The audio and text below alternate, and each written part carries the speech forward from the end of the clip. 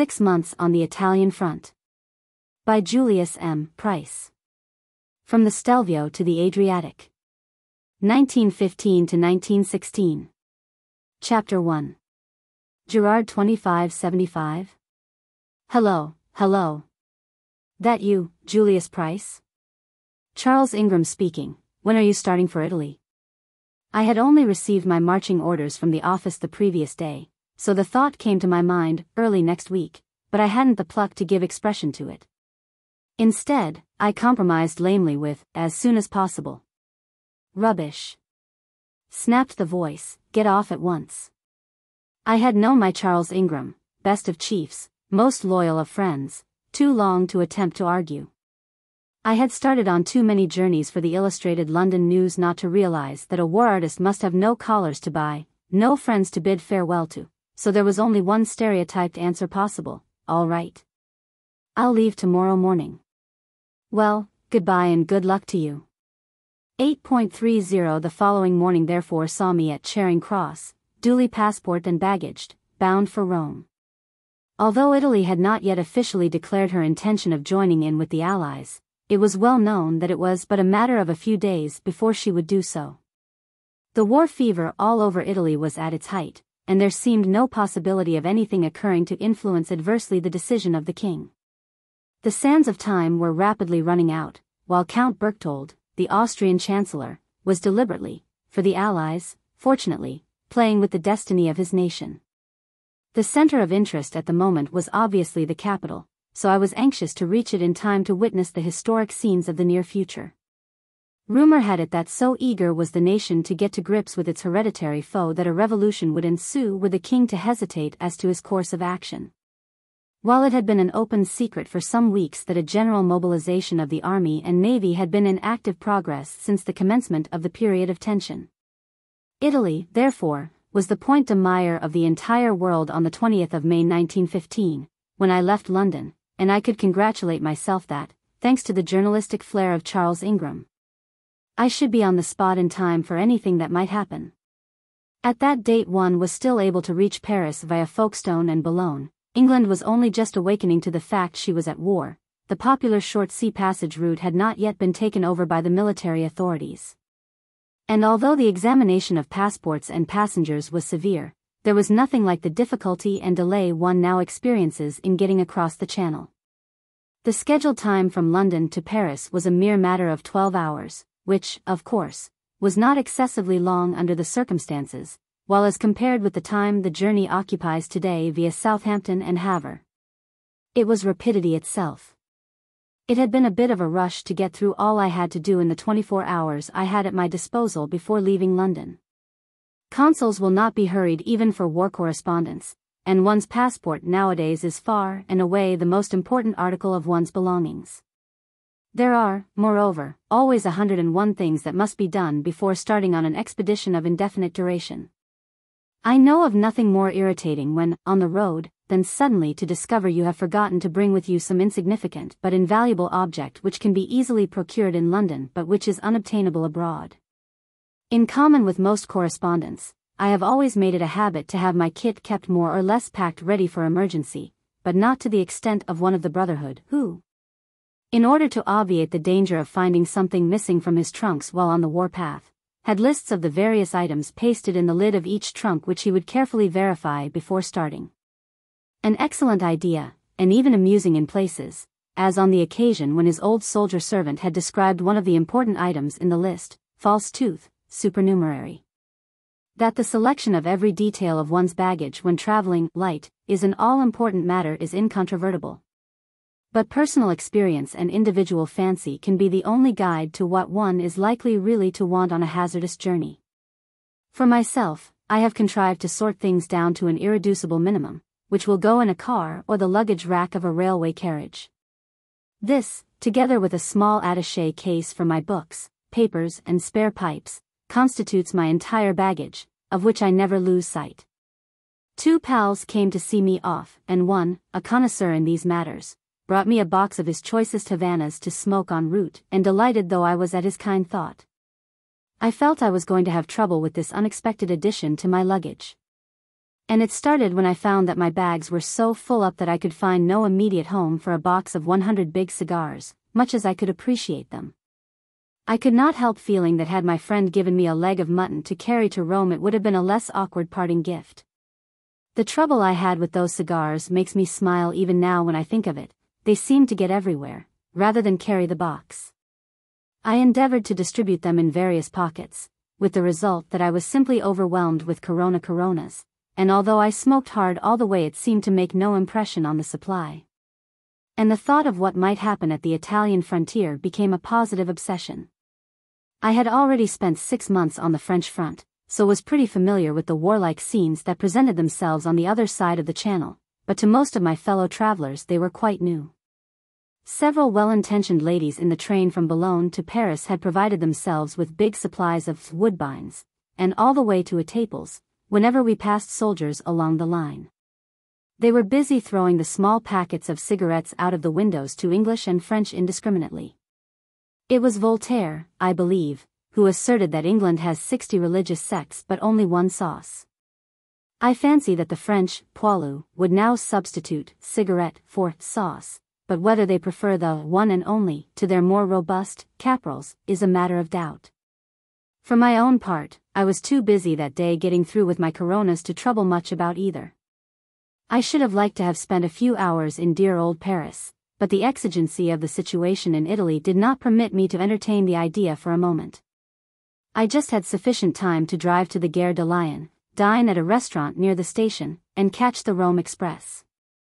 The train was not crowded, and the journey till we reached Turin was quite featureless with the exception, as far as I could judge, that everyone was discussing the situation in Italy.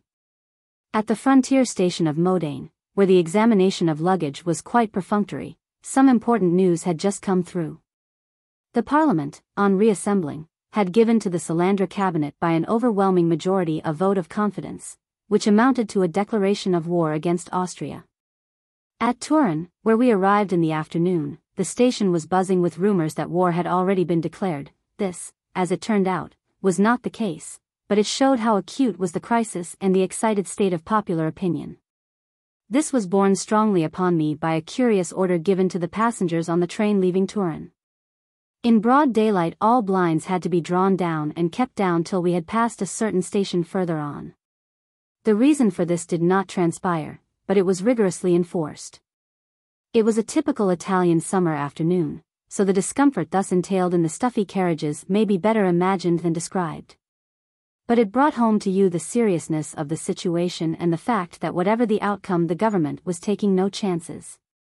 What was happening in the district through which we were passing was none of our business, and they let us know it, thus. This was actually the first indication of the nearness of war, and also an illuminating insight of the method and prescience of the War Department. What struck you everywhere was the small number of soldiers one saw, and you could but conclude that if movement of troops were taking place they were perhaps being carried out in the zone where the blinds had to be drawn. Though Turin was so far from any prospective front that this seemed an excessive precaution. Rome, if not exactly deserted, was much emptier than usual for the time of year, but as it was 84 degrees in the shade that may have had something to do with it. At the Grand Hotel, where I proposed staying, all the upper floors were closed. The white waistcoat manager showed me a fine room on the second floor, and on my inquiring the price, asked me, as I thought with diffidence, whether I thought six lires a day was too much.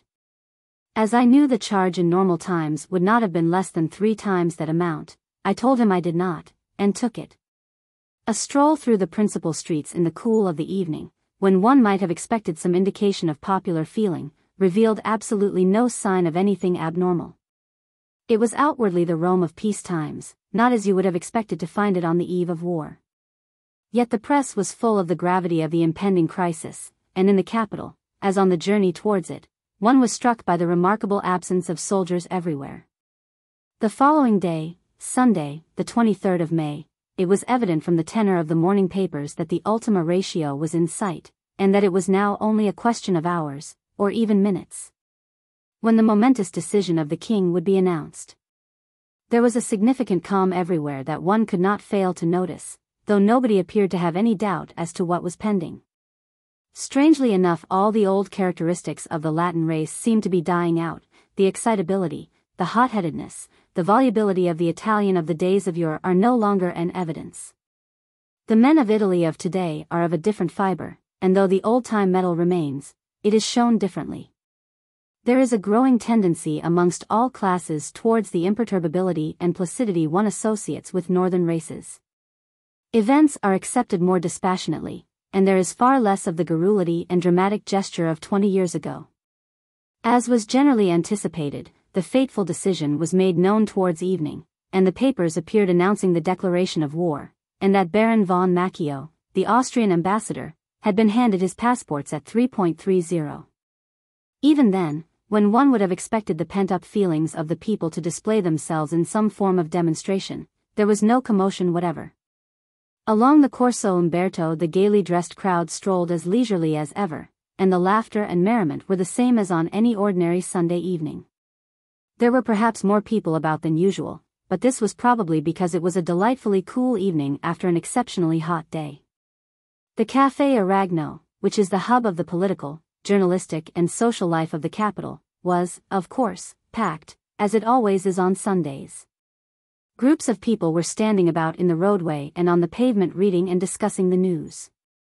Extra special editions of the evening papers, with fresh details of the situation, seemed to be coming out every few minutes, and the paper boys did a big trade. If, however, I had not seen it for myself I should never have believed that such composure in such exceptional circumstances could be possible. I could not help contrasting in my mind this quite remarkable absence of excitability in Rome with what I had seen in Paris on the first day of the mobilization. When the streets resounded to the cheers of the reservists and everywhere was wild excitement. It may have been that the event had been so long anticipated in Italy that when the actual moment arrived its effect was discounted.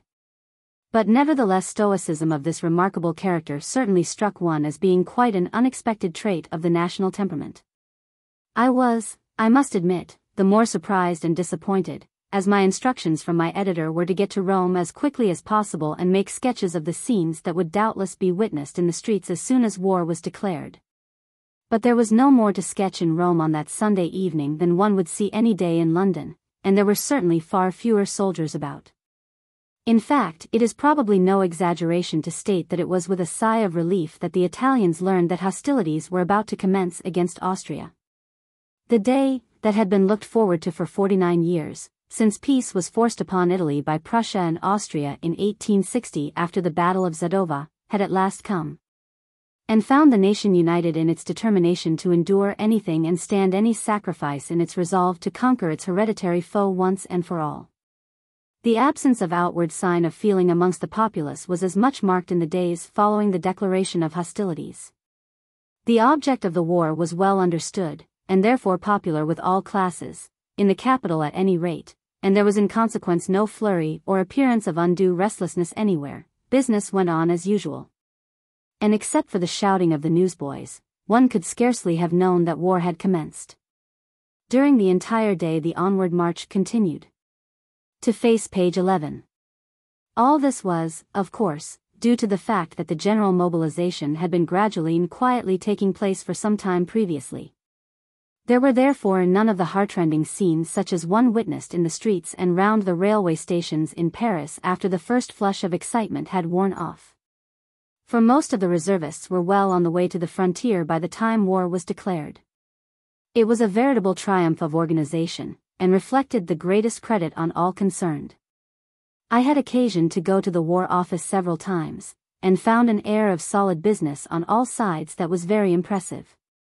Everything appeared to be going on as though by clockwork, a wonderful testimony to the efficiency of the different departments. There was not the slightest indication that anything had been left to chance or to luck in muddling through somehow. Of course it is incontrovertible that those in charge of the destinies of the nation had had ample time to get ready and to profit by the lessons of the war elsewhere. But this does not alter the fact that it was only the wonderful state of preparedness in Italy that enabled her to take the initiative directly war was declared. It certainly revealed an intuitive power of grasping the exigencies of the situation on the part of the chiefs of the War Department that to my mind presaged victory from the outset.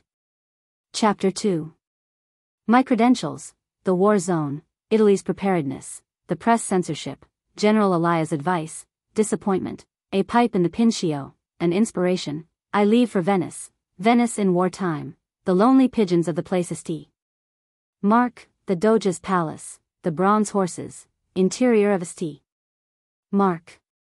Strange spectacle, first act of war between Italy and Austria, aeroplane bombs Venice, French aviators, treasures of Venice, everyday life in Venice during daytime, after nightfall, on the qui-vive, extraordinary precautions, dangers of the streets, spy fever, permis de séjour, the angry crowd, defenses against air attacks, Venice not a place forte, nearest point of the front, the British vice-consul. Mr. Beek, a good Samaritan, the letter of credentials, the commandant of Venice, more advice, new rescript of the Generalissimo, reference to correspondence, decide attempt go to Udina, the language difficulty, the waiter at the Hotel Danieli, his offer to accompany me, make arrangements at once, introduced to Peppino Garibaldi, amusing incident.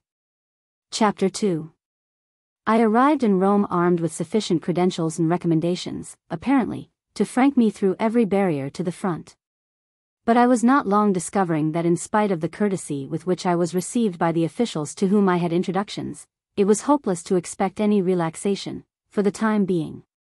Of the stringent decree with regard to the war correspondence that had been issued by the Generalissimo.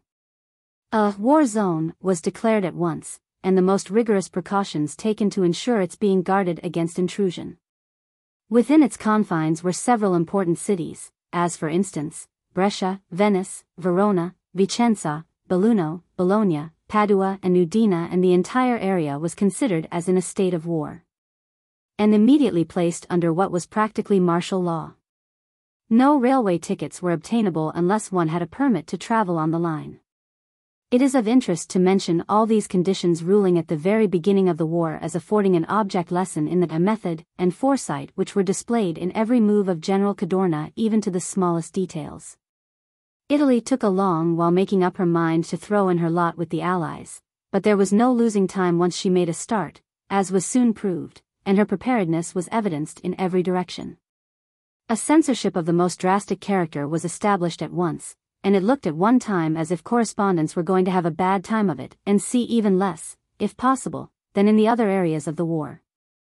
Go and make a journey through Italy, there is lots to see that will interest you as an artist, and come back in about three months from now. Then perhaps some arrangements will have been made with reference to correspondence going to the front.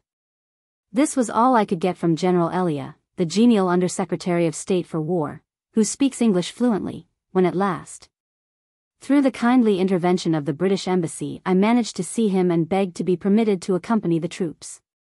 This could scarcely be construed as encouraging, and as I came away from the interview I must admit I felt the reverse of elated. I had already spent a week trying to get permission to go to the front, and I certainly had not the slightest intention of playing the tourist for the next few months, nor of idling away my time in Rome if I could help it. But what was to be done? I could hardly speak a word of Italian, so knew I was handicapped terribly for getting about alone.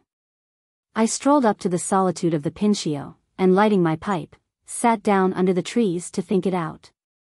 I forgot to mention that the decree placing Venice and other towns within the war zone was not to come into force for another 24 hours. Suddenly an idea occurred to me. I knew Venice well, why not go there? At any rate I should be quite near the front, and with luck I might manage to make my way there. Anyhow it could not fail to be more interesting so close to the scene of operations than in Rome. I made up my mind to start that day if possible, and, going to Cook's office near the hotel, found that I was in Luck's way, there was a train that afternoon, and there was not the least difficulty in getting a ticket. But this was the last opportunity of doing so without a permit, I was told. The next day therefore saw me in Venice and amidst familiar scenes but it was a very altered place from the Venice of peacetime. It looked very dreary and lifeless.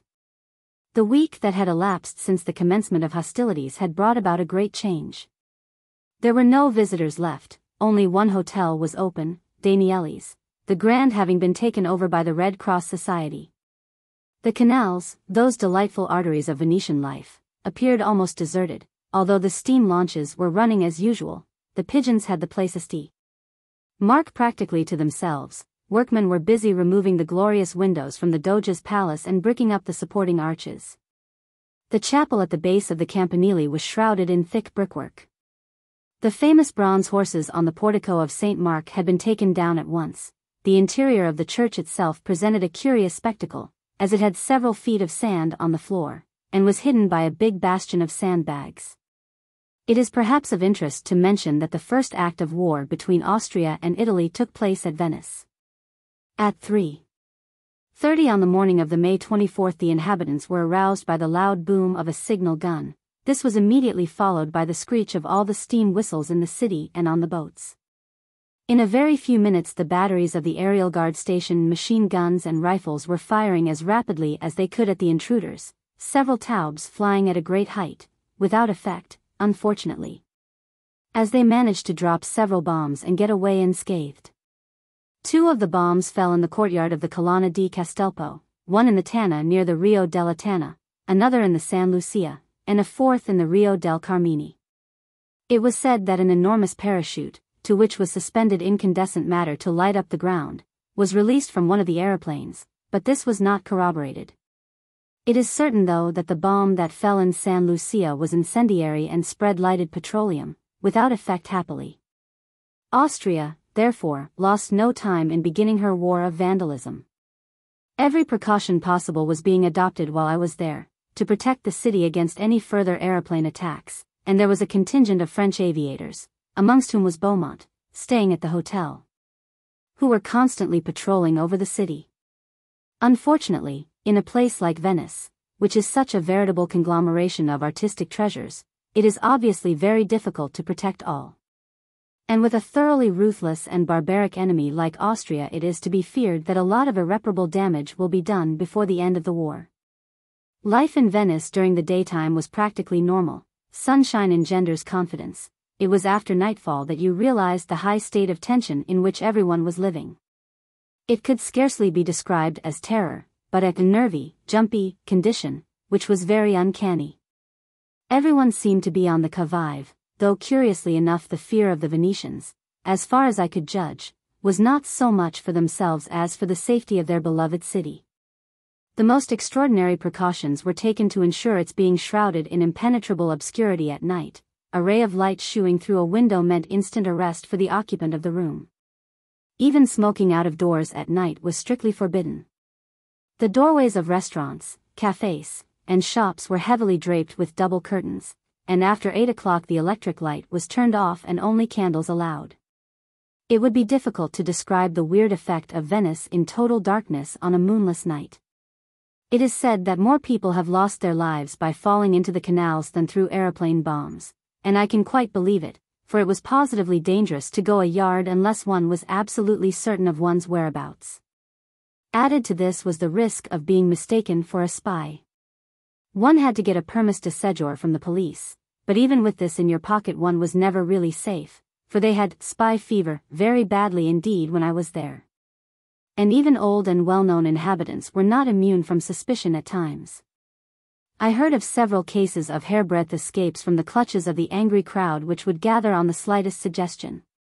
To be heard speaking with a foreign accent was often sufficient to attract unpleasant attention, so you were inclined to be chary of venturing far from the place St. Mark at any time, however much your papers might be en règle.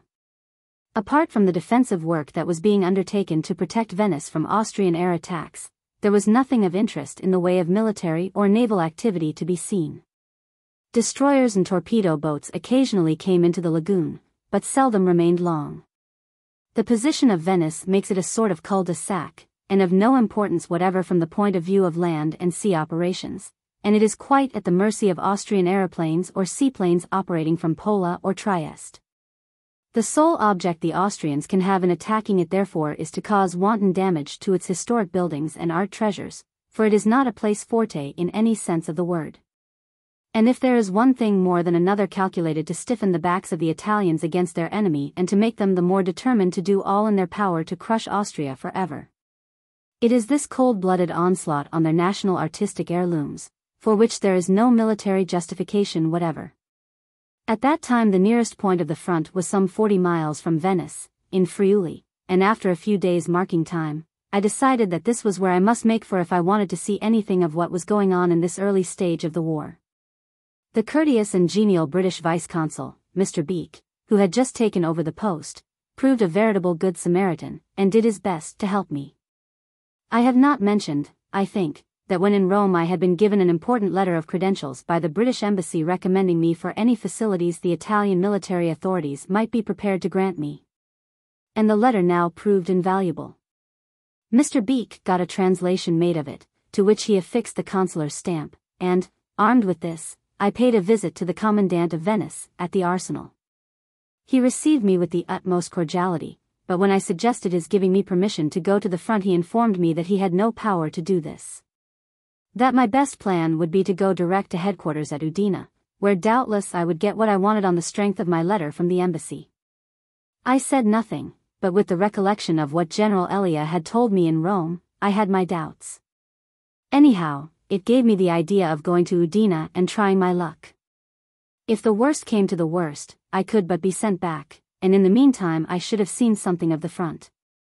The following day a new rescript of the Generalissimo appeared in the papers to the effect that until further orders no correspondents were allowed in the war zone. This was awkward for me, as, of course, I was already in it, but I made up my mind to run the further risk of getting up to the actual front if it were possible. But how, without speaking Italian, for, of course, the interpreter element had disappeared from Venice since there were no longer any tourists to interpret for. My ever faithful pipe as usual helped me to solve the difficulty. What I owe to Lady Nicotine for ideas evolved under her sway I can never be sufficiently grateful for. There was a very intelligent young waiter at the hotel who spoke English fluently, and it occurred to me that he would make a useful guide if he would go with me. He not only jumped at the idea, but actually offered to come for a few days for nothing if he could get permission from the manager, and if I paid his expenses, so anxious was he to see something of the military operations. There was no difficulty in getting the consent of the manager as the hotel was practically empty. And then my friend, the vice consul, again good-naturedly came to my assistance by giving me a letter to the military commandant of Udine, in which he stated fully my object in coming to the front and the fact that I was carrying a special letter of credentials from the embassy. These two important documents, together with my passport, were, I felt, sufficient to frank me some distance unless unforeseen trouble arose, so I made arrangements to start at once. And in order not to be hampered with baggage, as I did not know where my venture would take me, decided to leave my bulky luggage behind at the hotel, only taking with me what I could carry on my back in my rucksack. Before I left I was introduced to a very nice fellow who had just arrived in Venice, and a somewhat amusing incident occurred. I did not catch his name at first, and, as he spoke English so fluently and looked so much like an Englishman, I was somehow under the impression that he was a correspondent of a London paper. He appeared mystified when, after a few casual remarks, I asked him how long he had been in Italy. How long, he exclaimed. Why, I live here. But you are not an Italian? Well, you see my grandfather was, he replied with a touch of humor which I was only able to appreciate, when I heard later that my English journalist was Peppino Garibaldi, a nephew of the great patriot. He had just come from the front, where he had been to see the king to offer his services in raising a regiment of volunteers similar to the one he had recently commanded on the French front in the Argonne. His offer, it appeared, was not accepted, but afterwards I learned he was given a commission in the army, and he has since so distinguished himself in action that he has risen to the rank of colonel. I believe his brothers have also done equally well in the army, thus proving that they are all real, chips of the old block. Chapter 3 From Venice to Udina, reservists rejoining, interesting crowd, delays en route, endless procession of military trains, drawn blinds, the Red Cross train, arrival Udina, scene on platform, in search of an hotel, a little incident, the well-dressed. Civilian, the obliging guide, my suspicions, awkward questions, the best hotel in Udina, a little trattoria close by, a cheap room, first impressions of Udina, at the police office, the permis de séjour, the carabinieri and the local police, the fascination. Of the big guns, the military commandant of Udina, a difficult proposition, the luck of the undelivered letter, my guide has to leave me, I change my quarters, the Hotel, Tower of London, alone in Udina, an awkward predicament, a friend in need, still more. Luck, Dr. Berthod, I am offered a studio, I accept, the delight of having this studio in Udina. Chapter 3 The train service between Venice and Udina was apparently running as usual, and there was no difficulty in getting tickets in spite of the drastic regulations with regard to passengers. Possibly it was assumed that anyone already inside the war zone had permission to be there, so no further questions were asked. My guide, of course, got the tickets, so I had no trouble in that matter. Perhaps if I had gone to the booking office myself with my limited vocabulary of Italian it would have been different. As it was, it all seemed ridiculously simple, and there appeared to be no difficulty whatever. In Venice they are so accustomed to Englishmen, and artists are such common objects of the seashore, that I attracted no particular notice, in spite of my rucksack and my Norfolk jacket, breeches, and leggings. The train left Venice at 8 o'clock in the morning, and was crowded with officers in uniform and reservists in civilian attire, going to join their regiments. Every class of Italian life was to be seen amongst them, from the peasant with his humble belongings in a paper parcel to the smart young man from Venice with his up-to-date suitcase and other luggage. All were in the highest possible spirits, and it gave me more the impression of a holiday outing of some big manufacturing company than a troop train as it virtually was. I now began to realize how handicapped I was in not speaking Italian. It would have been so interesting to have been able to chat with these enthusiastic young fellows. It was supposed to take three hours to get to Udine, but we were two hours and a half longer, as we were continually being held up for trains with troops, artillery, and every description of material to pass. It was an endless procession, and the soldiers in them seemed as happy as sandboys, and cheered lustily as they passed us. The blinds of our windows and doors had to be kept drawn down the whole way, and no one except the officers was allowed to get out of the train at the stations under any pretext. Still there was not much that we did not see. The blinds did not fit so tight as all that. At one place we passed a long Red Cross train full of badly wounded men just in from the front. This was the first time there had been any evidence of the fighting that was taking place on ahead. It was almost a startling sight, and came in sharp contrast to the cheering crowds of healthy boys in the troop trains that had gone by a few minutes previously. There was a big crowd of officers and soldiers on the platform at Udine, which was the terminus of the line, and one realized at once that it was an important military center. Outside was a large assemblage of vehicles, motor wagons, and ambulance cars, and altogether there was a scene of military activity that presented a sharp contrast to sleepy Venice. Rugged and threatening, visible for miles around is the frowning pinnacle of bare rock. Known as Monte Nero. To face page 26. The station is some little distance from the town. So we set off in search of a small hotel we had been recommended to where we could get quiet lodgings for a day or two as I did not want to put up anywhere where we should attract undue attention. I had thought it would be advisable to drop the war correspondent for the time being and to call myself simply a wandering artist in search of military subjects. And my intelligent young guide quite entered into my idea, it was only a harmless little fib after all. A few hundred yards from the station a little incident occurred which, curiously enough, turned out to be the commencement of the run of luck which, with one exception, of which I shall tell later, I had during the whole of my stay in Udine. It came about in this wise. A good-looking, well-dressed man in civilian attire caught us up as we were walking along, and, noticing that we seemed uncertain which way to take, asked pleasantly if we were looking for any particular street. My companion unhesitatingly told him we had just arrived in Udine, and were looking for lodgings. The stranger, noticing I could not speak Italian, addressed me in a very good French, and obligingly offered to accompany us part of the way. I could not well refuse, but I recollect how the thought instantly flashed through my mind that he was perhaps a police official in mufti or a detective, and my suspicions seemed to be confirmed by a question he put to me bluntly. Are you journalists? he inquired suddenly. My first impulse was to ask what business it was of his what we were when it flashed through my mind that it was better not to resent his query, which might after all mean no harm. So I replied that I was a traveling artist in search of military subjects, and that my companion was my interpreter. But why do you ask if we are journalists? I continued. Because journalists are forbidden to come to Udina, and only yesterday the famous Barzini himself was arrested and sent back to Milan for coming here without permission. Of course there may be no objection to you as an artist if all your papers are in order. I assured him they were, but nevertheless I did not feel very reassured after what he had told me. It seemed a sort of hint that unless I was very sure of my position I had better not think of taking lodgings at Udina, otherwise I was asking for trouble. However, I had weighed all this in my mind beforehand, and was well aware of the risk I was taking.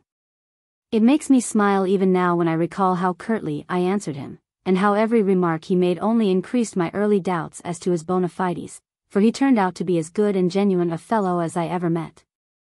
And had it not been for this chance meeting, my early impressions of Udina would have been very different to what they were, apart from the result it had on my work whilst there, but of all this more anon. The modest hotel we had been recommended to put up at was merely modest in comparison with Danieli's at Venice, for it was the Hotel d'Italy, one of the best and most frequented in Udine. And the very last place I should have chosen for seclusion. As it turned out, they had not a room vacant, so we had perforce to seek accommodation elsewhere.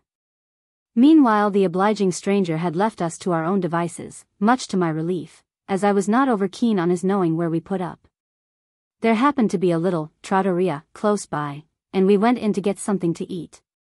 It was late for lunch, so we had it to ourselves, and the proprietor, seeing we were strangers, came and had a chat with us.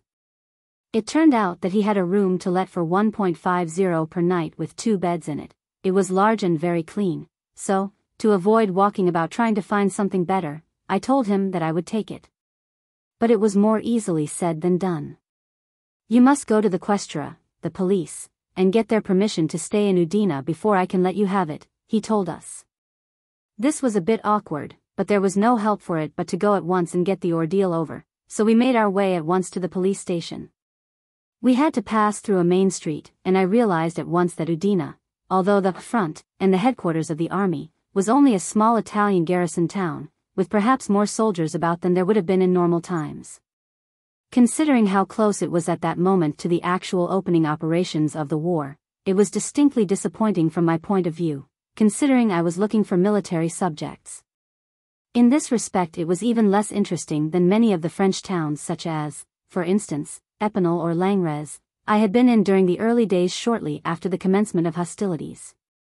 This was my first impression of Udine, I had reason to modify it considerably in a very short time, in fact during the first day I was there. The echo of the big guns convinced me that although life in Udine was outwardly normal, the war was very near indeed. At the questura, to my surprise, the commissaire made but little difficulty in giving me a permis de séjour, on seeing my passport and my last permis from Venice, and on my guide explaining that I might be remaining some little time. He readily made it out for one month.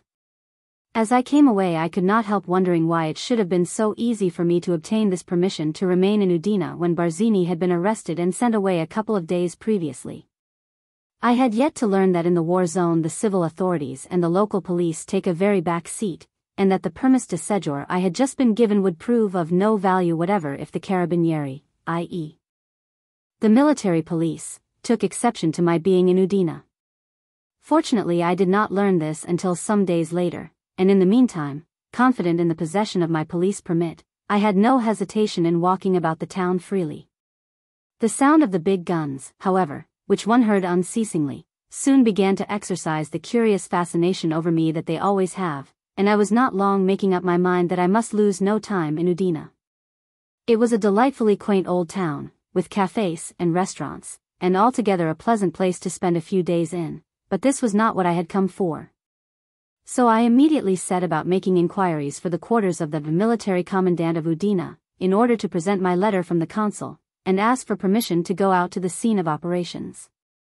It seemed on the face of it a perfectly simple matter to find out where he was staying, but we spent several hours going from place to place without success. The long official envelope with, on His Majesty's service, on it proved an open sesame everywhere, and I was received with marked courtesy by all the staff officers I showed it to, and the envelope itself seemed to inspire respect. But not one of them could, or as I thought, would, give me the information of the commandant's whereabouts. It struck me as being very strange all this mystery as it appeared. Well, after having spent two hours going from one staff building to another. We had to give it up as a bad job. It was evidently a very difficult proposition to present a letter to the military commandant of Udina, and the envelope was beginning to show signs of wear after being handled so much. So there was nothing for it but to have the letter always handy and chance coming across him sometime, in the meantime. If any questions were asked me as to the reason of my being in Udina I felt I had always the excuse of this document which I was waiting to hand personally to the military commandant. As it turned out I owed all my luck in remaining in Udina as long as I did to this undelivered letter in its official envelope. Whenever I was asked any awkward questions as to why I was there, out it would come, and the mere sight of it seemed to afford me protection. It was a veritable talisman. How its spell was eventually broken I will narrate in due course. To get out to the scene of operations without a permit appeared hopeless, for the moment. One realized it would take some time to work it, so the only thing to do was to chance it and to remain on in the hope of something turning up, that Udina was the place to stay in if one could was evident. I therefore decided not to budge till they turned me out, and I never had cause to regret my decision. My guide had only been given a few days' holiday, so when he saw that there was no immediate chance of getting out to see anything of the fighting he told me he thought he had better return to Venice. This, of course, meant my remaining on alone, a somewhat dreary prospect, since I knew no one, and, as I said, could scarcely make myself understood, but there was no help for it. Before he left I managed, with his assistance, to find a better room in a small hotel on the main street. Curiously enough, the hotel was named the Tower of London and arranged to have my luggage sent from Venice. It would be difficult to describe my feelings when I found myself alone outside the station after my guide had gone.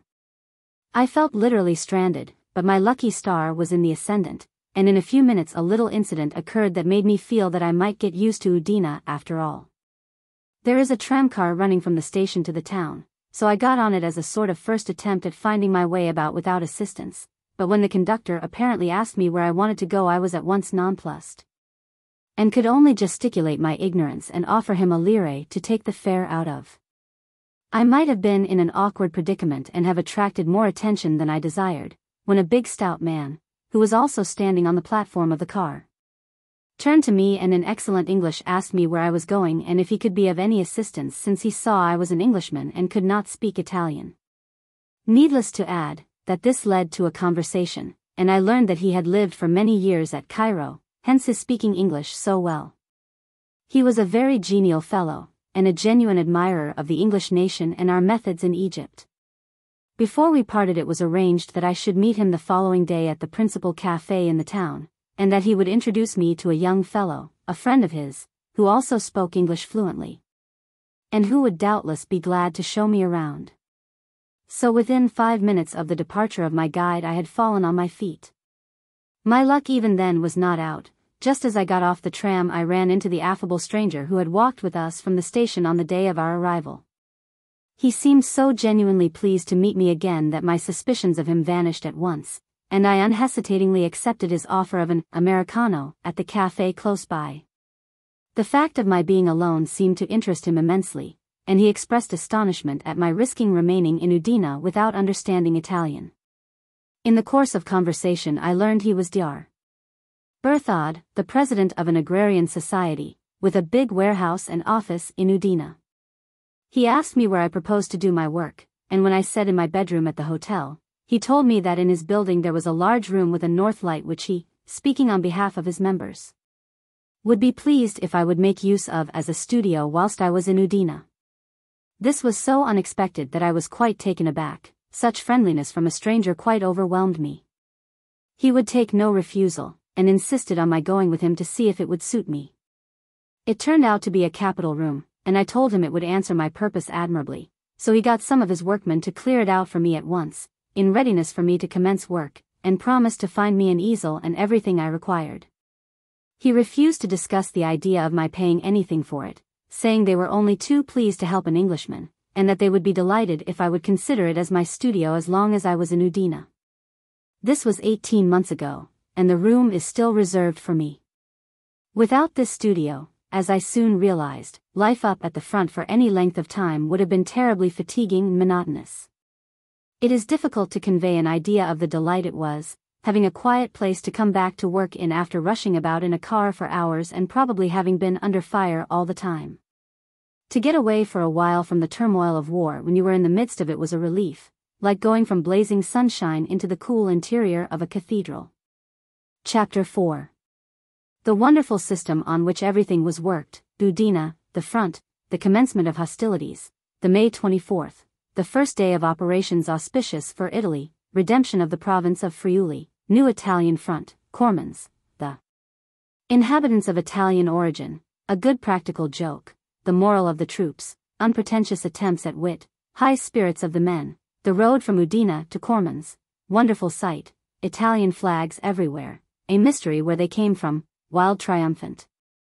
Advance of the Italian troops, women kiss the ground, but a lever Rideau, Italians cross the Isonzo, Austrians on Monte Nero, Monte Nero, the capture of Monte Nero, incredible daring of the Alpini, the story of the great achievement, number of prisoners.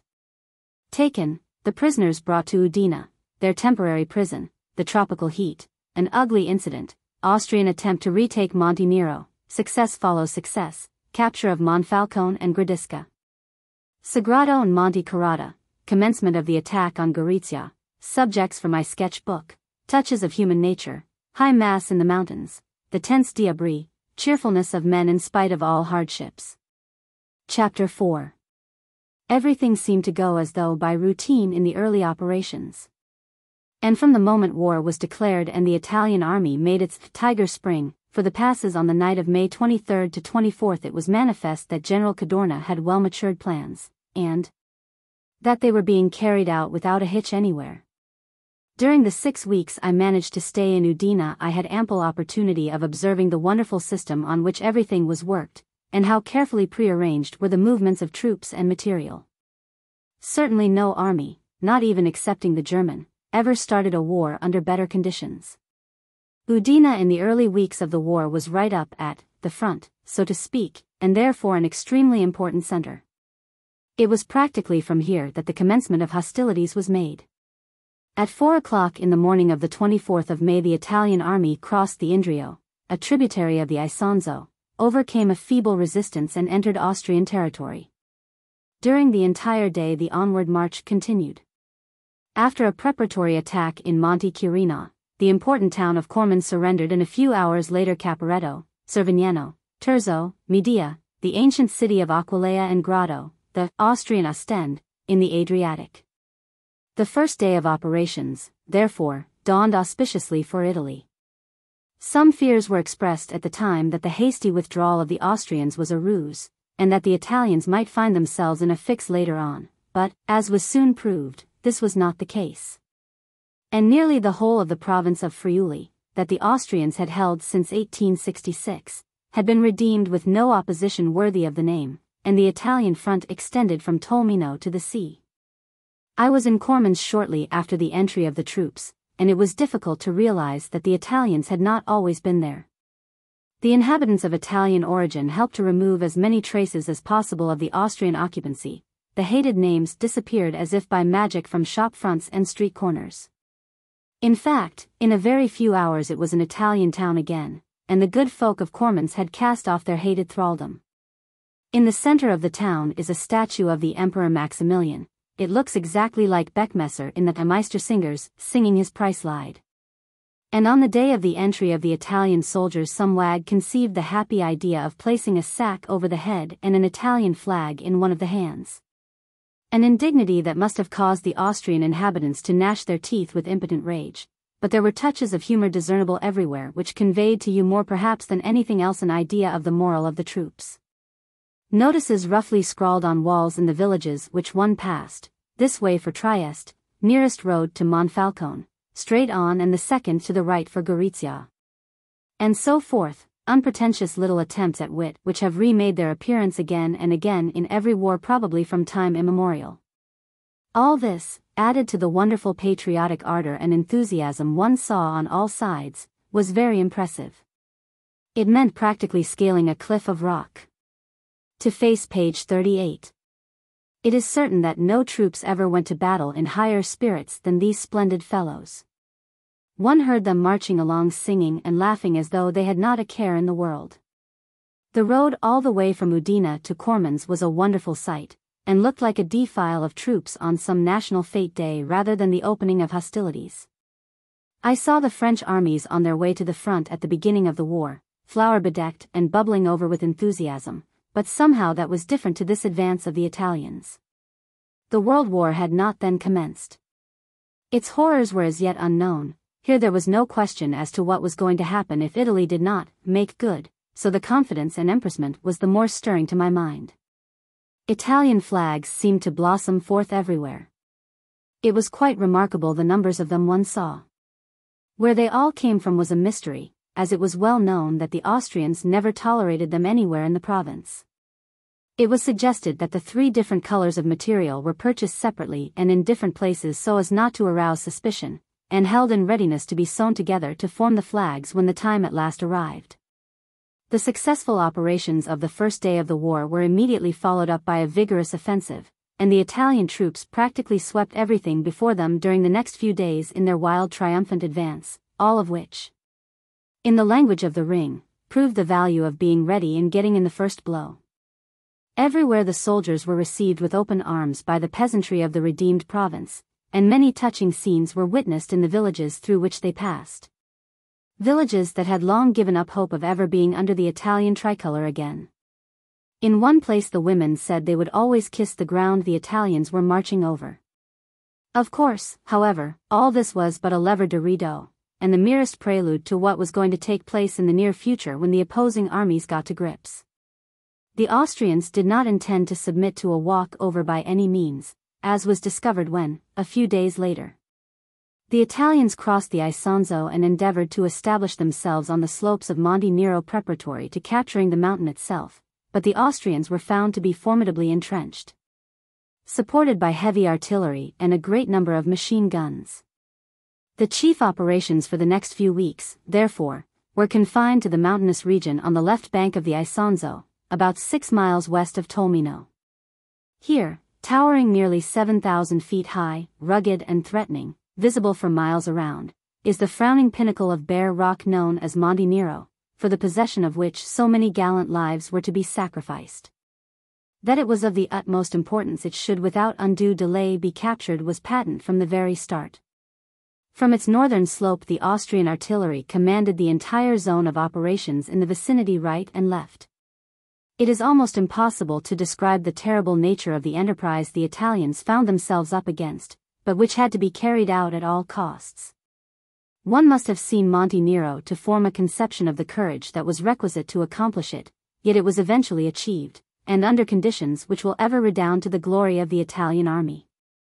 The whole story of the capture of Monte Nero is a veritable epic of heroism and endurance. It started with a series of stubborn conflicts for the possession of the spurs leading to the summit. These were gradually taken, and then came the crucial moment when only the actual summit remained in the possession of the Austrians. This had been transformed into a veritable fortress, and its eventual capture was probably one of the most thrilling episodes in the history of war. The Austrians were so strongly entrenched and fortified that they had every reason to consider themselves in complete security from any attack except by long-range artillery fire, and the front of their positions was further protected by nature. The side of the mountain being almost perpendicular for some distance from the top. Many an experienced climber would hesitate to negotiate so precipitous an ascent in daylight. The Alpini, with almost incredible daring, undertook it on a moonless night. It meant practically scaling a cliff of rock in pitch darkness, encumbered with rifle and munition. However, amongst the men, all of whom were hardy mountaineers, there was no hesitancy. In order to lessen the danger of making any noise which might arouse the suspicions of the Austrian sentries, they removed their boots and bound rags round their feet to prevent them being cut on the rocks. Up they climbed in the Cimmerian gloom of midnight like so many panthers stalking their prey. Now and again a rock, dislodged by accident, would disturb the stillness of the night as it rattled down into the valley below. And instantly the column would halt and remain motionless expecting the next moment the mountain side would be illumined by the enemy's flares and their presence discovered, but their quarry slumbered in blissful ignorance of their approaching doom. And the sentinels, fortunately, heard nothing. Half an hour before dawn the various detachments reached the summit and found themselves within a few yards of the front line of entrenchments. These were instantly rushed and captured at the point of the bayonet within a few minutes, most of their defenders being killed before they were awake. The second line shared the same fate after a short and stubborn fight, for once aroused the Austrians fought like cornered rats and with the courage of despair, but they had no chance against the athletic alpinist. Many of whom had not even troubled to put on their boots after the long climb. By the time the summits of the mountains were illumined by the rays of the rising sun the whole of the heights and slopes of Monte Nero were in the hands of the Italians, 750 unwounded prisoners. A large quantity of rifles and ammunition and several machine guns. The prisoners were brought to Udine, and made a sorry spectacle as they marched through the streets. It was the first time the inhabitants had seen Austrian captives, and they produced a strange impression, as what had been seen of the war so far had been only the troops passing on their way to the front line. Most of the men were Hungarians between 17 and 25 years of age, many were slightly wounded, their uniforms were in tatters, and the majority had no boots, but wooden shoes fastened to the foot and ankle by leather straps. They were confined temporarily in an old building on the Piazza Garibaldi and I managed to get in and make a sketch and have a chat with one of them. He told me that most of them had come from the Serbian front and had had a very rough time. Looking round the motley crowd in the picturesque courtyard, I could quite believe him, but the men seemed quite reconciled to their fate and taking it very philosophically. There was a group playing cards in one corner, and lying about in the shade were others chatting and smoking long German pipes, or sleeping peacefully. The heat that day was terrific, and certainly the prisoners in their scanty attire had a better time of it than their guards in full uniform. Mentioning the tropical heat recalls to my mind a very curious incident which occurred when the prisoners were being brought into camp. And which gave a vivid idea of the awful conditions in the Austrian positions the suddenness of the Italian attack had brought about. Some soldiers were bringing up big canteens full of water to be served out in due course, when suddenly there was a veritable stampede amongst the prisoners, and before it could be stopped there was a wild fight to get at the water. So overwhelming was the rush that the carriers were literally swept aside. The struggle only lasted a few moments, as it was, of course, only a question of who was biggest and strongest.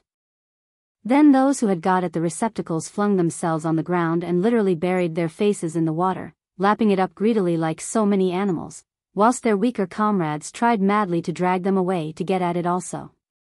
It was a sickening spectacle, and proved how, under certain conditions, some human beings revert instantly to their primordial nature.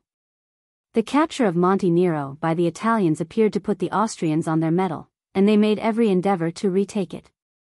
Battalion after battalion was thrown against the position, whole regiments were destroyed in the vain attempt to dislodge the Alpini, and as a last resource the Austrians brought up their own mountain troops, the famous Kaiser Jägers. But with no more success.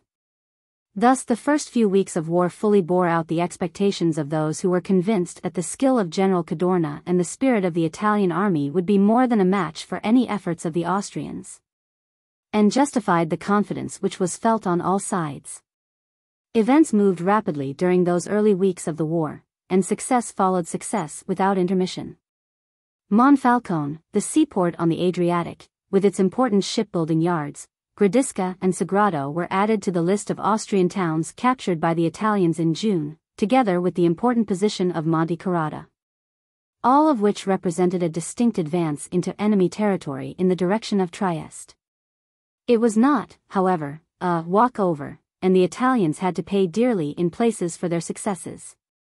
The fighting for the Middle Isonzo continued fiercely, and there were severe losses round Plava before the place was taken. The Austrians, however, lost still more heavily. The attack on Gorizia, which was to last so many months, may be said to have commenced about the middle of June, when the Italians were able to start bombarding the fortifications of Santa Maria, San Pietro, San Marco, and Santa Lucia. Besides the Austrian positions dominating the town, especially Mount San Gabriel. Of course all this meant long-range artillery duels day after day, which presented but little spectacular interest, though it was obvious that there was method in all this vast expenditure of ammunition. Purposeless as it may have appeared to the layman. To me as an artist, however, there were plenty of subjects for sketches, and without having to search for them through field glasses. Not far afield there were always interesting incidents, little touches of human nature in the camps and on the road that fortunately for me had so far escaped the attention of the ubiquitous photographer. On one occasion, for instance, I saw Mass being celebrated in a small encampment in the mountains. For it must be remembered that the innate piety and religious spirit of the Italian army have been evident in every step of our allies' campaign against Austria. On a road in the wild district near Pontebba a rude altar of rough boxes was set up, the altar cloth was a soldier's blanket, the priest's assistants were soldiers. It was a common soldier who rang the bell at the elevation of the host, and the kneeling troops told of the devout spirit in which they had entered not only into the divine service but also into the war. A battery was passing along the road at that moment, and the artillerymen bared their heads and piously made the sign of the cross, whilst a sentry before a row of grey tents fell on his knees. Even in the haste of a rapid transport of guns, reverence was not forgotten, although it was not possible for the convoy to stop. The kneeling troops were Alpini, who were encamped in this mountainous district and had already figured gallantly in action. The operations on the frontier in the vicinity of Pontebba were especially interesting from an artistic point of view. The scenery here is magnificent, and much of the fighting took place along the big military highway constructed by Napoleon to connect Milan with Vienna. It was always a pleasure to be amongst the troops, and it was an endless source of astonishment to me to see how they had in so short a time settled down to the irksome daily routine of warfare as it exists at the rear of the fighting line. The glorious summer weather doubtless contributed in no small degree to the high spirits of the soldiers, for camp life in the Italian army is very different to that of the English, it is far more picturesque, but of comfort there is very little. It appeared to me the quaint tents d'abri afford very slight shelter either against the intense glare and heat of the Italian sunshine, or the cold and rain in bad weather, yet the men appeared to be thoroughly happy and contented under any conditions. It may be said that it is all a question of habit or rather custom. But there is no doubt that the English Tommy expects to be, and is, pampered in the way of quarters and catering to an extent that would astonish the Italian soldier if he could see it. As a matter of fact, it was frequently a revelation to me what these men had to put up with at times, and their invariable cheerfulness in spite of all hardships and discomfort. Chapter 5 Udine, the headquarters of the army, the king, his indefatigability, his undaunted courage, a telling incident, the king with the troops, love and sympathy between Victor Emanuele and the men, brotherhood of the whole army, a pleasant incident, men salute officers at all times, laxity shown in London, cohesion between rank and file, the Italians of today, the single idea of all, Udine crowded with soldiers, the military missions of the Allied nations, big trade being done, orderly and sedate crowd, restaurants. The food, the marketplace, the cinemas, proximity of the fighting, the cafe, d'orda, pretty and smartly dressed women, an unexpected spectacle, the military governor, the streets at night, precautions against taubes, the signal gun, curiosity of inhabitants, no excitement, Udine a sort of haven, I remained there six weeks, a meeting with the British military attaché.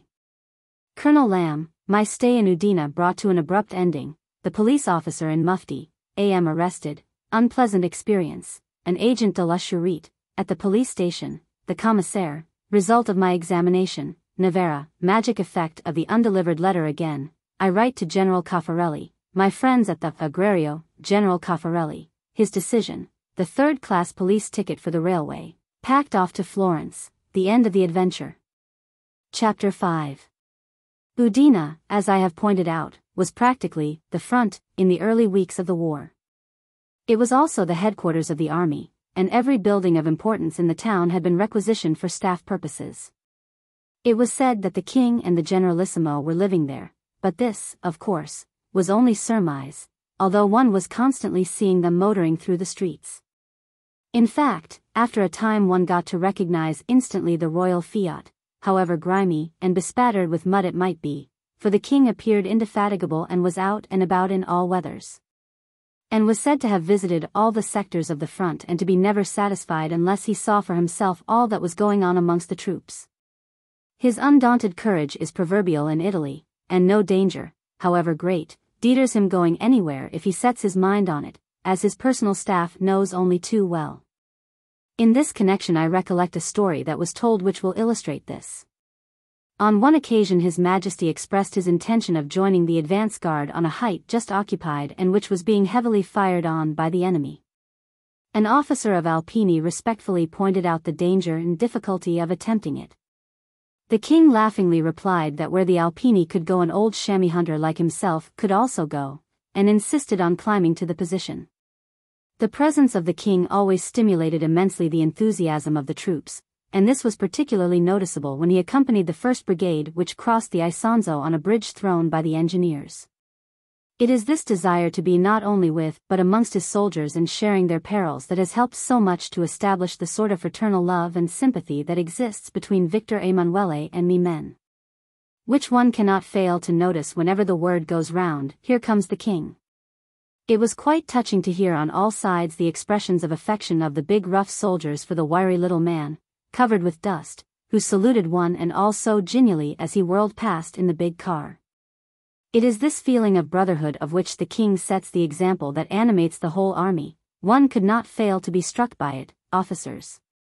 Non-commissioned officers and men are all on the most friendly terms together and there is probably no more democratic army in the world today than the Italian. In this connection I recall a pleasing incident I witnessed one day on a mountain track. An officer riding a mule at the head of a small detachment of soldiers, who were plodding along stolidly in the intense heat, was reading his newspaper aloud for the benefit of them all.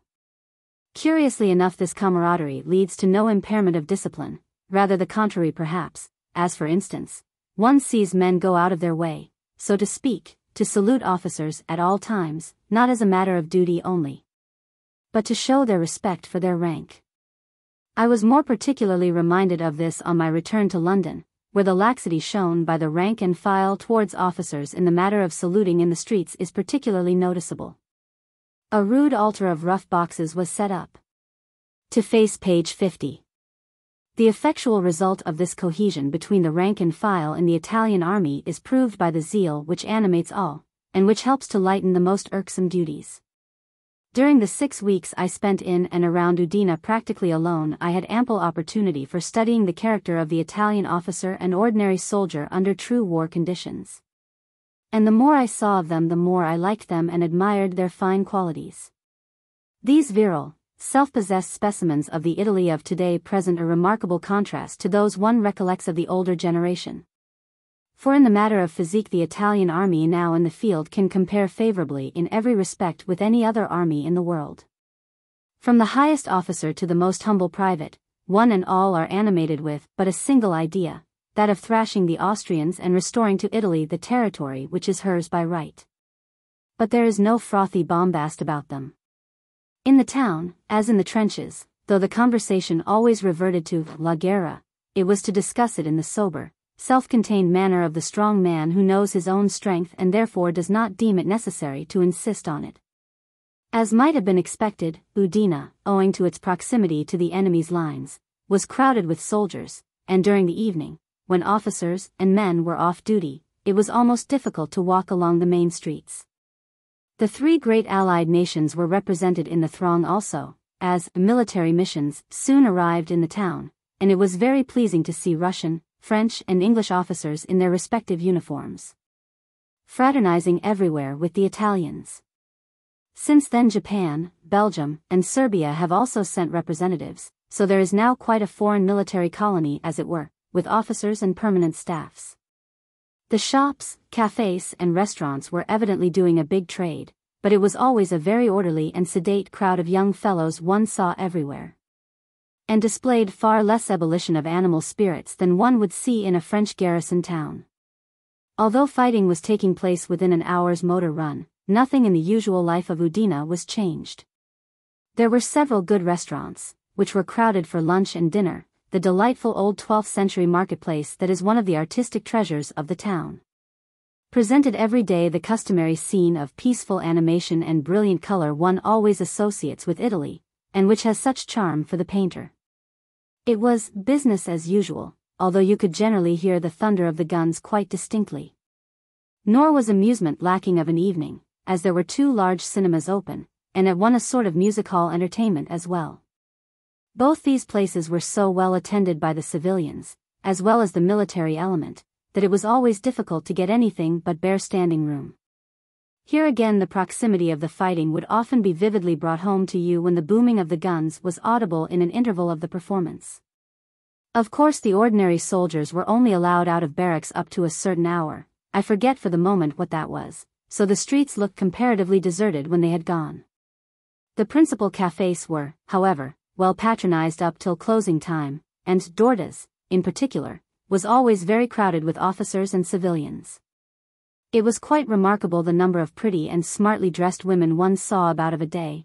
Of course many of these were the wives or daughters of residents, but there were others also. On a fine Sunday morning, the church parade on the Piazza Vittorio Emanuele and along the Via Mercato Vecchio was quite one of the sights of Udine, for it was usually a galaxy of beauty and fashion. To anyone like myself, newly arrived in the town, and expecting to find himself in the midst of warlike scenes considering how close one was to the operations, this unexpected spectacle came as a positive shock. After a week or so, however, this impression of incongruity wore off, and you ended by feeling that after all these dainty apparitions in the streets or the restaurants were not so unpleasant to look on. And that they served to accentuate the grimness of the dust-covered warriors around them. With the general advance of the army, the majority of the troops was gradually shifted nearer the new front, but the whole district was, and still is, under the command of a military governor. Who wields the power of a dictator so far as the civilian element is concerned. The streets were practically pitch dark on moonless nights, only the merest pretense of a glimmer of electric light in blue bulbs being allowed here and there. Though the Stygian gloom was constantly being illumined by the powerful headlights of military cars passing through, a curious anomaly which appeared to me quite inexplicable. Of course these precautions were taken owing, as I have said, to the proximity of Udine to the enemy's lines and the fact in consequence that neighborly visits from Taubes were frequently received though fortunately they seldom succeeded in doing any damage or causing loss of life.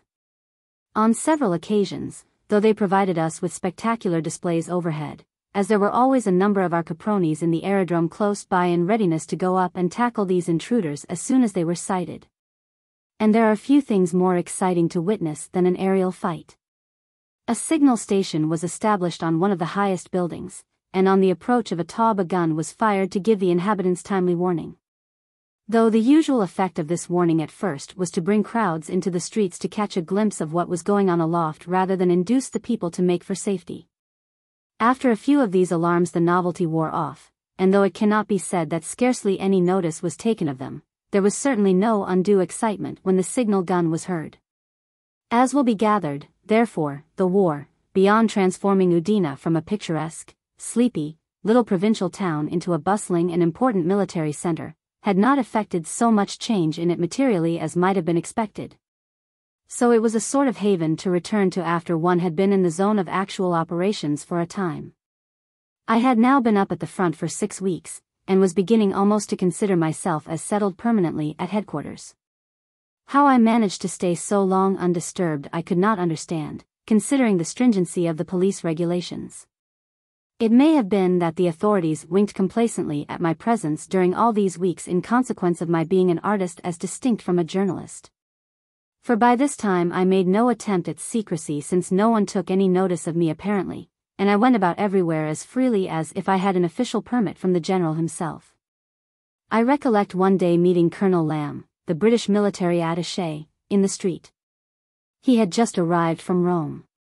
He expressed his surprise at seeing me in Udine, and asked how long I had been there. When I told him he laughingly said, You'll end by being sent to prison and perhaps shot one day. I replied in the same vein that I had been expecting it to happen every day for weeks past, so should not be surprised when it did. Well, whatever the reason, I had no unpleasant attention shown me until the last few days of my stay, and then it was suddenly brought home to me that I had overstayed my welcome.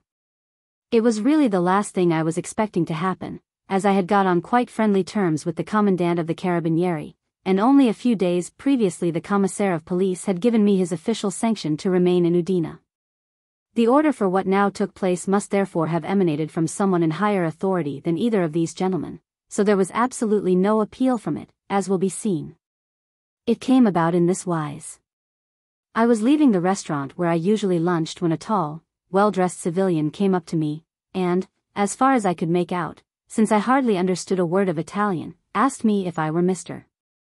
Price, and if I were that person would I do him the inestimable favor to walk with him as far as the Questura, as they had something of importance they desired to communicate to me at once.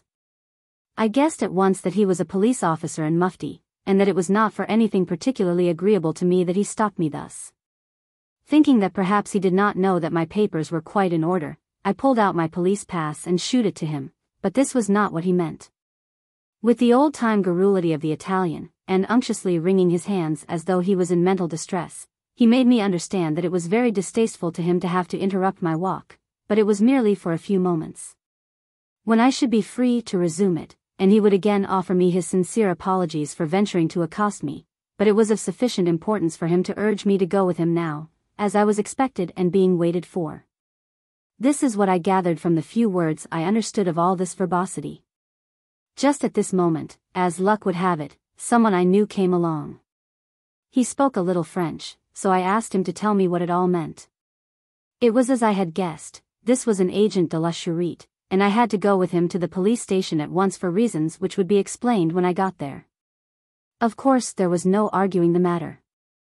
I realized that it was all mock politeness I had been treated with, and that if I made any objection I should be spoken to very differently. At the station I was asked to produce all my papers and my passport. These were taken into an adjoining room. In a few minutes they were returned to me, and I was informed that I would hear further in the matter. Whereupon I was allowed to go, much mystified as to what was going to happen next.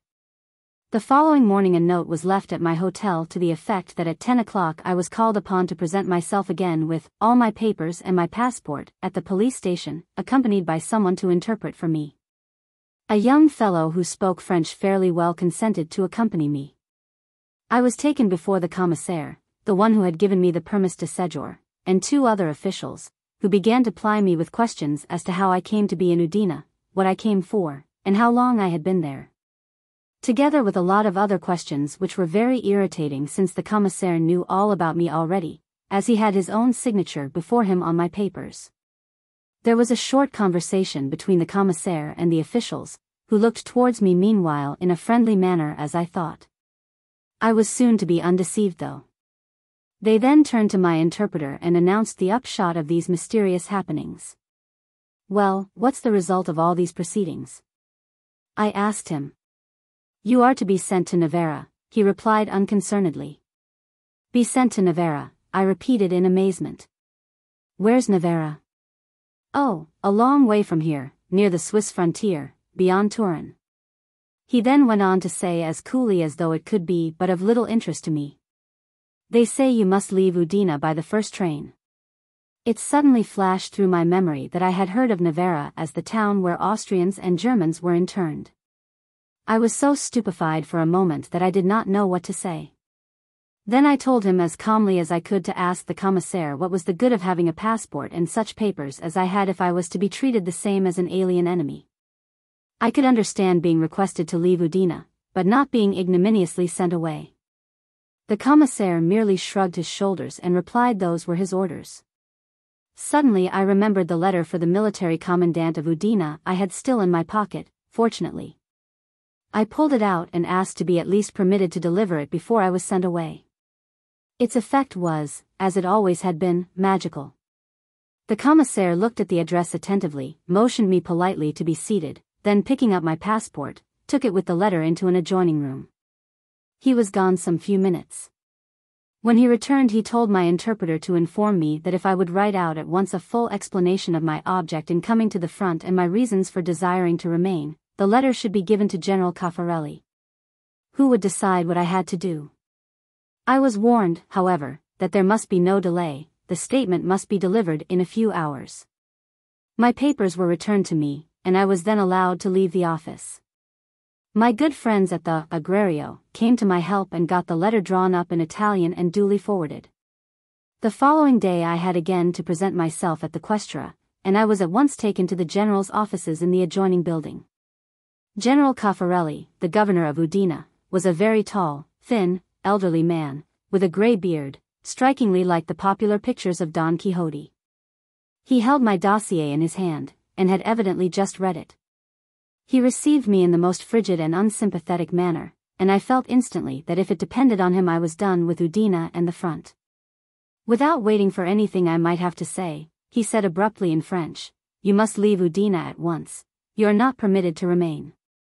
I produced the famous letter, and asked if he could tell me when I could deliver it as it might perhaps affect his decision. To my surprise he just glanced at the superscription, then without hesitating, opened it and read it through. This does not alter your case. You leave today, he snapped out. But not for Novara I hope, mon general, I ventured to remark. Well, I will make you that concession, but you must go either to Turin or Florence or Rome by the first train, and then he added significantly, I hope you will make no difficulty about it.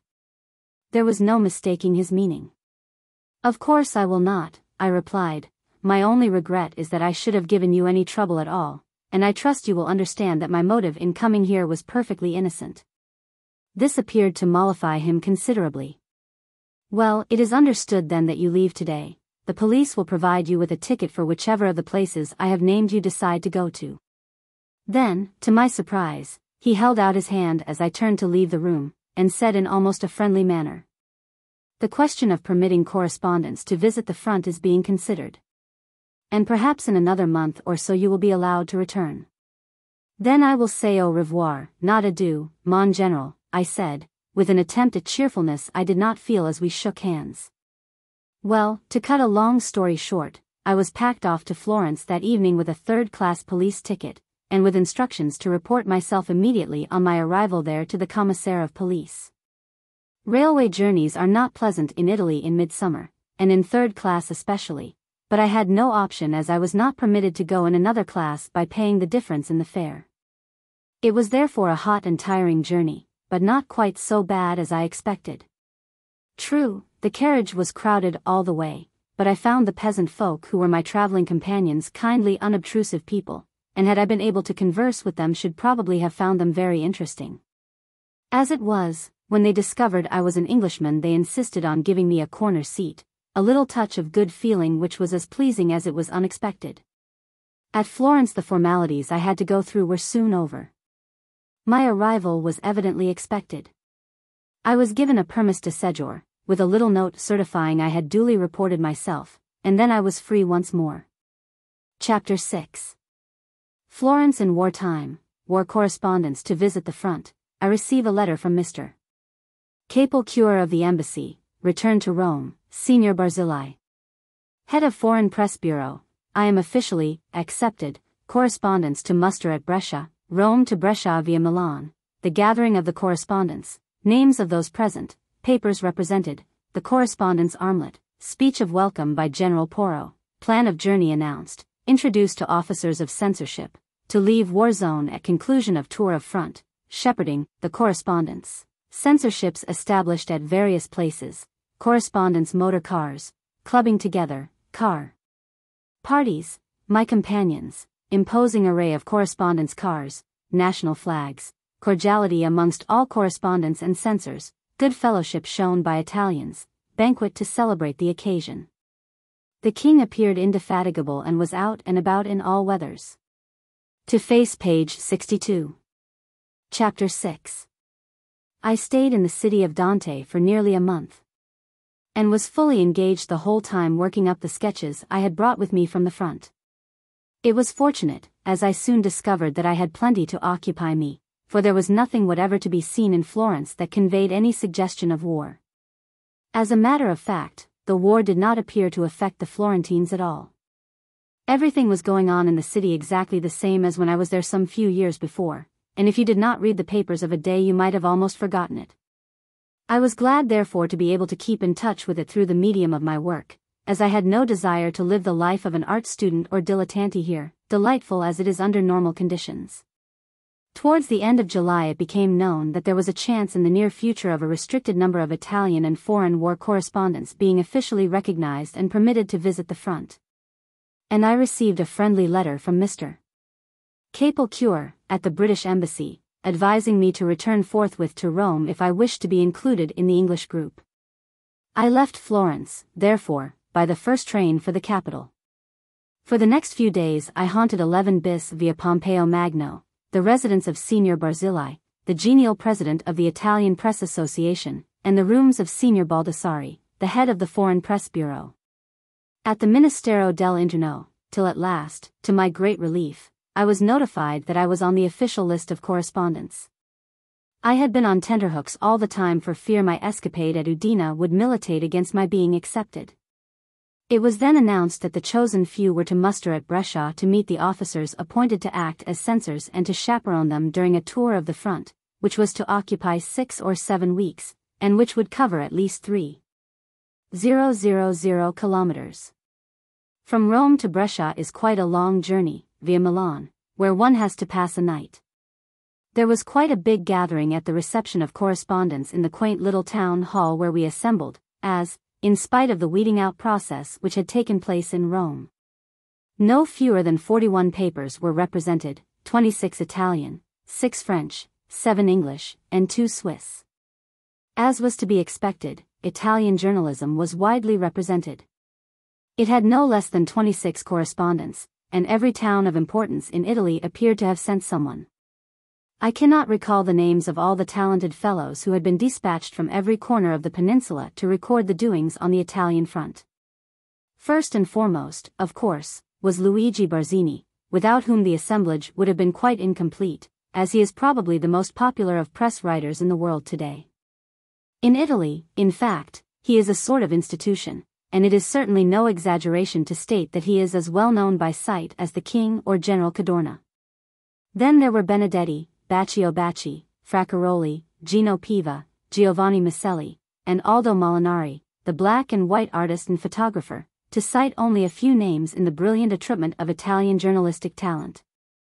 The French press had six representatives, the Temps, Jean Carrere, one of the best known and most popular of foreign correspondents, who speaks Italian like his mother tongue, the Petit Parisien, Serge Bassett, the Echo de Paris, Jules Rado. The journal, Georges Prade, the illustration, Robert Vacher, and the Petit Marseillaise, Bauderesque. As genial and typically French a crew as one could meet anywhere. The English press was also well to the fore.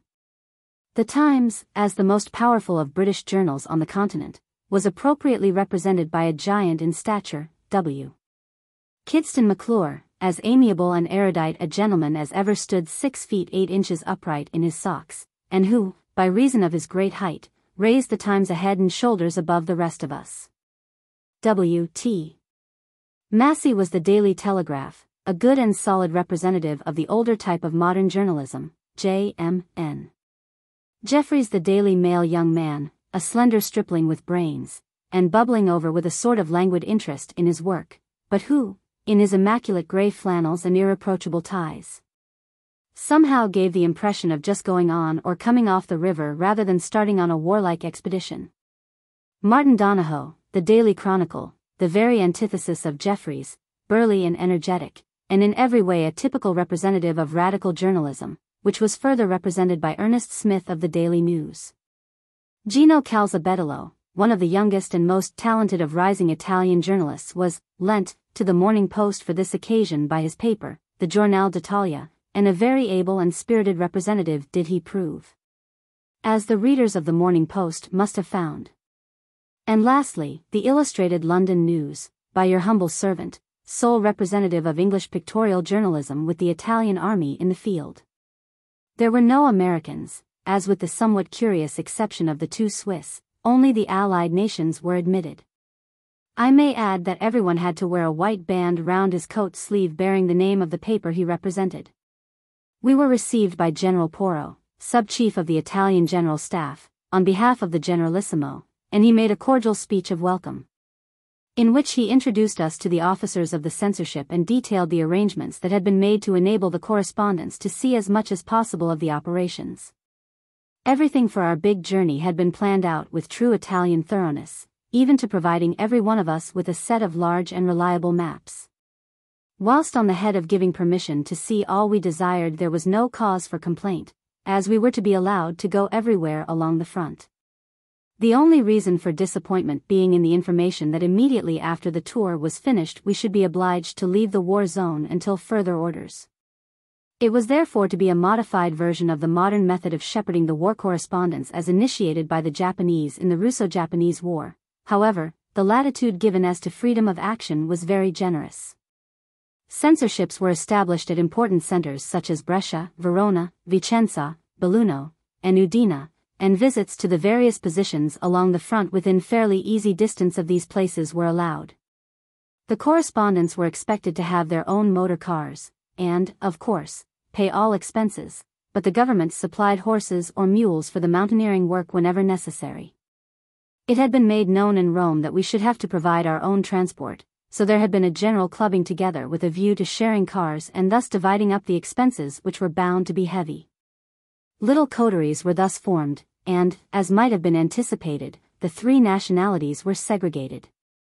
When I had got to Rome I found the car parties were already formed, and there was no room for me amongst the English, but I was lucky enough to be introduced to two very nice young fellows, Italians, Gino Calzabedolo, of the Giornale d'Italia, and Aldo Molinari, of the Illustrazione Italiana, who gladly let me take a share in their car, as they both spoke French and were very keen on going everywhere and seeing all there was to see.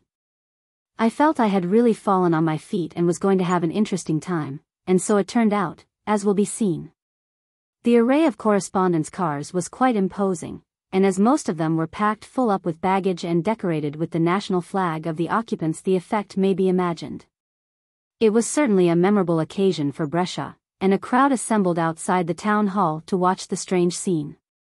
The utmost cordiality sprang up immediately, not only amongst the correspondents but with the censors also, who were all officers selected for their thorough knowledge of French and English, and as, of course, it was also necessary that they spoke these languages fluently, this in itself helped not a little to establish at once a friendly relationship between us all. The good fellowship shown by the Italian journalists towards their French and English confreres was quite remarkable from the very start. On the evening of the day of the reception at Brescia they invited us to a banquet to celebrate the occasion, and gave us a delightful acuelle and a splendid dinner. Belcredi, vice president of the Italian Association of Journalists, was in the chair, and made a great speech, in which he expressed the pleasure of himself and his confreres at meeting us at Brescia. And emphasizing the sincerity of the friendship between Italy and the Allies. Jean Carrere, of the Temps, and McClure, of the Times, responded eloquently in Italian on behalf of the French and English correspondents, after which all formality ceased and the utmost camaraderie ensued. Although we had only known each other a few hours it was also already like a gathering of old friends. It was an evening to be remembered and of the happiest augury, as will be seen. Chapter 7 Brescia, rough sketch of arrangements, a printed itinerary of tour, military passes, rendezvous on certain dates, the off days, much latitude allowed, we make a start, matutinal hour, first experience of freedom of action, like schoolboys let. Loose, in the valley of Giudicaria, first impression of trenches on mountains, a gigantic furrow, encampments of thousands of soldiers, like the Great Wall of China, preconceived notions of warfare upset, trenches on summits of mountains, a vast military colony, pride of officers and men in their work, men on special work, grousing, unknown in Italian army, territorials, middle-aged men, full of beans, territorials in first-line trenches, modern warfare for three-year-olds only, hardy old. Mountaineers, heart strain, the road along Lake Garda, military preparations everywhere, war on the lake, the flotilla of gunboats, the perils of the lake, a trip on the Nemincio gunboat, I make a sketch of Riva, a miniature Gibraltar, Desenzano, nocturnal. Activity of mosquitoes, return to Brescia, something wrong with the car, Jules Rado of the Echo de Paris, arrange excursion to Stelvio Pass, a wonderful motor trip, the valley of Valtellino, the corkscrew road, Bormio, the staff colonel receives us, permits. Our visiting positions, village not evacuated, hotel open, officers table d'hôte, we create a mild surprise, spend the night at hotel. Chapter 7 One was not long realizing that it would have been impossible to have obtained a real conception of the terrific character of the mountain warfare and the indefatigable work of the soldiers if one had not been enabled to see it for oneself at close quarters. A better starting point than Brescia for an extended tour of the whole of the front would have been difficult to find, as it commands comparatively easy access to the principal positions in this sector. With a reliable car and no speed limit, the radius you could cover in a day was remarkable as we soon discovered. It may possibly be of interest at this juncture to give a rough sketch of the arrangements that we found had been made for us by the headquarters staff. A printed itinerary was given to each correspondent, from which he could gather at a glance the program, subject only to occasional modifications as events might warrant, for every day of the tour. The first impression, of course, was that we were to be on a sort of personally conducted tour, and no little disappointment ensued, but it was soon found that, although you had to adhere to it in its main points. There was really not any irksome restriction, as will be seen. The scheme briefly was that the whole party should assemble at certain dates in the towns where press censorship headquarters were established. And then officers were detailed to accompany the different parties to the positions along the front nearest to these centers in order to explain the nature of the operations going on, and to give any other information required. Salvo condotti, i.e., military passes, were issued to everyone. These passes were for use on the road and in the positions, and had to be renewed at each censorship, otherwise they were valueless. Although therefore it was obligatory to present yourself at all these points to repair at certain dates, you could choose your own road to get to them and halt where you pleased en route.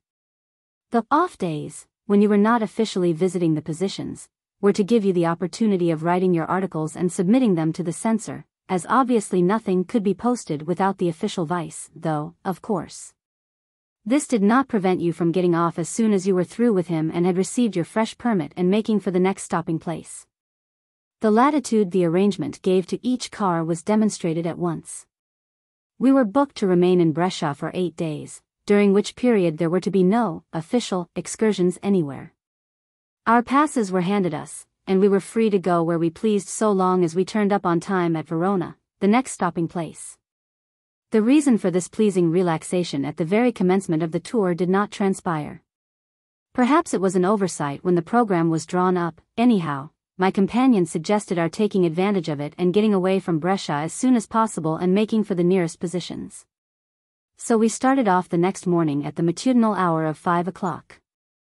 We had somehow thought our idea was quite original, but we found that several of our confreres had gone off even earlier than us, but in another direction. We therefore had the road we had chosen all to ourselves. As there was no particular reason for us to return that day, we decided to put up somewhere for the night, and took our handbags with us. The zone of operations we were going to is a popular region for tourists in peacetime, so there was no fear of not finding lodging somewhere. It was a glorious summer morning, and as we sped along in the invigorating air through sleepy, picturesque villages and wide tracts of tranquil country, covered with vines and maize fields, towards the distant mountains. It was difficult to realize that we were not on a holiday jaunt but on our way to scenes of war. To me especially the feeling of entire freedom of action was particularly delightful after the anxious weeks I had spent in Udine and on the Isonzo front when the mere sight of a carabinieri would make me tremble in my boots for fear I was going to be arrested. Now, with my salvo condotto safe in my pocket and my correspondence of brassard on my coat sleeve, I could look carabinieri and all such despots in the face without misgivings of unpleasant happenings. There must have been some subtle tonic effect in the atmosphere that morning, for my companions were equally elated, and we were positively like three schoolboys let loose, even the chauffeur was infected by our boisterous spirits and for the first few miles he pushed the car along at its top speed with reckless impetuosity. The firing line we were making for was in the sector comprised between the Stelvio Pass and the Lake of Garda. In the valley of Giudicaria we reached the trenches, and had our first impression of the magnitude of the operations the Italians are undertaking. What had been accomplished here during the three months since the war started was an evidence before our eyes. I was fully prepared from what I had seen on the Udine front for something equally astonishing in this sector, but I must confess the scenes before me, now that we were in touch with the troops, filled me with amazement. The achievements on the Middle Isonzo were great, but here they were little short of the miraculous. It was almost unbelievable that what we saw was only the work of three short months. Trenches and gun emplacements confronted you on all sides. A sort of gigantic furrow wound through the valley and climbed the mountain like some prehistoric serpent, till lost to view away up on the summits more than 2,000 meters above. And round about this fantastic thing were numberless little quaint grey shapes dotted here and there on the rocks, and often in positions so steep of access that you wondered how they got up there at all, and for what purpose. These were the encampments of the thousands of Italian soldiers who have accomplished all this marvel of mountain warfare, and in the teeth of the Austrians and of nature as it were as well. And have carried the line of entrenchments across wooded hills, meadows, torrents and snow-clad slopes. It is safe to assert that, with the exception perhaps of the Great Wall of China, never before in the history of warfare have operations of such magnitude been undertaken. In many places the trenches had to be actually blasted out of the rock, and were reinforced with concrete or anything that military science or nature could offer to render them still more invulnerable. As we advanced further into this impressive zone of military activity you realized that all your preconceived notions of mountain warfare were upset along the big military highway constructed by Napoleon. To face page 74. Instead of the fighting taking place in the valleys and passes as one would have expected. The positions and even the trenches were frequently on the very summits of what one would have taken to be almost inaccessible peaks and crags, and in some places actually above the snow line. The whole region was positively alive with warlike energy, and what was only a few months previously a desolate and uninhabited area, had been transformed into a vast military colony, so to speak. I was much struck with the pride of both officers and men in their work, and the evident pleasure it gave them to shew us everything, though, of course, our salvo condotti acted as open sesame everywhere. Visitors, still less pressmen, are not always welcome, especially when they turn up unexpectedly as we did. Not the least astonishing feature of all these operations to my mind was the fact that men of branches of the service one does not usually associate with special work were working at it as though to the manner born. The Bersaglieri, for instance, who are men from the plains, were doing sappers' jobs amongst the rocks, or stationed high up on the mountains where you would have only expected to find alpini. But they were all, I was told, gradually getting accustomed to their unaccustomed work, and often developing undreamed of capabilities, while their cheerfulness under the circumstances was always astounding, even to their own officers. Grousing appears to be an unknown quantity in the Italian army. I had a little chat with a sergeant of a territorial regiment. He spoke French fluently, and told me he had lived several years in Paris. He was now in charge of a small detachment in a particularly exposed spot. To my surprise I learned that the greater part of his regiment was composed of men well on in years, as one understands soldier life, most of them being close on 40, and that in his particular detachment he had several who were nearer 50. Though they did not look it. Yet they were as cheery and full of beans as the youngsters, he told me. The reason for putting men of territorial age in first-line trenches I could not manage to ascertain, for however good physically they may be for their age.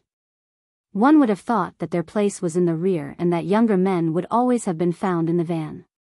It is indisputable that modern warfare is not for veterans, but, as our friend, Rudyard Kipling, would put it, for three-year-olds only, for only youth can stand for any length of time the terrific physical and moral strain it entails. I learned that there are a few hardy old mountaineers fighting shoulder to shoulder with the youngsters up on the peaks. But these, of course, are exceptions such as one will find anywhere, for the capability of endurance is no longer the same as it was when on the right side of 30, and the strain on the heart at these altitudes especially is enormously increased. But to revert to our excursion. Our road for some distance skirted the shore of Lake Garda, which is intersected by the Austrian frontier at its northern end, where the important fortified town of Riva is situated. Here again the extraordinary preparedness of Italy was demonstrated. There were military works everywhere, barricades of barbed wire and trenches right down to the edge of the water, with men behind them watching and in readiness for any emergency. The war had even been carried on to the lake itself, in the form of a flotilla of serviceable gunboats which had made its appearance, almost miraculously, so it is said, within a few hours of the opening of hostilities.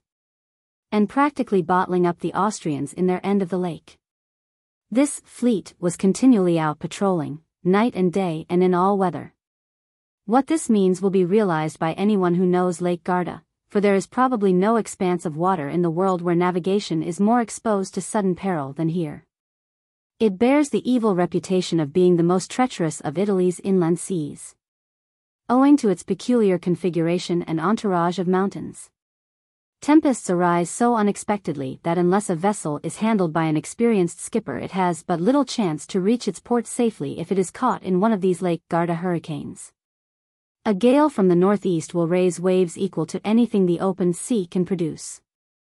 Italy's inland navy is therefore exposed to other perils than the guns of the Austrian batteries. I was lucky enough to get a trip on the gunboat, Mincio, and saw much of great interest on board.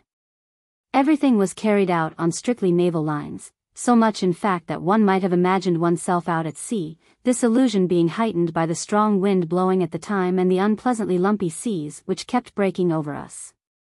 The officers and crews of these boats are all picked men from the Royal Navy, and I was told that they have taken to their novel duties with the greatest enthusiasm.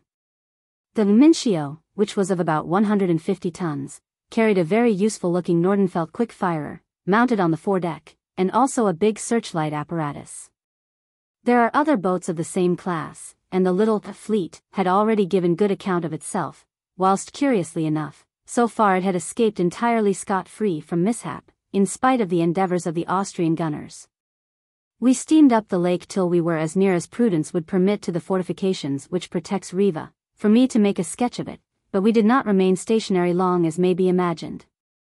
Seen from the lake, the fortress of Monte Brione reminds one singularly of the Rock of Gibraltar in miniature, and it is said to be so honeycombed with gun embrasures as to be equally impregnable. And it is known that this impregnability is further guaranteed by mining the lake in its vicinity. I rejoined my companions in the car at a harbor some distance down the lake, and we then made for Desenzano, where we thought we would spend the night as it was already late. It is a quaint little town on the lake shore, and we had no difficulty in getting rooms. To our surprise a very good hotel was open, as every place at first sight appeared to be shut up since there were no tourists to cater for. There was no sign of military activity here, as it is many miles from the front, but whatever was wanting in this respect was made up for by the nocturnal activity of the mosquitoes. I don't think I ever experienced anything to equal their ferocity anywhere. I have since been told that Desenzano is notorious, if only by reason of its annual plague of these pests of the night, and that they are a particular tribe indigenous to the place. We returned to Brescia the following day. Our excursion had been very pleasant and instructive in every respect, but what we had seen only whetted one's appetite for more. Life here in this provincial town seemed very tame when you remembered what was going on so comparatively short a distance away.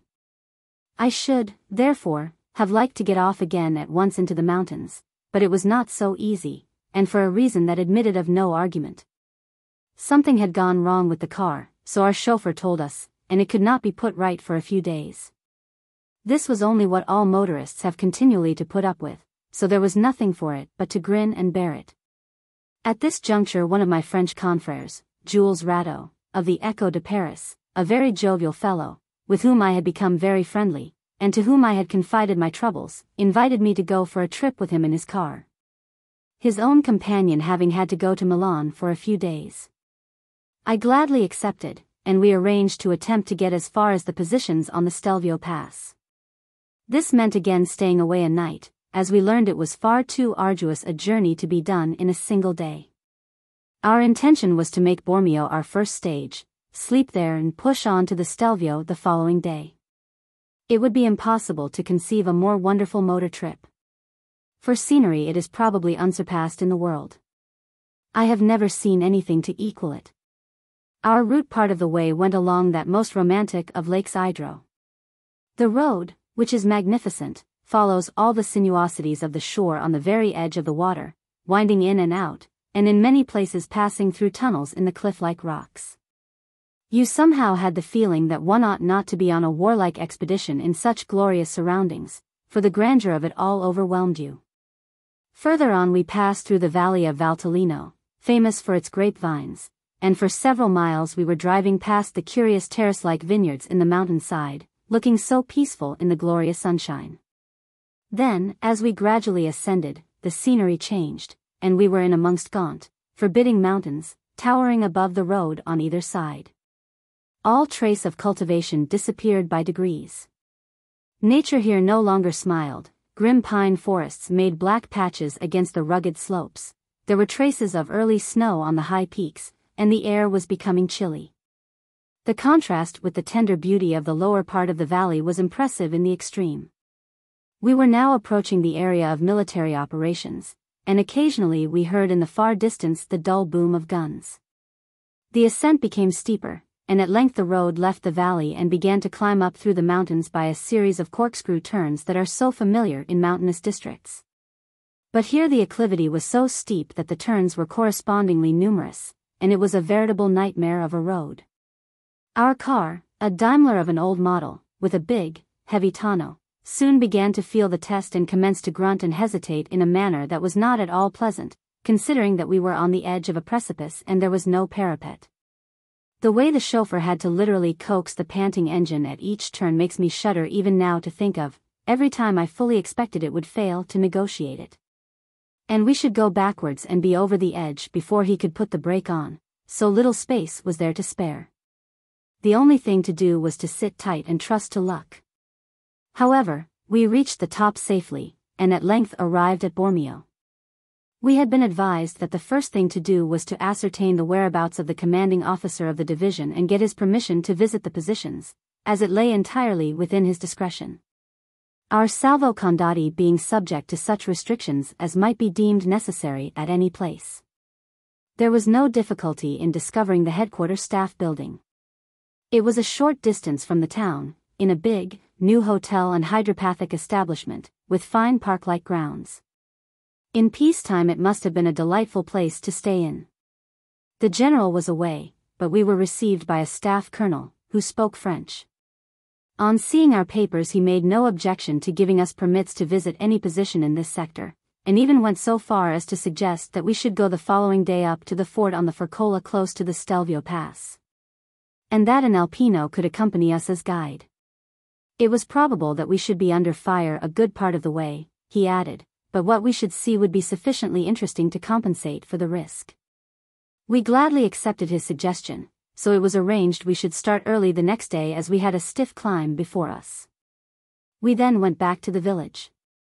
It was getting towards nightfall, and the narrow main street recalled vaguely Chamonix. It was crowded with alpine soldiers, and in the dusk they conveyed some impression of mountaineering tourists, the illusion being heightened by the clank of their hobnailed boots on the cobbles and the alpenstocks they all carried. The village had not been evacuated as most of them are near the front, so there were women and children about. The principal hotel was open, and we got two good rooms for the night, and what was more to the point, for we were both famished after our long drive, one of the best dinners I have had anywhere in Italy, the big cities included. It was a table d'hôte for the officers, but we were informed there was, probably no objection, to our dining at it. Our appearance in the dining room created no little surprise, as we were the only civilians present, our press badges especially exciting much comment, as this was the first time that correspondents had been here. Following the lead of my colleague, I bowed first to the colonel, who was at the head of the table, then to the rest of the officers present, and we sat down at a small table by ourselves amidst the somewhat embarrassing attention we were attracting. This soon wore off, however, as Italian officers are gentlemen not Huns, and it was evidently realized that we had permission to come to Bormio or we should not have ventured to be there.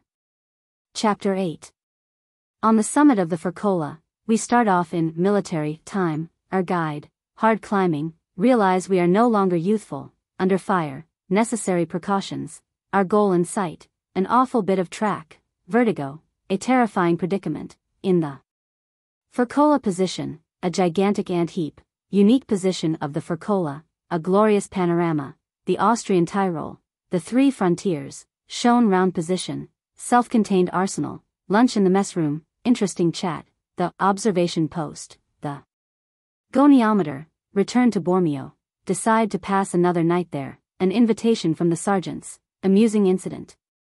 Chapter 8 the summit of the Forcola is only 9 kilometers as the crow flies from Bormio, but we were told that it meant covering at least three times that distance to reach our destination. And the hard climb would make it appear much more. We therefore got off in military time in the morning, and went a bit of the way in the car till we came to a sort of wayside chalet, quite Swiss in appearance, where a detachment of Alpini was stationed. On presenting our letter from the colonel at headquarters, the officer in command ordered one of his men to accompany us, so leaving the car here to await our return, we started off without delay. Our guide, a brawny and typical young Italian mountaineer, leading the way at a pace that soon compelled us to ask him to slow down a bit. We had been advised, as we were unaccustomed to climbing, not to rush it at first, as we had at least two hours of strenuous plodding to reach the fort, and it was a very hot day, which would make us feel the strain the more. To our athletic cicerone this was evidently but an ordinary walk in the day's work. In fact, so light did he make of it that he obligingly insisted on carrying our overcoats and other paraphernalia in spite of his being encumbered with his rifle, ammunition belt and heavy cape. We were not long in discovering that the stiffness of the climb we were undertaking had not been exaggerated, and also that we were neither of us as young as we had been. This latter point in particular I recollect was irritatingly brought home to me at one time when we were really making splendid progress as we thought. Some Alpini, in full marching order, caught us up and passed us as easily as if we had been standing still. However, it was no good being discouraged because we were no longer youthful, and we continued to make our way slowly but surely up the winding rocky track. We had got about halfway, and so far there had been nothing in the nature of an incident, and no indication whatever that we were actually right up at the front and within range of the Austrian batteries. For a dead silence had reigned in the mountains all the morning. Suddenly, as we were crossing a comparatively level bit of boulder-strewn ground, the report of a big gun resounded in the still air, and in a few seconds we heard a wailing sort of shriek approaching. And an instant after the loud crash of a shell bursting a short distance away. We stopped and looked at each other, uncertain what to do as there was no cover anywhere near. Our guide settled it for us without a moment's hesitation. The Austrians have seen us, that's why they have commenced firing in this direction.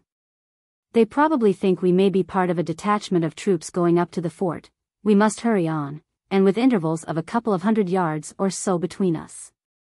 There was no time to lose, for whilst he was speaking another shell burst nearer than the previous one.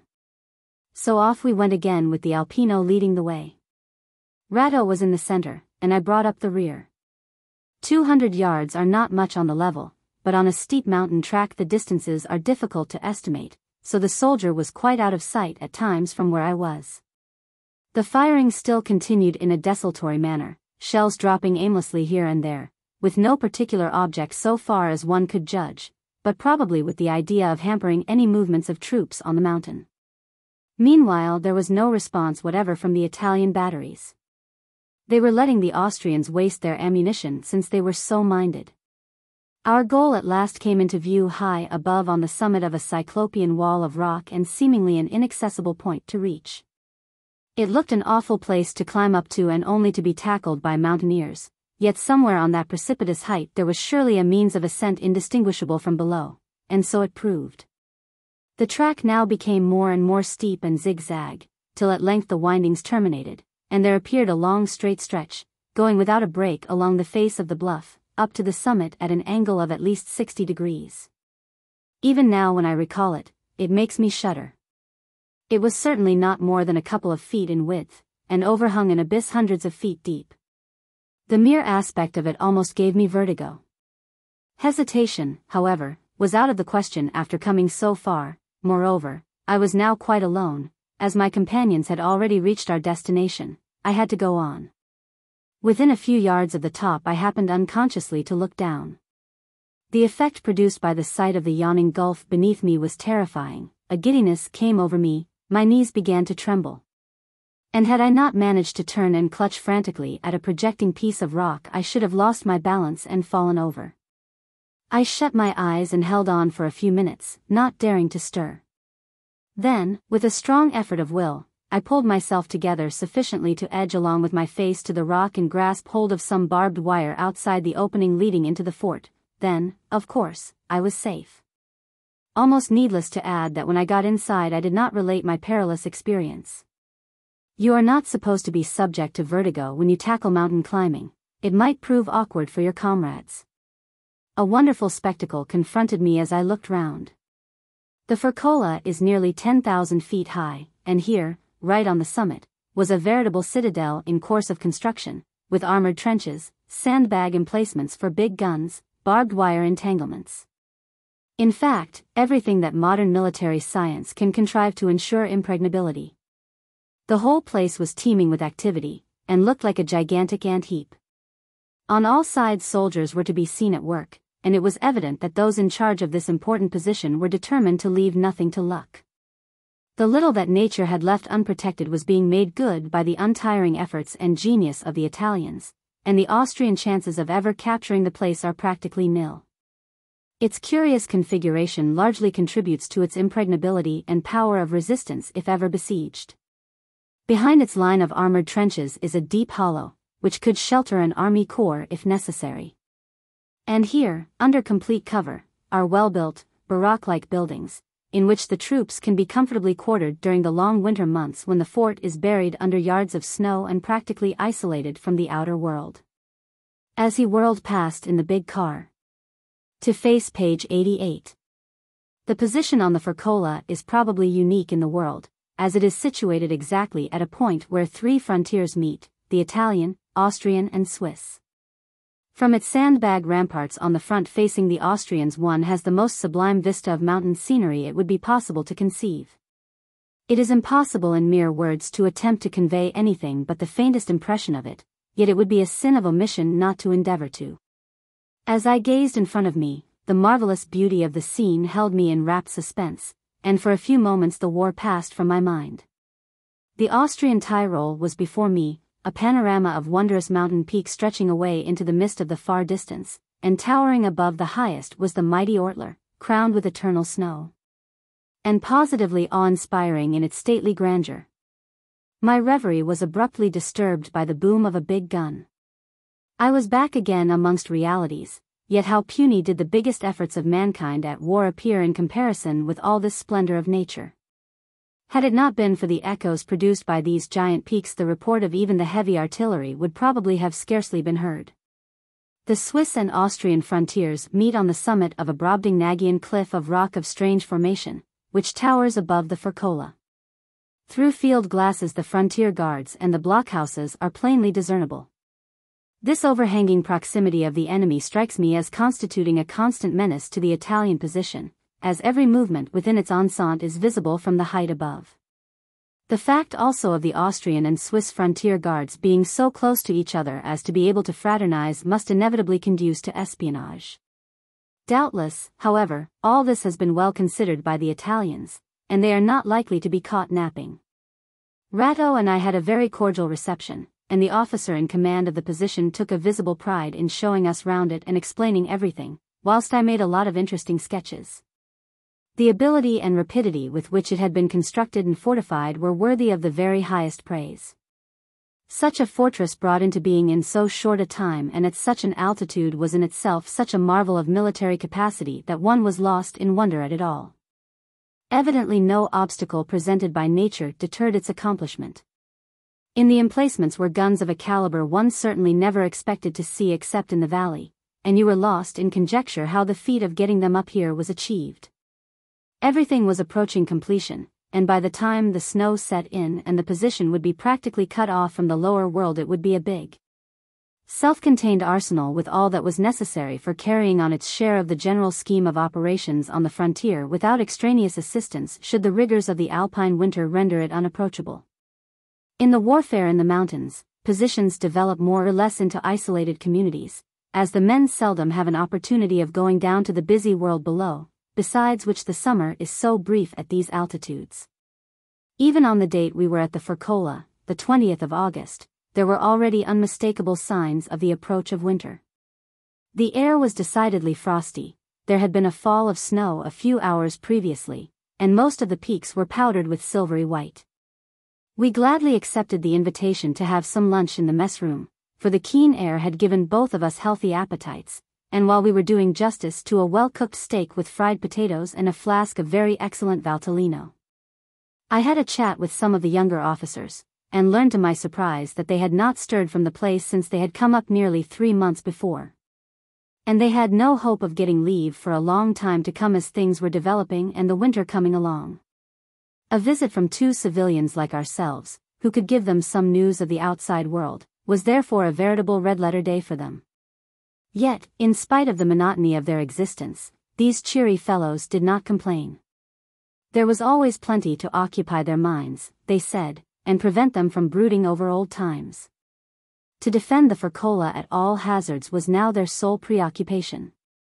And after all, they added, with an attempt at mirth, they might easily have been stationed in a still more isolated spot and with fewer companions.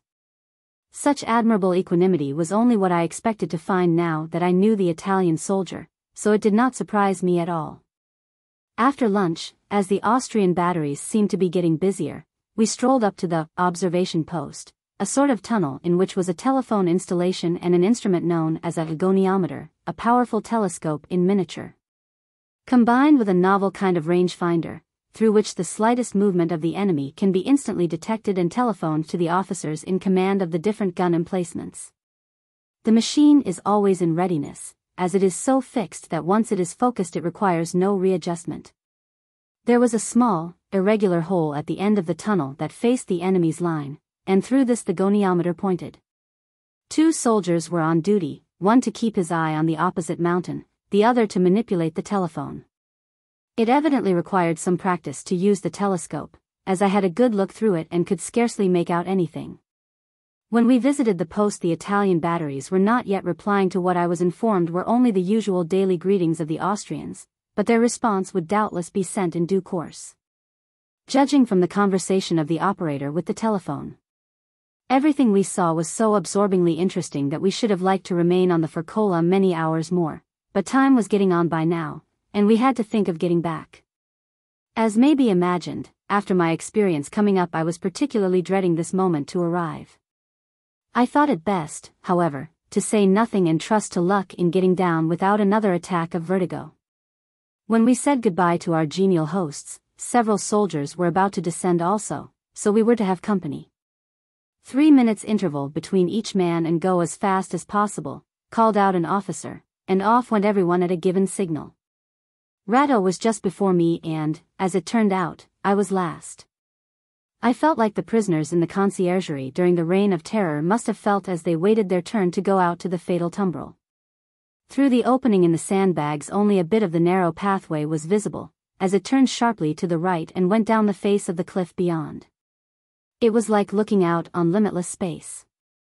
Well, goodbye and a pleasant journey, said the officer to me when my turn came. Out I went, putting my hand over my left eye to avoid looking into the void, and I managed to run like this all the way down. It was getting late when we got back to Bormio, so we decided to remain another night, and were glad we did, as an amusing incident occurred during the evening.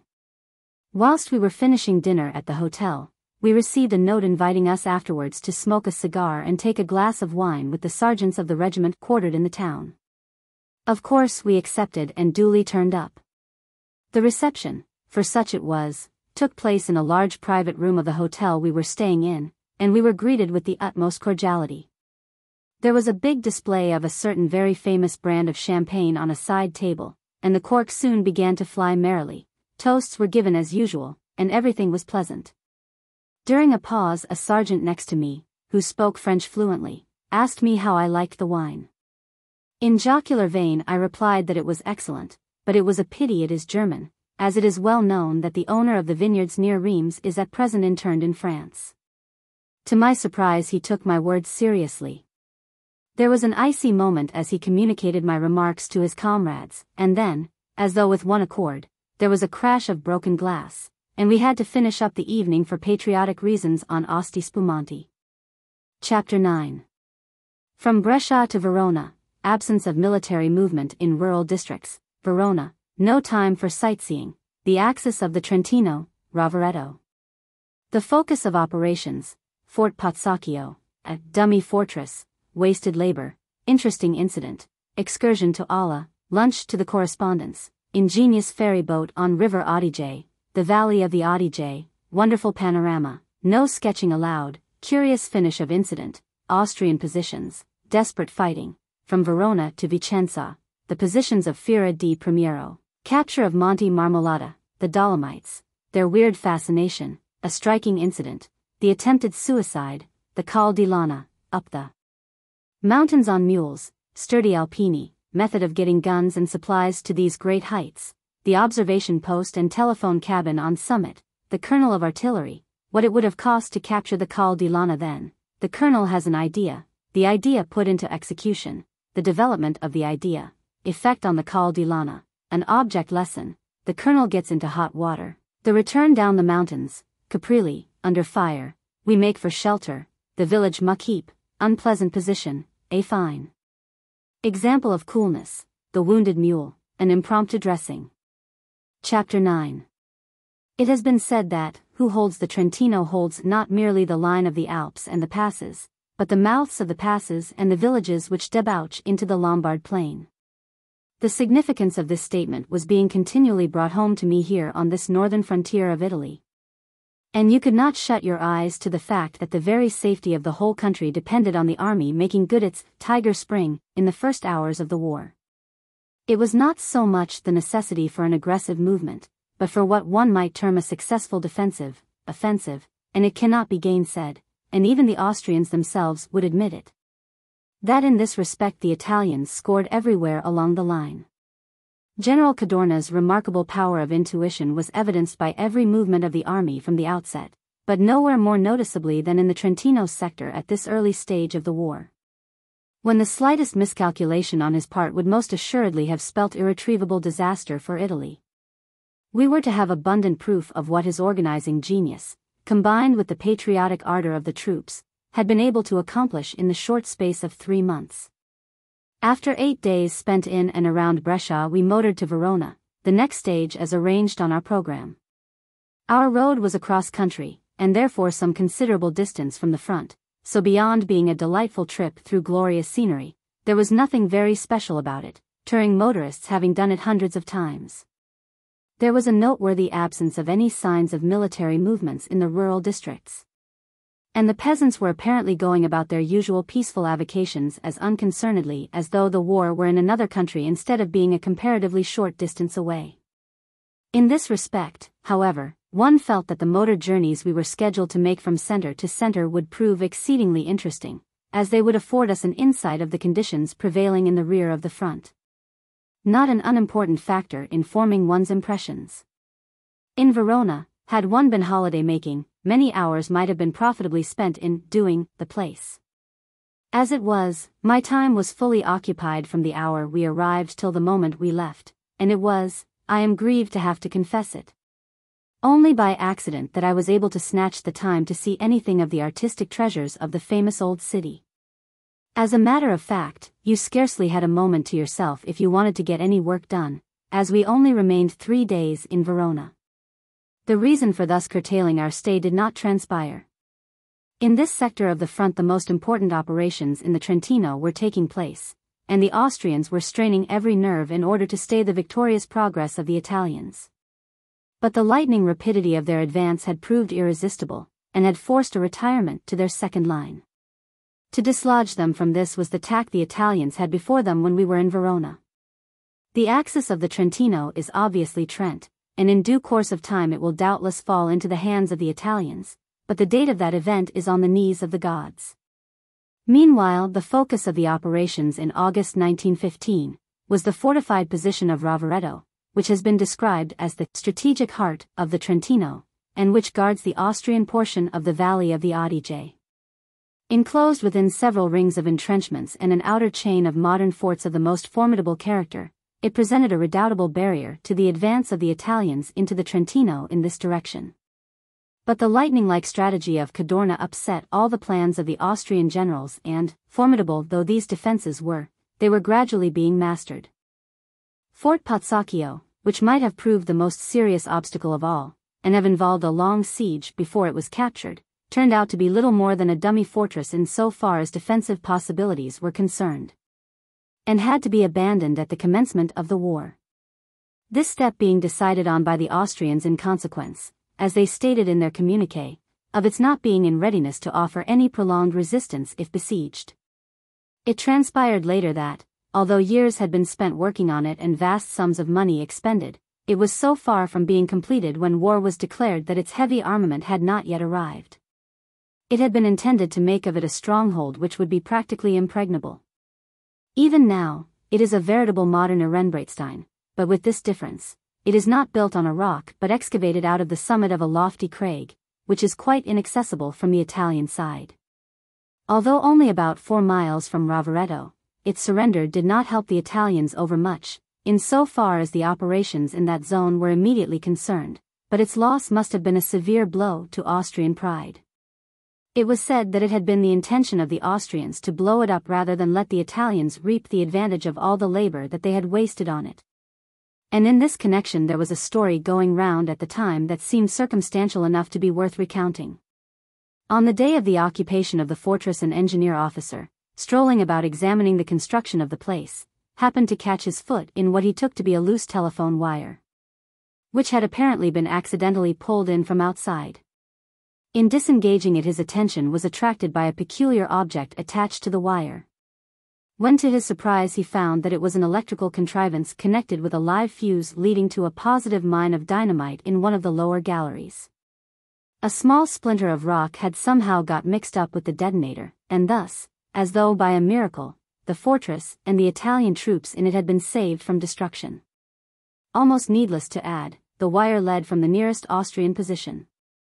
We only made one excursion from Verona, but it was of extreme interest in view of what was taking place at the time in this sector of the front. It was to Ala, a small Austrian town in the valley of the Adige, which had been captured a few weeks previously.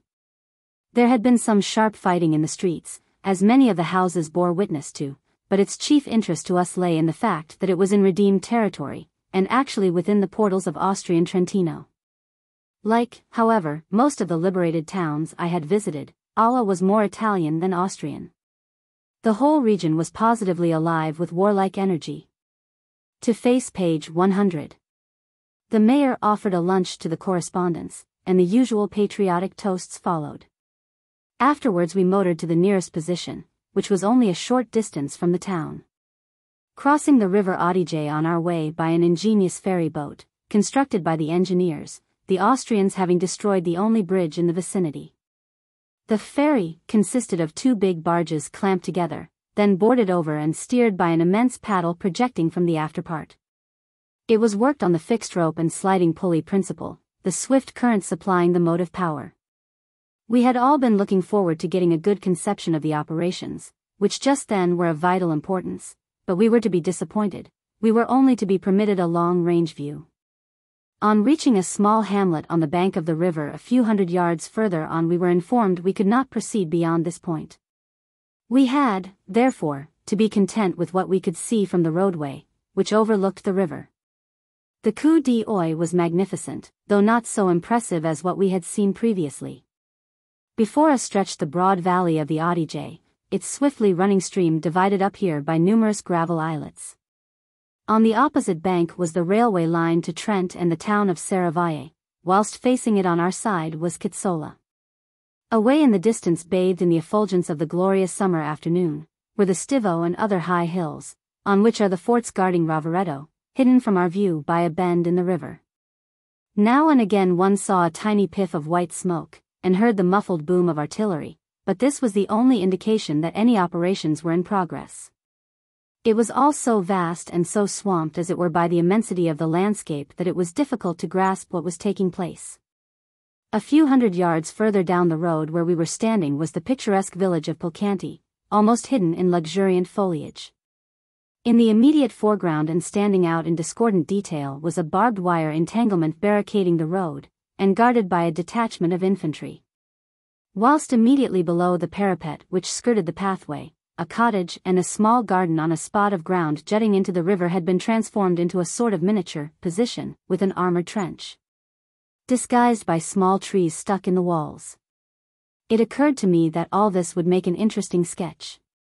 As a matter of fact, it was the only subject that had appealed to me that day, so I got out my book, and had just finished it when I felt a touch on my shoulder and someone whispered in my ear. Be careful, sketching is not allowed here. I looked round, it was one of the officers accompanying us. Not allowed? I queried, surely there must be some mistake. Not at all, he replied. Special instructions were issued by the general that no sketches or photographs were to be made here. As this was the first time I had heard of any restrictions since we had started on the tour, My surprise may be imagined, and the more especially as nothing apparently could have been more innocent than the subject I had chosen. Well, I'm sorry, but what you tell me comes too late as I have already made a sketch, said I, showing it to him. What shall I do? The officer, a very good fellow, laughed and shrugged his shoulders. Put your book back in your pocket and don't let anyone see it. There are several staff officers about. The finish of the incident was equally curious. I worked up a double-page drawing from the sketch in question, and, of course, submitted it to the censors. It aroused a good deal of comment, but it was eventually passed, on condition that I altered the title and took out all the names of the towns, mountains, etc., only the vaguest suggestion as to where I had made it being permitted. In spite of the fact that the Austrians had the geographical advantage of position almost everywhere, and that their frontier was comparatively so close to many important Italian cities. The intrepid advance of the Italian troops upset all the calculations of the Austrian generals, and, instead of advancing into Italian territory, they found themselves forced to act on the defensive some distance to the rear of their first-line positions, and well inside their own frontier. But it was no easy task for the Italians, and tested their valor and endurance to the utmost. The fighting in the ravines and on the sides of the mountains was of the most desperate character, for in this warfare at close quarters it is man to man, and individual courage tells more than it does down on the plains. Here, in the fastnesses of nature, every clump of trees or isolated rocks are potential ambuscades. So it requires the utmost caution, combined with almost reckless daring, to advance at any time. The Austrians, though well provided with heavy artillery, were quite unable to hold on to their positions. It was brute force pitted against skill and enthusiastic courage, and brute force was worsted as it generally is under such conditions. Our two next stages, Vicenza and Belluno, brought us into the very heart of the fighting on the line of the Italian advance in the eastern Trentino towards Bolzano and the region round Monte Cristallo. We halted a couple of days at Vicenza to enable us to visit the positions of Fiera di Primiero. The Italian lines here were some distance inside Austrian territory, so we had a good opportunity of judging for ourselves the difficulties that had to be overcome to have advanced so far. As well as the preparations that had been made by the Austrians for their proposed invasion of Italy. Cunningly concealed trenches, barbed wire entanglements and gun emplacements commanded every approach, whilst protecting the advance of troops. It seemed incredible that such well-planned works should have been abandoned. But here as elsewhere the lightning strategy of Cadorna left the Austrian commanders no option. Monte Marmolada, 11,000 feet high, and other mountains on which the Austrians had placed heavy artillery, were captured by degrees. The strategic value of these positions was incontestable. Unless one has seen the Dolomites it is impossible to form any conception of what these successes mean or the terrible difficulties that had to be surmounted to gain them. Neither Dante nor Dore in their wildest and most fantastic compositions ever conceived anything more awe-inspiring than warfare amidst these towering peaks. At all times they exercise a kind of weird fascination which is positively uncanny. Add the thunder of modern artillery and the effect is supernatural. You try hard to realize what it means fighting amongst these jagged pinnacles and on the edges of the awful precipices. Death, however, has little terror for the men, judging from the look on the faces of the mortally wounded ones saw from time to time brought down from the trenches. A little incident related to me by Calza Bettolo brings home the spirit of Italy's soldiers. He had shortly before come upon a stretcher party carrying down from the mountains a very dangerously wounded man. Upon inquiry as to how the wound had been caused he was informed that it was a case of attempted suicide. What had led up to this desperate act? It appeared that for some trivial breach of discipline the man had been deprived of the privilege of a place in the front trenches and sent to a position in the rear. The most important of all the strategic points at that time was the Col di Lana, which dominates the Falzarego and Livinallongo passes, close to Cortina di Ampezzo. Here the Austrians were putting up a defense which was taxing the strength and resources of the Italians, to their utmost, but it was gradually being overcome. Every mountain which commanded the position was being mounted with guns of the heaviest caliber, and big events were said to be looming in the near future. As a matter of fact, it was only six months later that the Italians succeeded in capturing the Col di Lana, so strongly were the Austrians entrenched on it. A young engineer conceived the idea of mining it, and so successful was he that the entire summit of the mountain, with the Austrian positions, was literally blown away. One of the most interesting of the excursions the English group of correspondents made was to the top of a mountain facing it. As it would have been a very trying climb for amateur mountaineers like ourselves, mules were considerately supplied by the general of the division. So we accomplished the ascent in easy fashion, for it was certain that very few of us would have tackled it on foot. The sturdy Alpini who accompanied us treated the excursion as a good sort of joke apparently, and plodded steadily alongside us in the test of spirits. Laughing now and again at our vain efforts to keep our steeds from walking on the extreme edge of the precipices. This ride gave us a splendid opportunity of seeing how the Italians have surmounted the difficulty of getting heavy artillery to the very summits of mountains, where no human foot had trodden before the war broke out. Rough and terribly steep in places though the road was, still it was a real roadway and not a mere track as one might have expected to find considering how rapidly it had been made. Men were still at work consolidating it at the turns on scientific principles, and in a few weeks, with the continual traffic passing up and down it, it would present all the appearance of an old established road. It is the method of getting the guns and supplies up these great heights in the first instance that starts the road as it were. Nothing could be simpler or more efficacious. It consists in actually cutting the track for the guns just in advance of them as they are gradually pushed and hauled forward. The position and angle of the track being settled before starting by the engineers. This, of course, takes time at first, especially when the acclivity is very steep, but it has the advantage of breaking the way for whatever follows. The rough track is then gradually improved upon by the succeeding gun teams, and so a well-constructed zigzag military roadway gradually comes into being. We left the mules a short distance from the summit and had to climb the rest of the way. Instead of an artillery position as we expected to find, it was an observation post, with a telephone cabin built in a gap in the rocks, and a hut for half a dozen soldiers on duty. The little station was quite hidden from the Austrians, although only a couple of thousand yards distant. It was a most important spot, as from here the fire of all the batteries round about was controlled. We were received by the colonel commanding this sector of the artillery, a grizzled warrior, wearing a knitted woolen sleeping cap pulled well down over his ears, which gave him a somewhat quaint and unmilitary appearance. The observation post was merely a small hole through the rocks, and so awkward to get at that only two people could look through it at the same time.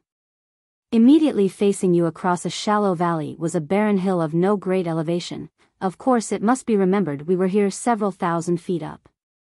There was no sign of life or vegetation, and it looked so singularly bare and uninteresting that unless you had been told to look at it your attention would never have been attracted to it. Yet this was the much talked of Col di Lana. Seen, however, through field glasses its aspect altered considerably, and you could not fail to notice what appeared to be row upon row of battered stone walls, and also that the ridge was very much broken up, shewing patches everywhere of red sand. The stone walls, the colonel told us, were what remained of the Austrian trenches and the patches of sand were caused by the incessant bombardment by the Italians.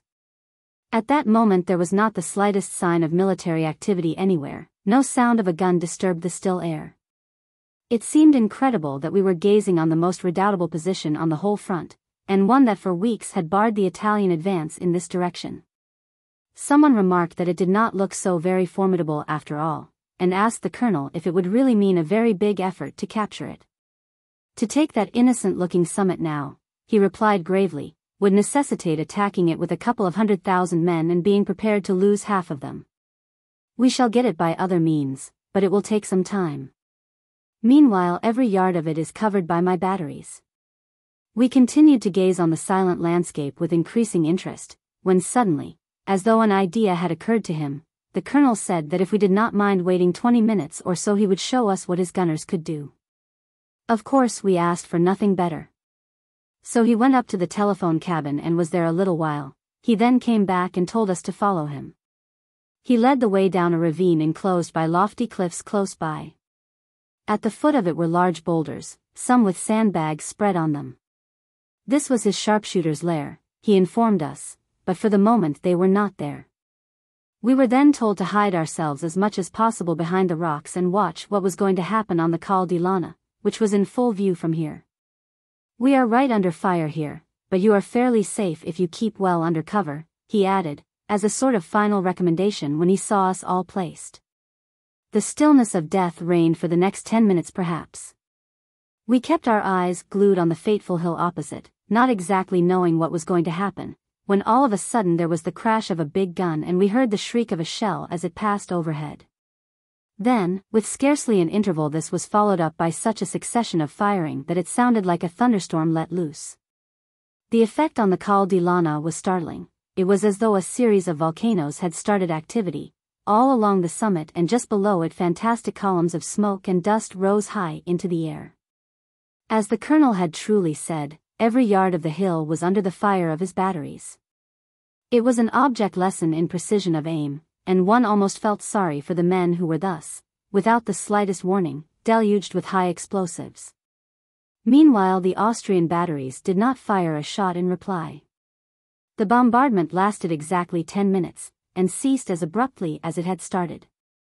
Wonderful, we all exclaimed when we were reassembled at the station. The colonel looked delighted with the way his instructions had been carried out.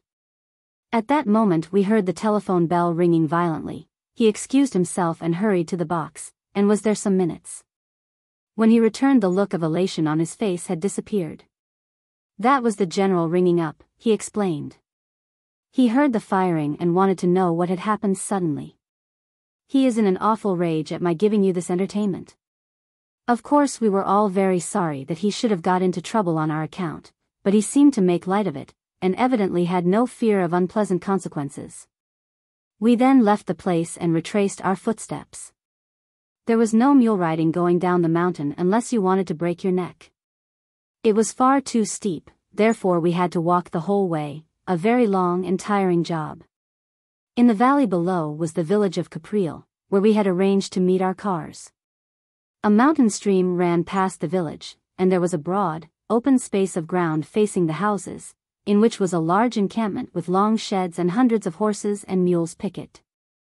As we were walking across to the inn, where we were going to lunch, we heard the dull boom of a gun in the distance, and in a few seconds the approaching wail of a projectile, followed by the report of the explosion a short distance away. And we saw the shell had burst on the hillside a few feet from the Red Cross hospital. We had been remarking how quietly the Austrians had taken our artillery attack. This was evidently the commencement of their reply. The report had scarcely died away than there was a general scurrying of everyone for shelter. Mules and horses were rapidly released and hurriedly led away. Then another report was heard in the distance. This time there was no doubt we were in for a regular bombardment. So with one accord we all made for a low parapet skirting the river, which would afford some cover, and without stopping to look what was behind it, leaped over like two-year-olds just as another shell burst in the open close by. I don't think I am ever likely to forget where we found ourselves. Below the parapet was the village muck heap, and we were in the very midst of it. Unsavory though the recollection is, it makes me smile when I recall it and the look on the faces of everyone who had taken refuge there. If there was any luck as to position I perhaps, with two others, had the best of it, for we were only in manure and rotten straw, though we were in it up to our waists.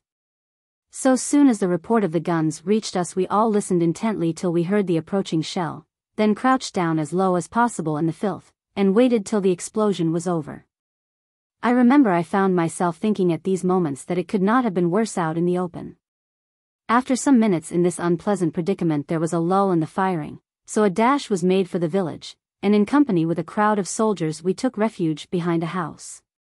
Whilst there we witnessed a fine example of coolness. A white-mustached old colonel, a splendid-looking fellow, kept pacing up and down out in the open regardless of the bursting shells, in order to make sure all his men were keeping under cover.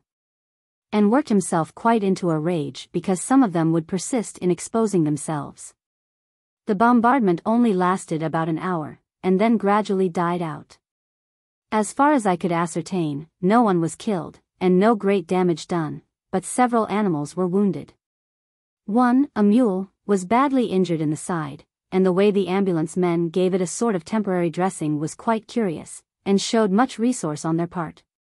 They fastened up the gaping wound with ordinary safety pins, using nearly a dozen for the purpose, whilst soldiers held on the animal's tail and fore leg to prevent its taking objection to the treatment.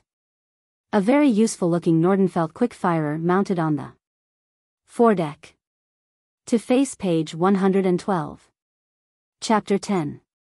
Belluno, Venadoro in the heart of the Dolomites, a fine hotel, tame excursions, visit to Cortina di Ampezzo, Austrian attempts to recapture. It, 305 millimeters. Guns on the Schluderbach, long-range bombardment, Austrian women and children in the town, Italians capture Monte Cristallo, aeroplanes and observation balloons impossible here, Tofana in hands of Italians, serenity of garrison, Cortina di Ampezzo, general. Invites us to a déjeuner, living at Venadoro, delightful camaraderie, evenings in the big saloon, from Belluno to Gemona, description of front in this sector, our excursion to Pal Grande, the road, on mules up the mountain, a warning, rough track, peasant. Women carrying barbed wire up to the trenches, pay of the women, much competition for vacancies, the climb from Pal Piccolo to Pal Grande, a wonderful old man, some climb, the entrenched position on Pal Grande, spice of danger, violent artillery.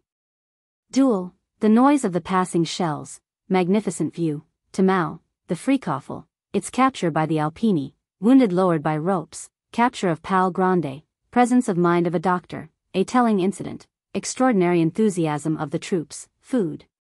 Convoys, the soldiers' menu, daily rations, rancio. The plat du jour, officers' mess arrangements, an al fresco lunch on Pal Grande, the mess room, pot luck, a wonderful meal, a stroll round the position, an improvised bowling alley, use is second nature, in the trenches, a veteran warrior, the pet of the position, Gemona, the list of lodgings, my landlady, good restaurants in Gemona, the Alpini quartered there, the military tattoo in the evenings, reception by the mayor, a delightful week. Chapter 10 The military authorities had arranged for the correspondents and the staff of the censorship to be quartered in the big modern hydropathic establishment and hotel in the heart of the Dolomites, known as Venadoro. Some eight kilometers from Belluno, and we remained there ten days, making frequent visits to the front of this sector and into Austrian territory. Although these excursions were extremely interesting many of them were very tame, and there were days when we did not hear a gun fired. This though of course disappointing, was quite comprehensible. Important operations were being carried out everywhere, but these did not of necessity entail daily conflict. We happened to visit Cortina di Ampezzo, for instance, at a moment when its aspect was so peaceful that the war seemed to have given it the go-by.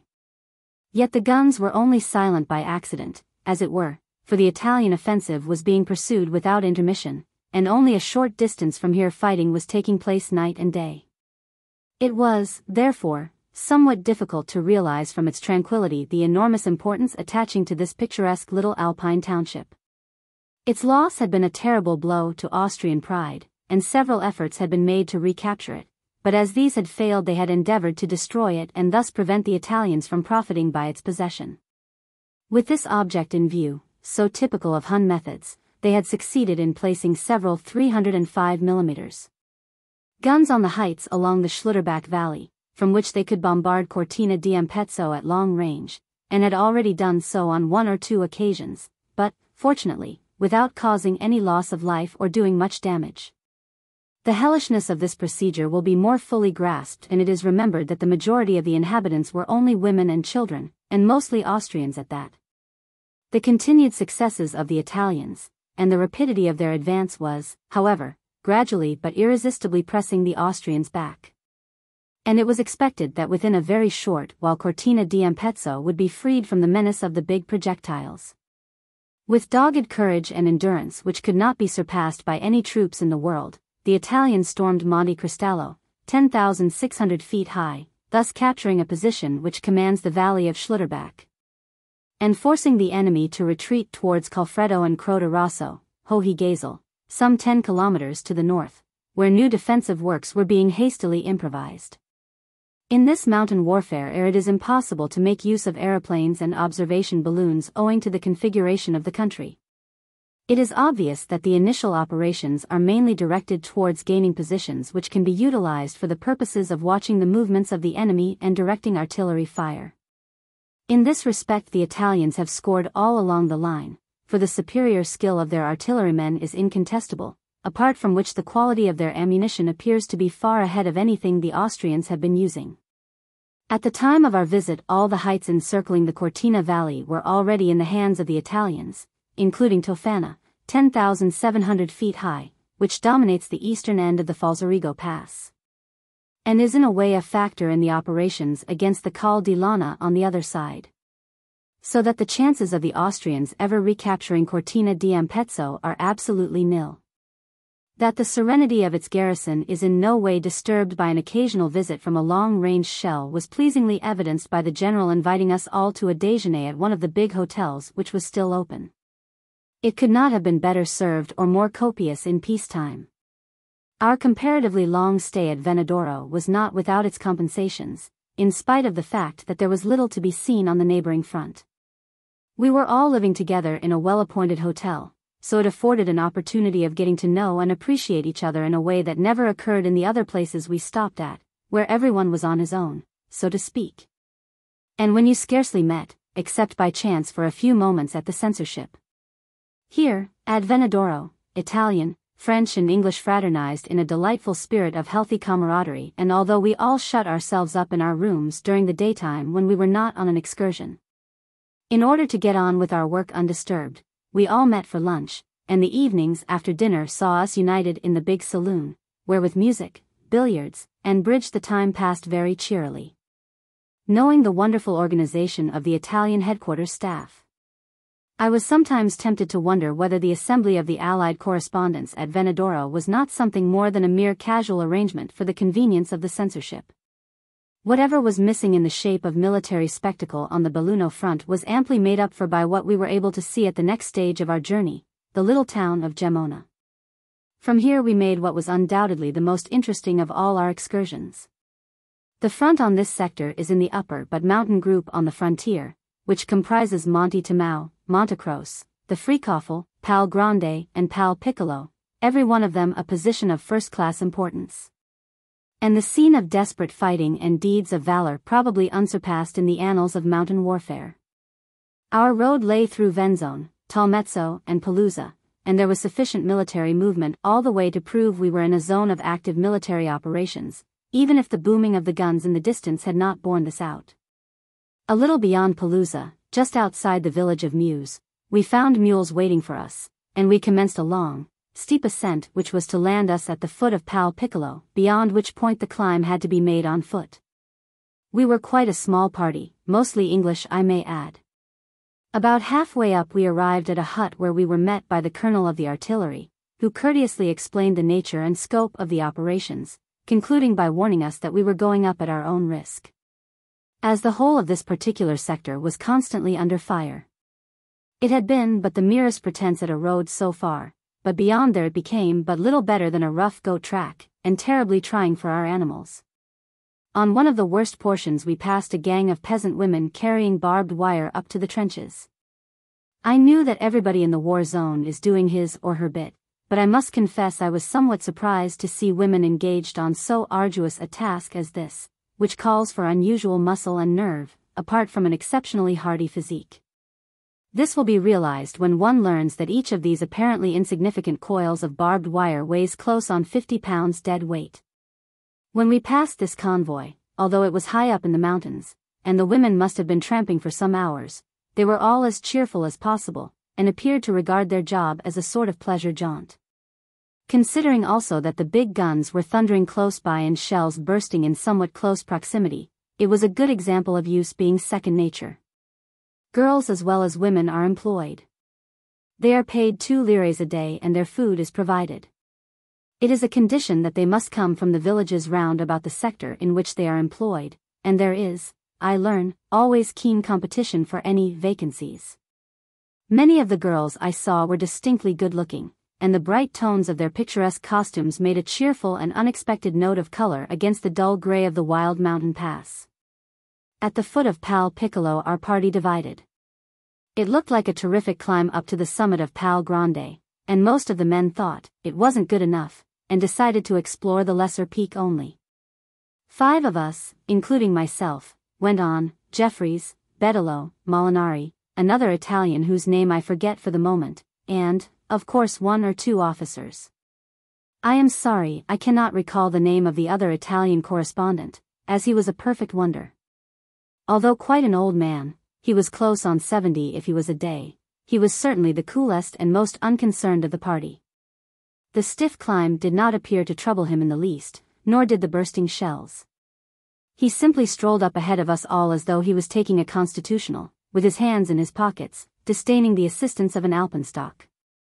Dressed in an ordinary tweed suit, and wearing a straw hat, his appearance was singularly out of keeping with the surroundings. His nonchalance was positively irritating, and he reached the top without turning a hair. It was indeed some climb, though fortunately for me there were no hair-raising bits to bring on mountain vertigo. It meant simply plodding up and up amongst loose boulders at an angle of 75 degrees. But if there were no perilous edges of precipices to negotiate, it was none the less nerve-wracking, as we were under shell fire more or less the whole way, and many of the projectiles, which were of heavy caliber, burst in unpleasant proximity to the track we were mounting. The last bit up into the trenches had to be done at the double, and crouching down, as we were here in full view of the Austrian lines, and snipers were constantly at work. Once inside the sandbag ramparts we were in comparative security. The entrenched position on Pal Grande was undoubtedly the most interesting and impressive of all we had visited so far, and amply repaid one for the tiring climb to get to it. Perhaps the contrast it presented to the somewhat tame excursions we had previously made had something to do with this impression, but it is certain that here we were in the very midst of the real thing and were sharing the same perils as the officers and soldiers around us. It was the spice of ever-present danger that gave, as it were, an extra zest to being there, and made one the more appreciate all one saw. The Austrian artillery was firing continuously over us, and there was an incessant fusillade from their trenches. Which were not more than a couple of hundred yards away, so close in fact that you could have plainly seen the men in them had they shown themselves. The difference between this entrenched position in the mountains and others we had been into was very great, in fact, it struck me as being unlike anything I had seen elsewhere. Here the enemy's trenches were below us, and we were midway between the Austrian and Italian batteries, so that in the violent artillery duel which was going on all the time we were on Pal Grande the projectiles were passing overhead continuously. With a noise reminding one of a big railway junction with an endless succession of express trains going by.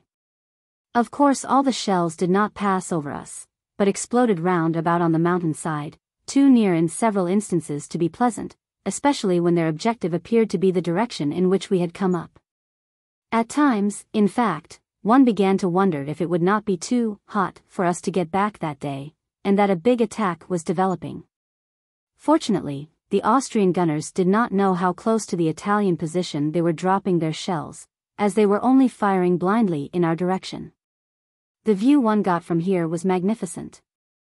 Towering above us on our right, as we faced the frontier, was Tamau, nearly 10,000 feet high, in the near distance, and just behind it, across the frontier was Avastanis, only slightly less in height. Almost facing us to the left were the precipitous slopes of the Freikofel, which the Alpini had captured at the point of the bayonet, and under the fire of the Austrian guns a short time previously. How mortal man could be found to scale these giddy heights at all, leave alone under such awful conditions, baffles me. There are no tracks at all to ascend by it, so it is a mystery how it was accomplished. The Austrians abandoned all their positions here so precipitately that they left their wounded behind, who, together with those of the Italians, had to be actually lowered by ropes from the summit. There being no other means of bringing them down to the ambulances. Pal Grande had been the scene of several sanguinary fights before its final capture by the Italians not long before our visit to it. At one moment, in fact, the Austrians looked like retaking it, so desperate and reckless was the counterattack. It is said that had it not been for the presence of mind and initiative of one of the military doctors it was practically lost. He was attending the wounded in a temporary ambulance station at the back of the firing line when he realized the danger of the situation. Men and officers were falling all along the line, and it was imperative that their places should be immediately occupied if the position was to be held. On the spur of the moment it occurred to him to call on the least wounded of the men he was looking after to try and help. Explaining to them how critical was the situation, and also what was likely to happen to them if the Austrians recaptured the place, he stirred up such excitement and ardor that.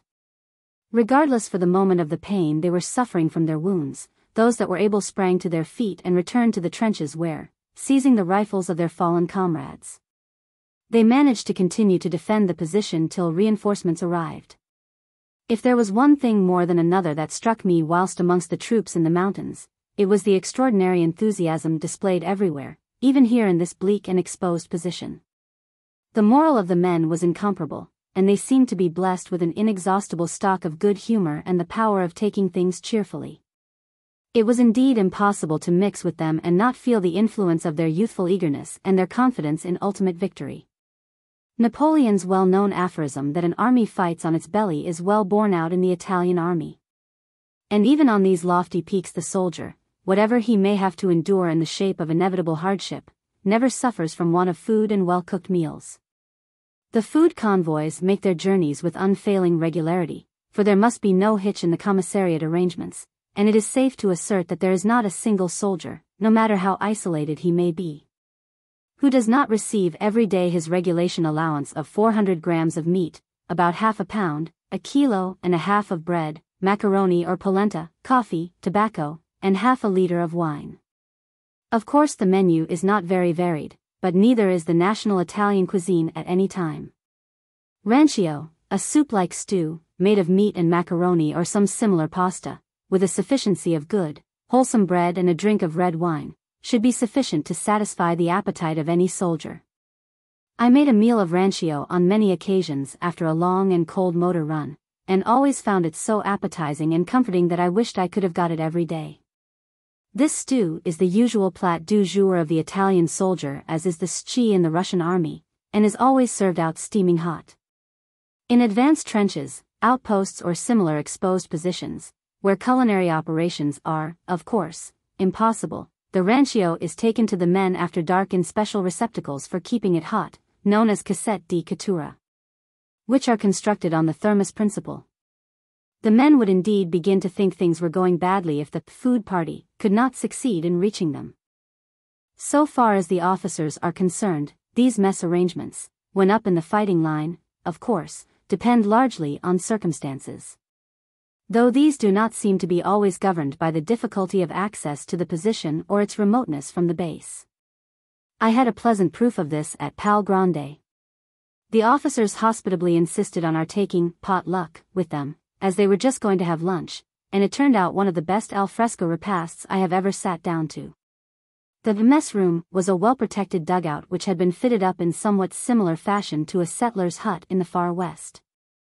It was quite snug, in fact, and we were a merry party crowded round the table that occupied nearly the whole of the interior, in spite of the continuous booming of the guns and the screech of the shells overhead. I had quite expected to get the roughest of meals in the circumstances. Imagine, therefore, my surprise when we started with a fine macaroni soup. This was followed by beef steaks and fried potatoes. Then came a jam omelette, and we finished up with cheese and fruit, the whole being washed down with excellent Verona wine. Black coffee was then brought in, and one of our hosts produced a bottle of cognac and a box of cigars. You could not have wished for a more delightful meal. It made one feel that even life in an entrenchment 8,000 feet up has its compensations at times. Of course it would not do to infer that in all positions the officers were able to indulge in so sumptuous a potluck repast, but I gathered that whenever it is possible a mess is formed, a cook found from amongst the men. And meals served comfortably. Before us stretched the broad valley of the Adige. To face page 124. In outlying positions, where frequently everything is, so to speak, stagnant for weeks at a time. This messing arrangement goes a long way towards relieving the inevitable monotony and weariness of trench life and the strain on the nerves caused by the constant vigil. After lunch we went out for a stroll round the position, passing on our way an improvised bowling alley, where a crowd of soldiers off duty were interestedly watching a match in progress. Had it not been for the sandbag breastworks around us and the incessant noise of the guns, it would have been hard to realize that we were in one of the most exposed positions on this front, and were actually under fire the whole time. That one can get accustomed to anything was exemplified here, as the officers and men were quite unperturbed by what was to them merely a daily contingency. There was no heavy artillery on the Pal Grande when we were there. Only a few machine guns, as the place was for the moment but an entrenched outpost, which had to be constantly on the alert against a surprise attack from the enemy's lines below. I had a walk along the trenches where the men were firing through the loopholes as unconcernedly as though at a shooting competition instead of having human beings for their target. The Austrians were scarcely a hundred yards away in places, so it did not require to be an expert marksman to hit anything at that range. But it was not often that anything shoot itself above the parapets, either on the Austrian or the Italian side. Still the men kept up a constant fusillade, for what reason I could not ascertain, except that perhaps it was to prove that no liberties were possible.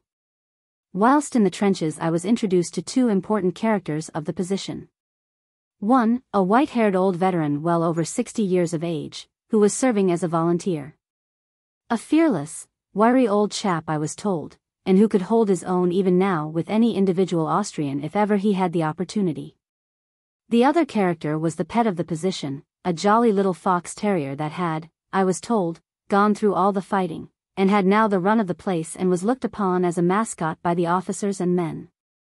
In fact, there would be much perturbation if any harm came to it. Curiously enough this was the only occasion that I saw a dog in the trenches. Gemona was a quaint little town, or rather big village, and the inhabitants were delighted to see us, and proved it by not overcharging in the least. When we arrived and reported at the censorship, which was established in the town hall, we were given a list of houses where lodgings could be obtained, with the prices affixed. This was a capital idea, and worked out admirably. It saved a lot of time running about hunting for rooms, and as only those lodgings recommended by the mayor were in the lists there was no risk of unpleasant surprises. I got fixed up at a very nice house, and the landlady, a delightful old person, did her utmost to make me comfortable, as I used my room for a studio also. Considering she only charged one lire and a half a day it could not be considered excessive. For our coffee in the morning we usually used to meet at a cafe, for lunch and dinner there was no lack of choice, as curiously enough for so small a place, there were several really good restaurants. There was a regiment of Alpini quartered there, a splendid body of men, giving one the impression of picked athletes all, and of an evening their band always gave a military tattoo, wet or fine. Marching through the main streets with torches and finishing on the place with a short concert. A very inspiriting procedure, which considerably helped to liven us all up, and the more especially as this was the only place on the front where we had heard military music. The night before we left, the mayor gave us a reception and vin d'honneur, which further helped to emphasize the good feeling which existed between us all. We had spent a delightful week in Gemona. Chapter 11 Gemona to Udine, final stage of official journey, regrets, arrival at Udine, list of recommended lodgings, my room, my landlady an Austrian woman, I pay my respects to General Caffarelli, my friend Dr. Berthod, my old studio at the Agrario, the Isonzo front, many rumors, off on our biggest trip. 245 kilometers in the car, roads excellent and well looked after, a great change, Cormons quite an Italian town, same with other towns in conquered territory, observatory on Monte Quarin, a splendid bird's eye view, the plain of Friuli, Podgora, the Carso, the hum of aeroplanes, the Isonzo sector, the immense difficulties, received by the general, a pleasant gouter, Lieutenant Nathan. Ex-mayor of Rome, the subita lines of trenches, explanation of Italian successes everywhere, Caporetto via Tolmino, a desolate region, road along the Isonzo, the mighty limestone cliffs of Monte Nero, the great exploit of its capture recalled, one mountain road very much like another, nothing to sketch, perfect organization, the fog of dust, Caporetto, not allowed to motor beyond. Important strategic operations, Monte Rombon, difficult to locate Austrian guns, a glimpse of Plezzo, the situation here, excursion to Gradisca via Palmanova. A semi-French town, Romans, curious rearrangement of cars, only two allowed proceed to Gradisca under fire, the Italian batteries at work, the deserted streets, the observatory room, the iron screens, View of Monte San Michele being bombarded, stroll through the town, a big shell, excursion to Cervignano. Aquileia and Grado, peaceful countryside, Grado the Austrian Ostend, fish lunch at a cafe, the town continually bombarded by aircraft, arrival of Beaumont. The French airmen, conclusion of official tour of front, no permission given for correspondence to remain, success of tour, comments on organization, etc. Chapter 11 We were now nearing the final stage of our official journey along the front, as there only remained the Isonzo sector to complete the scheduled tour. Although I was looking forward to revisiting Udine and seeing my friends there again, there was the feeling that the end of our sojourn amongst these cheery Italian soldiers was approaching. And the recollection of the decree that we were all to leave the war zone directly the tour was finished loomed up in one's mind as a sort of bugbear. One would have liked to spend an indefinite time in these scenes of warlike activity, there was so much to see, and we had really had so little time to see it in, and now, as we were getting into the hang of it all we had to think of leaving. It was very irritating, and marred a good deal of the pleasant impression one had received during the tour. However, there was no help for it. We knew when we started that we were only invited on this understanding, so there was an end of it. Udine is quite close to Gemona, so it only took a short time to motor there. On our arrival we found that following the example of the mayor of Gemona, the censorship had arranged for a list of recommended lodgings to be prepared for us. I had at first intended returning to my old quarters at the Torre di Londra, but decided that it was perhaps better not, so took a room in the same house as my car companions. Strange to relate, this room was in a flat rented by a young and good-looking Austrian woman, a dressmaker, who was married to an Italian. She was, to a certain extent, under police surveillance, I was told, but had not been interfered with otherwise. It struck me as a curious state of affairs, considering how strict were the police regulations with regard to foreigners, though there may have been some special motive in allowing an alien of her nationality to remain here unmolested. Almost the first thing I did when I was settled was to go and pay my respects to General Caffarelli, the military governor of Udine, who, as may be remembered, had had me arrested and sent away to Florence some ten weeks previously. I sent him my card, and he received me very graciously for a man of his stern demeanor. He congratulated me on my altered circumstances, and we had almost a friendly chat anent the incident. My friend, Dar. Berthod at the Agrario, told me my studio was still at my disposal. Other people I met seemed pleased to see me back, so I felt quite at home again in a very short time. A very full program had been arranged for the correspondents during their stay here.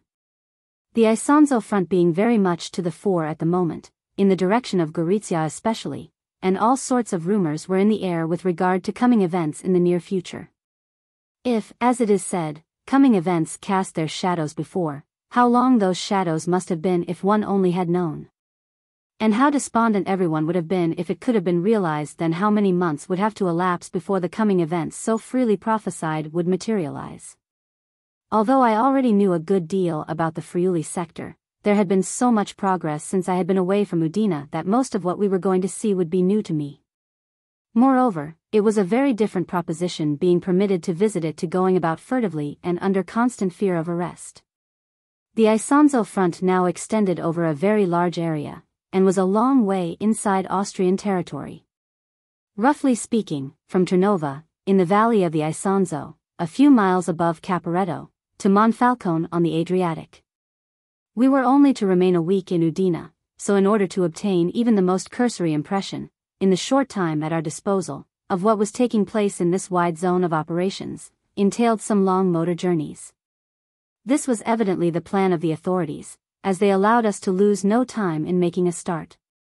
At six o'clock in the morning following on our arrival we were off on what turned out to be the biggest trip we had made hitherto, and when we got back in the evening we had covered no less than 245 kilometers in the car. And without a hitch or contretemps. It spoke volumes for the excellent manner in which the roads in the war zone are looked after. Heavy as military traffic was, seemingly endless, everywhere one saw gangs of men at work making repairs, where the surface had got broken up. The three months that had elapsed since I was first on this front, had effected a great change, but nowhere was it more marked than on the road to and beyond Cormons. The redeemed territory had now so completely settled down that it was hard to realize one was on Austrian territory, or rather, what had been so short a time previously. Cormons had become quite an Italian town, and a very busy one at that. And the same could be said of Cervignano, Cividale, Brazzano, Terzo, and every village where the Italians had passed. An extremely valuable slice of whilom Italian territory had passed back to its old allegiance and with but little fighting. And no damage had been done to either the maize crop or the vines. Our program for the day's run was very comprehensive, and provided the car did not break down, we were certain to see much of absorbing interest. Just beyond Cormons, on the summit of Mount Quarin, a wooded hill which dominates the town, and where an observatory had been established, you get a splendid bird's eye view of the whole of this important section of the front. Spread out at our feet, as it were, was the vast fertile plain of Friuli, every yard of which appeared to be under cultivation. The straight outlines of the fields were fringed by trees and presented a curious doll's house and checkered appearance from this elevation.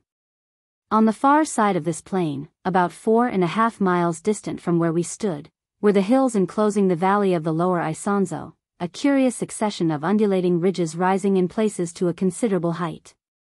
There was a good deal of smoke and mist hanging about, and standing out in sharp relief against it was the peculiar hogback contour of the blood-soaked ridge of Podgora bristling with the charred and shattered stumps of trees.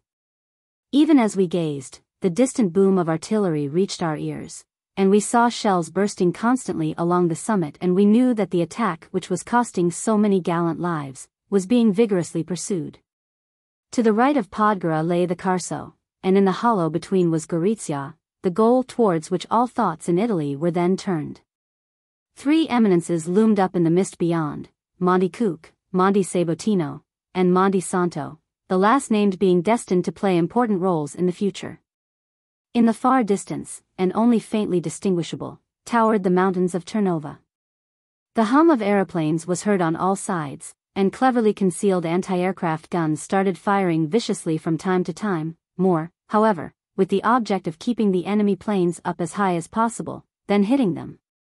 As they seemed to run little or no risk, judging from the serene manner they hovered around. The conditions along the Isonzo sector are practically the antithesis of those prevailing in the mountainous regions of the Cadore, Trentino, and Carnia. Here the low foothills and plains present opportunities for operations which remind one of those being carried out in Flanders and northern France, armored trenches, of course, playing the principal part everywhere.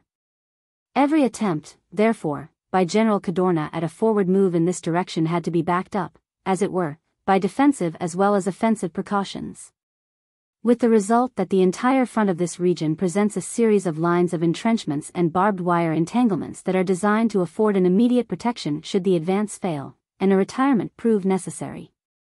Prescience is evidently an innate characteristic of the Italian generals of today, and I was continually noting it along the front, but nowhere was it more impressed on me than in this particular area.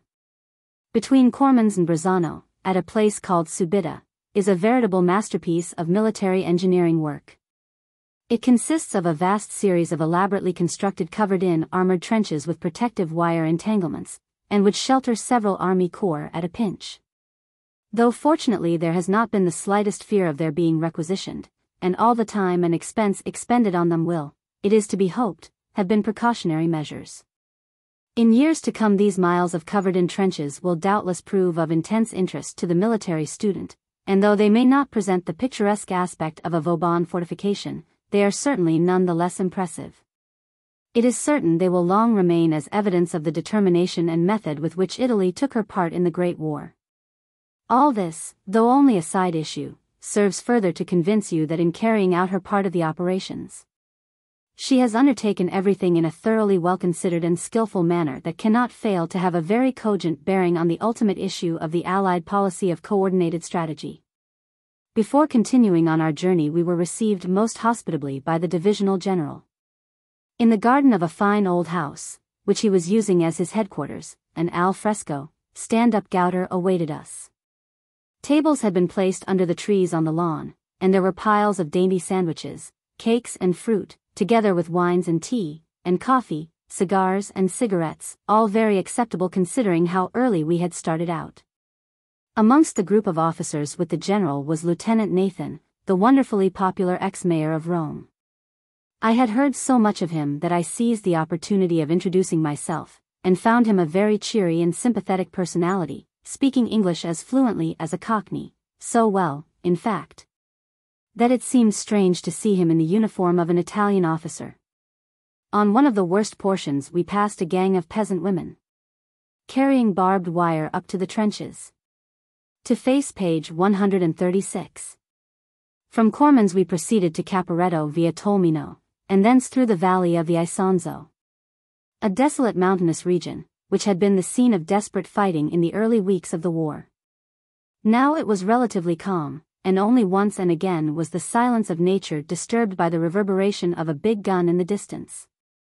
The long prepared defensive positions of the Austrians, of which one has heard so much, availed them not against the strategy of Cadorna and the daring of his troops. One by one they were captured, and by attacking them from the very side where attack was least expected. The principal explanation of the victorious advance of the Italians was undoubtedly that it was made from a direction where it was not looked for and which, therefore, quite upset the plans of the Austrian general. Only the most reliable and enthusiastic of soldiers could have been asked for so determined an effort and such sacrifices as the advance in this region was bound to entail under any conditions. But without wavering it was undertaken and eagerly at that. It was perhaps to a certain extent but a repetition of the tactics in the mountain warfare all along the front, but it was so glorious that no excuse is necessary for again dilating upon it. Through a pathless wilderness of shrub or bare precipitous rocks the men made their way forward unhesitatingly, cutting a roadway as they advanced. Dragging the heavy artillery with them and consolidating each yard behind them with barbed wire entanglement and trench work in case the apparent weakness of the Austrian was but a ruse. But there was no ruse, and nothing arrested the delirious rush of the Italians at the commencement of hostilities along the left bank of the Isonzo. It was like an avalanche in its irresistibility, and the Austrians were completely nonplussed by such unusual military evolutions, with the result that three of their most important positions on the front, Monte Nero, Tolmino and Plava, were already in the hands of the Italians before it was realized how important was the movement in this direction. The heroic feat of the capture of Monte Nero by the Alpini in the month of June I have already described. In spite of every endeavor to retake it, the Austrians had not made a yard of progress since then, except in a retrograde direction. The Italians had immediately fortified every position they had gained, and the chances of the enemy ever recapturing them were practically nil. Our road passed by the scene of many heroic exploits. As we motored through the frowning ravine along a winding road which skirted the swiftly flowing Isonzo, between Tolmino and Caporetto the mighty limestone cliffs of Monte Nero gradually came into view. Its towering bulk illumined by the rays of the afternoon sun. Unconsciously one's thoughts reverted to the events of the early days of the war, and you endeavored to picture to yourself what had taken place hereabouts, the onward rush of the Italian troops. Undeterred by the most terrible obstacles nature opposed to them, fording or swimming the treacherous river by night and scaling the heights on the opposite bank, and all this in the face of the Austrian fire. You had an involuntary shudder as you gazed up at these gaunt rocks, where now an almost death-like silence reigned. You felt it must require the fanatic courage of a dervish and to be cast in different molds to everyday mortals to have accomplished such exploits. The road we were following was particularly interesting, inasmuch as it was in the immediate rear of the fighting line the whole way, and we were therefore, right in the midst of every description of military traffic and movement all the time. It was quite remarkable considering this how little there was in the shape of incident to record, or for the matter of that, to sketch either. Everything appeared to be so perfectly organized that it worked like a big well-oiled machine. It reminded me not a little of a road in China with its endless stream of human beings. One mountain road is very much like another, and to me on the lookout for subjects for my sketch book, there was a very great sameness everywhere, except the dust, which was worse than I have seen it anywhere, even in South Africa. It could have given points to the densest London fog and won easily. The big military motor camions raised such clouds of it that progress at times was almost impossible. You could scarcely see a yard ahead, and where you knew that the roadway ended abruptly on one side, it was not altogether pleasant to reflect that your safety depended solely on the skill or luck of your chauffeur a speck of grit in his eye. A momentary lapse of nerve, and you might find yourself in Kingdom Come. In fact, it always struck me that the risk you ran from shell fire was infinitesimal as compared with that of motoring on these mountain roads. We were only permitted to go a little way beyond Caporetto, the general having given instructions that he did not desire any motor traffic further along the road as it might interfere with his arrangements. As we were quite exposed to the Austrian batteries this appeared reasonable enough, so, Accompanied by a very amiable and learned staff officer as guide we ascended a hill close by from which we were able to gain some idea of what was going on. Facing us were being carried out the most important strategic operations on the whole of the Italian front. We were looking up the valley of the Isonzo River, here somewhat narrowed. The stream, from the height where we were standing, looking like a dark blue ribbon laid across white gravel. Precipitous mountains rose abruptly from either side of the valley, and towering above all was Monte Rambon, 10,000 feet high, at the very summit of which the Austrians had their most strongly fortified position in the front. This position was the key of the Austrian defenses in the sector, and to capture it the Italians, at the time of our visit, were putting out every effort. It was already completely invested, and the Italians were bombarding it with heavy artillery, placed on Mount Svinjak opposite. We could see the shells bursting high up on the precipitous slopes of the mountain. The report of the guns echoed and re-echoed grandly, but the tiny puffs of smoke looked ridiculously insignificant in comparison to the volume of sound. The difficulty for the Italian artillery was, we learned, to locate the emplacement of the Austrian guns, as they were hidden in caves and all manner of unwanted places on the mountainside. Still, they were gradually being discovered and silenced, and at any moment the Alpini might be called upon to try and repeat their previous deeds of valor by scaling the mountain and capturing the position à l'arme blanche. Meanwhile the artillery duel between Rambon and Svinjak proceeded without intermission. At the foot of the mountains, in the valley on the right bank of the Isonzo, at its junction with the Koritnica, one could just distinguish the first house of the town of Plezzo and its fortress. Through one's glasses you saw that little but ruins now remained of what had been one of the most picturesque and prosperous towns in the Carniola. Plezzo was now but a sort of no man's land, and though practically in the possession of the Italians, was for the moment uninhabitable, being directly under the fire of the guns of Monte Rambon. The Austrians, with their customary, cultured, amenity were continually bombarding it in order to prevent the Italians from installing themselves there, with the result that the town was slowly but surely being wiped out of existence.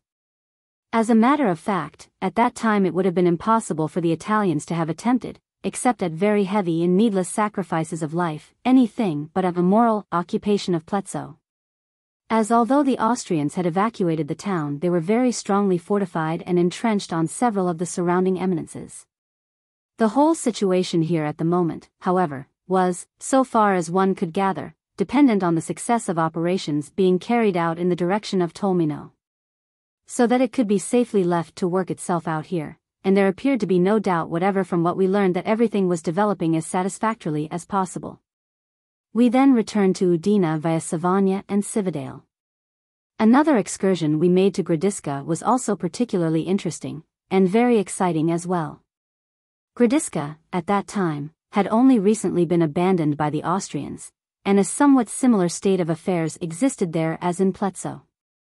That is, it was continually under fire from the Austrian batteries on the Carso, and many houses had already been destroyed. There was, however, this difference, that there were soldiers in the town, not many, perhaps, but sufficient for it to be considered occupied. It is only a short run of about 30 kilometers from Udine. En route we drove through Palmanova, a delightful old semi-French town, dating from the time of Napoleon I, and which reminded me a little of Vitry-le-François. Its star-shaped setting of old ramparts with moat and drawbridge and archways entrance, with big doors, presented a strange contrast to the up-to-date military traffic passing through. A little beyond Palmanova, at a village named Romans, we were informed that all the cars could not be allowed to go to Gradisca, which was some three kilometers further on, as the road was under fire and a procession of half a dozen vehicles would attract still more attention from the Austrian batteries. It was proposed, therefore, that we should all squeeze into two of the biggest cars and make a dash along the road, with an interval of 20 minutes between us. It was an uncomfortably tight fit, as may be imagined, and we were packed like sardines. The car I was in, a very high-powered one, surely did those three kilometers in record time. I never motored at such a speed before. As we neared Gradisca the shells began bursting with unpleasant frequency in the fields, quite close to the road, and I feel sure that everyone experienced a sense of relief when we reached the shelter presented by the first house. The town, which was not very much damaged, was typically Austrian, and in the bright sunshine looked a very pretty and quaint little place. There was a nice park with fine old trees, and in the center was a bandstand, so it was evidently a pleasant place in pre-war time, but now it was absolutely deserted, and the streets presented a very forlorn and ghostly appearance. Which was heightened by the fact of all the shutters of the houses being closed and grass growing in the roadways everywhere. There were Italian batteries on the hills just outside, and they were firing continuously and with a regularity which almost savored of clockwork. The Austrians were only replying in a desultory manner. The report of the guns, and the shriek of the projectiles passing overhead, echoed through the empty streets with weird effect. It is difficult to describe the uncanny feeling all this produced on one, it was as though you were walking in a dream, but the reality of it all was soon brought home to you when a shell burst amongst the houses. An officer conducted us into the center of the town, through an archway and up to the first floor of an old building. Here a large room, with three windows, was used as a sort of observatory post, as it directly faced the Austrian lines about 1500 yards away on M. St. Michael. The sashes of the windows had been removed, and big panels of sheet iron, painted black, were propped up in front of the openings, so that one could get a sideways glimpse outside without exposing one's self to view. The room was bare of furniture, with the exception of some armchairs, placed where one could sit comfortably and observe at one's ease what was going on. There would have been almost a touch of the theatrical in it all had it not been for the occasional ping of bullets striking the iron screens. One got a remarkable view of this much talked about corner of the Carso, for the possession of which the Italians were staking so much. We saw the shells bursting with mechanical precision, and in endless succession, along the summit, which was being gradually pounded to bits. Through your binoculars you searched in vain for some sign of life or man's handiwork on the desolate ridge, and it was difficult to realize the importance attached to it. Yet it was certain that the enemy was concealed there, and in great strength otherwise this incessant and methodical bombardment would not have been deemed necessary. We had a bit of a stroll round on our way back to the car, and found that, considering the town was midway between the Italian and Austrian batteries, remarkably little damage had been done.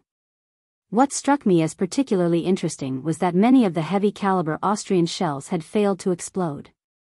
There was a huge one I was shown that had wrecked a small house simply by its weight alone. It was lying on the ground amongst a heap of debris, quite unimpaired except for a few small scratches. If it had exploded it would probably have destroyed half the side of the street. One had heard so many rumors of the deterioration in the quality of the Austrian projectiles that you wondered whether this was a proof of it. The visit to Gradisca practically concluded our tour of the fighting fronts. We made another excursion to Cervignano Aquileia and Grado, but this was practically outside the range of military operations, so it was more in the nature of a pleasure trip than anything else. Still it helped to convey a good idea of what had already been accomplished in the conquered area. Cervignano, a rather large and important town, was full of troops, but I learned that these were only resting there after a long spell of the trenches. It looked a very pleasant place to rest in, and, judging from the cheery looks of the men, they thoroughly appreciated the change, though it was not always peace and quietude even here. As Austrian aircraft had a nasty habit of paying unexpected visits every now and then, I was told. Several women and children had already been killed by aeroplane bombs and a few houses damaged. Aquileia, the ancient capital of Venetia, was only interesting from an archaeological point of view, as it presented no military features. A learned officer showed us over the museum and the fine church, with its Roman pavement, and both were, doubtless, interesting and instructive from a student point of view, mais si enitate palagare. I loathe sightseeing, but I suppose it would have been sacrilege if we had missed seeing them since we were there. From Aquileia we had a pleasant motor run through a peaceful countryside to Belvedere, a tiny port at the head of the Adriatic, where we embarked on a government launch for Grado, which is situated on an island a couple of miles away. There was not a sign of warfare here. It was a little seaside town, which reminded somewhat of Blankenberg, but the place was well worth seeing, as it has been called the Austrian Ostend, and the casino was its principal attraction during the season. Of course all the hotels and the bathing establishments were closed, but we were able to get an excellent fish luncheon at a cafe facing the quay. The town was continually being subjected to bombardment by Austrian seaplanes operating from Trieste, some 20 miles distant. Many people, chiefly women and children, had been killed and a number of houses destroyed. Energetic measures were being adopted for the defense of the town, and whilst we were there a seaplane, with Beaumont, the famous French airman as passenger, arrived from Venice. Our excursion to Grado concluded the official tour of the front, and much to the regret of us all, we had to make our preparations for leaving the war zone. Three days were given us to complete any work we might have in hand and get it passed by the censor. It is almost needless to add that every effort was made by us to obtain permission to remain for a time, if only in Udine, but in vain. For reasons best known to those in authority, no further publicity was desired for the moment. With the conclusion, therefore, of the correspondence tour along the front, the veil of secrecy was once more drawn over the operations and was not to be lifted again except for the issue of the brief, official, communiques till such time as it might be decided to allow representatives of the press to return to the war zone. That the tour had been a great success was incontrovertible. The good fellowship shown to the foreign correspondents everywhere was quite one of its most memorable features, and one was continually experiencing it in some form or other. Although perhaps, in consequence of the operations being in a state of preparation only, we had not seen so much of active warfare as we should have wished. What we had seen had opened our eyes to the resource and courage of the Italian officers and soldiers and the marvelous organization of the army. The progress that was being made in every part of the front was, in my opinion, convincing proof that Italy's share in the Allied operations is likely to be a very important factor in every phase of the conflict. And subsequent events have strengthened my conviction. Chapter 12 Conclusion of correspondence tour of front, I returned to London, awaiting events, brief official communiques, half Austrian army held up on Italian front, harrying tactics, trench warfare during the winter, recuperative powers of the Austrians, Gorizia a veritable Verdun, Italian occupation of Austrian territory, many thousand square miles conquered, a bolt from the blue, serious development, awakening Austrian activity, 400. 000 troops in the Trentino, front from Lake Garda to Val Sugana ablaze, totally unforeseen onslaught, towns and villages captured, genius of Cadorna, menace of invasion ended, I go and see Charles Ingram with reference going back to Italy, his journalistic acumen, my marching orders, telegram from Rome, my journey back to Italy, confidence everywhere, Milan in darkness, improvement on the railway to Udine, Udine much changed, stolid business air, Changes at the censorship, press bureau and club 4. Correspondence, the censorship staff, few accredited correspondents, remarkable absence of Entente correspondence, badges and passes, complete freedom of action given me, I start for Vicenza en route for Arsiero, scenes on road, from daylight into darkness, Hun methods of frightfulness, Arsiero, its unfavorable position, extent of the Austrian advance, rush of the Italians, Austrians not yet beaten, Town damaged by the fire and bombardment, villa of a great writer, Rossi's paper mills, the town itself, the battlefield, debris of war, a dangerous souvenir for my studio. One would have liked to spend an indefinite time at these scenes of warlike activity. To face page 148. Chapter 12. There were rumors that within a very short time the correspondents would be permitted to return to the front. But it was very uncertain when this would be, so I decided, since we all had to leave the war zone, to return for the time being to London where I could find better employment in my studio, than playing the tourist in Italy. For several months, however, no permission was given, and during this time, owing to the fact that there were no correspondence with the army, little or nothing was known of what was taking place. The brief official communiques conveying but the most meager details. That the Italians were marking time meanwhile was, however, in the last degree improbable, of that I felt convinced, General Cadorna is not made of that fiber. When he is apparently doing nothing of importance it is certain he is preparing some coup and waiting a favorable opportunity to develop it. In the meantime practically half the Austrian army and the pick of the troops at that was being held up on the Italian front, and not in a state of immobility by any means. One was able to judge if one read between the lines of the communiques that day by day almost, and all through the winter, harrying tactics were being successfully carried on all along the front. So much so, in fact, that the Austrian generals must have often found themselves in a quandary for satisfactory matter for their daily reports. The winter passed with ding-dong trench warfare, when the rate of progress could at times be only reckoned by yards in a week. Still, it was progress, and every yard was bringing the Italians nearer to their immediate objective, Gorizia. Meanwhile the extraordinary and quite unexpected recuperative power of the Austrians was becoming more and more an evidence as was also the fact, unfortunately demonstrated by the heavy losses of the Italians. That they were putting up a desperate fight. Gorizia had proved a veritable Verdun. Every hill and bluff being found to be fortified and honeycombed with deep entrenchments, which would have entailed enormous sacrifice of life to capture at this stage of the operations.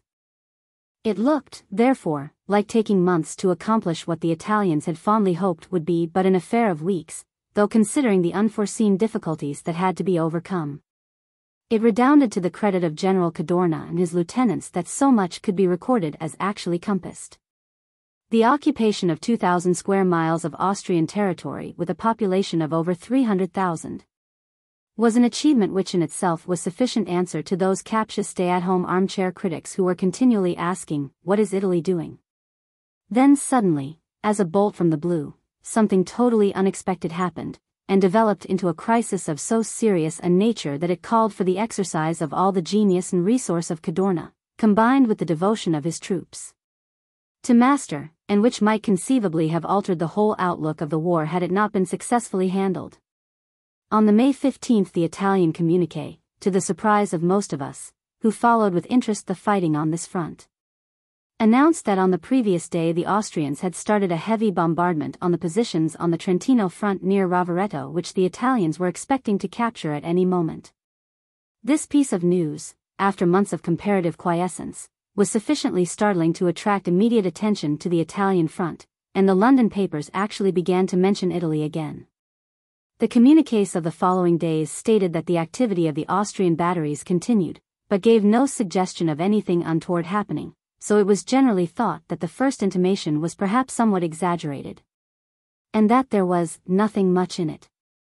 But this sudden awakening of activity was, as it turned out, the first rumbling of the approaching storm, and, instead of dying out, as had previous artillery demonstrations, it gradually increased in intensity, until May 23. The anniversary of the declaration of war, when the burst came. It was then discovered that the Austrians had concentrated no less than 400,000 troops in the Trentino sector at a point where they were protected by a series of powerful forts. This particular sector had all along been recognized as the weakest point on the Italian front, but as there had been no indication of an offensive impending in this direction no steps had been taken to meet it. In a few hours the 50-mile front from the Lake Garda to Val Sugana was ablaze, and the Italians were defending themselves for all they were worth against a heavy and determined Austrian thrust that tried their endurance to the utmost limit. So totally unforeseen was the onslaught that although the Italian wings on the Brenta and the Adige held firm, the center was practically crumpled up by sheer weight of numbers, and the Austrians advanced victoriously into Italian territory. The towns of Arsiero, and Asiago, and many villages were captured, and it looked for a short time as if the plains of Venetia lay at the mercy of the invaders. The genius and resource of General Cadorna saved the situation. Brigades of infantry were hurried up to the threatened area in motor lorries and other vehicles, together with guns and huge quantities of ammunition. In incredibly short time an army of nearly 100,000 men were on the spot. The Italian line was consolidated and a counteroffensive begun. Within four days the Italians had recovered the whole of the lost positions, including Arsiero and Asiago, and the menace of invasion was ended. For some time previously I had been in daily expectation of receiving my marching orders to go back to Italy, and at the height of the crisis I went down to see Charles Ingram and again pressed him to let me start forthwith. He didn't exactly say no, but was inclined to temporize. Later I gathered that with true journalistic acumen he had in his mind that the British public were not exactly hungering after pictorial representation of Italian reverses. There was no hesitation on his part as soon as the first indication of the successful push arrived. My marching orders then were as peremptory as on previous occasions. I forgot to mention that I had received a telegram from the Ministero dell'Interno in Rome telling me I was permitted to return to headquarters when I wished, so I had no anxiety on that score. I got back to the Italian front, therefore, in time to witness the expiring effort of the Austrian thrust. On my journey across Italy I found everywhere a refreshing calm and confidence and not the slightest indication of any nervousness.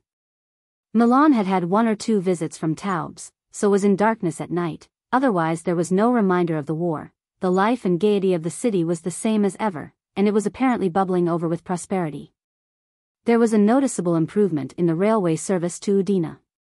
Instead of a rough and ready journey there were now a sleeping car and restaurant attached to the train, so one traveled in comfort. Udine appeared to me much changed. There were far fewer soldiers to be seen in the streets, owing probably to the fact that the fighting lines were now so much farther away, and the old-time bustling military activity was no longer noticeable. An air of stolid business seemed to have taken its place. Many of the big public buildings that had been temporarily utilized for staff purposes, and which used to overflow with martial activity were now closed. More convenient quarters having been found elsewhere. To anyone, therefore, arriving in Udine now for the first time the little town must have appeared quite commonplace, apart from its historical and architectural features. But the greatest change was at the censorship. It had been improved beyond all recognition, and it was evident that the government no longer regarded the representatives of the Fourth Estate as interlopers, but as honored guests. A fine, roomy old palace had been rented and transformed into a press bureau and club for the war correspondents. The censorship staff, consisting of three officers, Colonel Barbarich, L.T. Colonel Claricetti, and Captain Wileshot, three courteous and genial gentlemen, did their utmost to make the lot of the correspondents as pleasant as possible. They were good friends rather than mentors, and you could not help having the greatest regard and esteem for them. In addition to the spacious and comfortable clubroom, where writing paper and other requisites were provided, and soldiers were on duty as club servants, the government had gone one better than any club I know of, for. With true Italian hospitality, black coffee after lunch or dinner, afternoon tea with cakes, and soft drinks in the evening were provided free of charge. Before lunch or during the afternoon one was pretty sure to meet here everyone who was in Udine in connection with journalism, or who was visiting the front. As Udine was still the starting point for expeditions to the lines, and it was only here that the military passes were issued. The censorship, therefore, had grown into a permanent and well-organized institution, but it had dwindled to insignificant proportions so far as the number of accredited correspondents was concerned.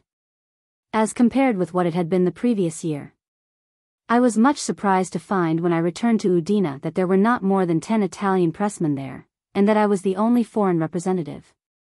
As a matter of fact, during the whole of the three months I was at the front this year I practically had the whole field to myself.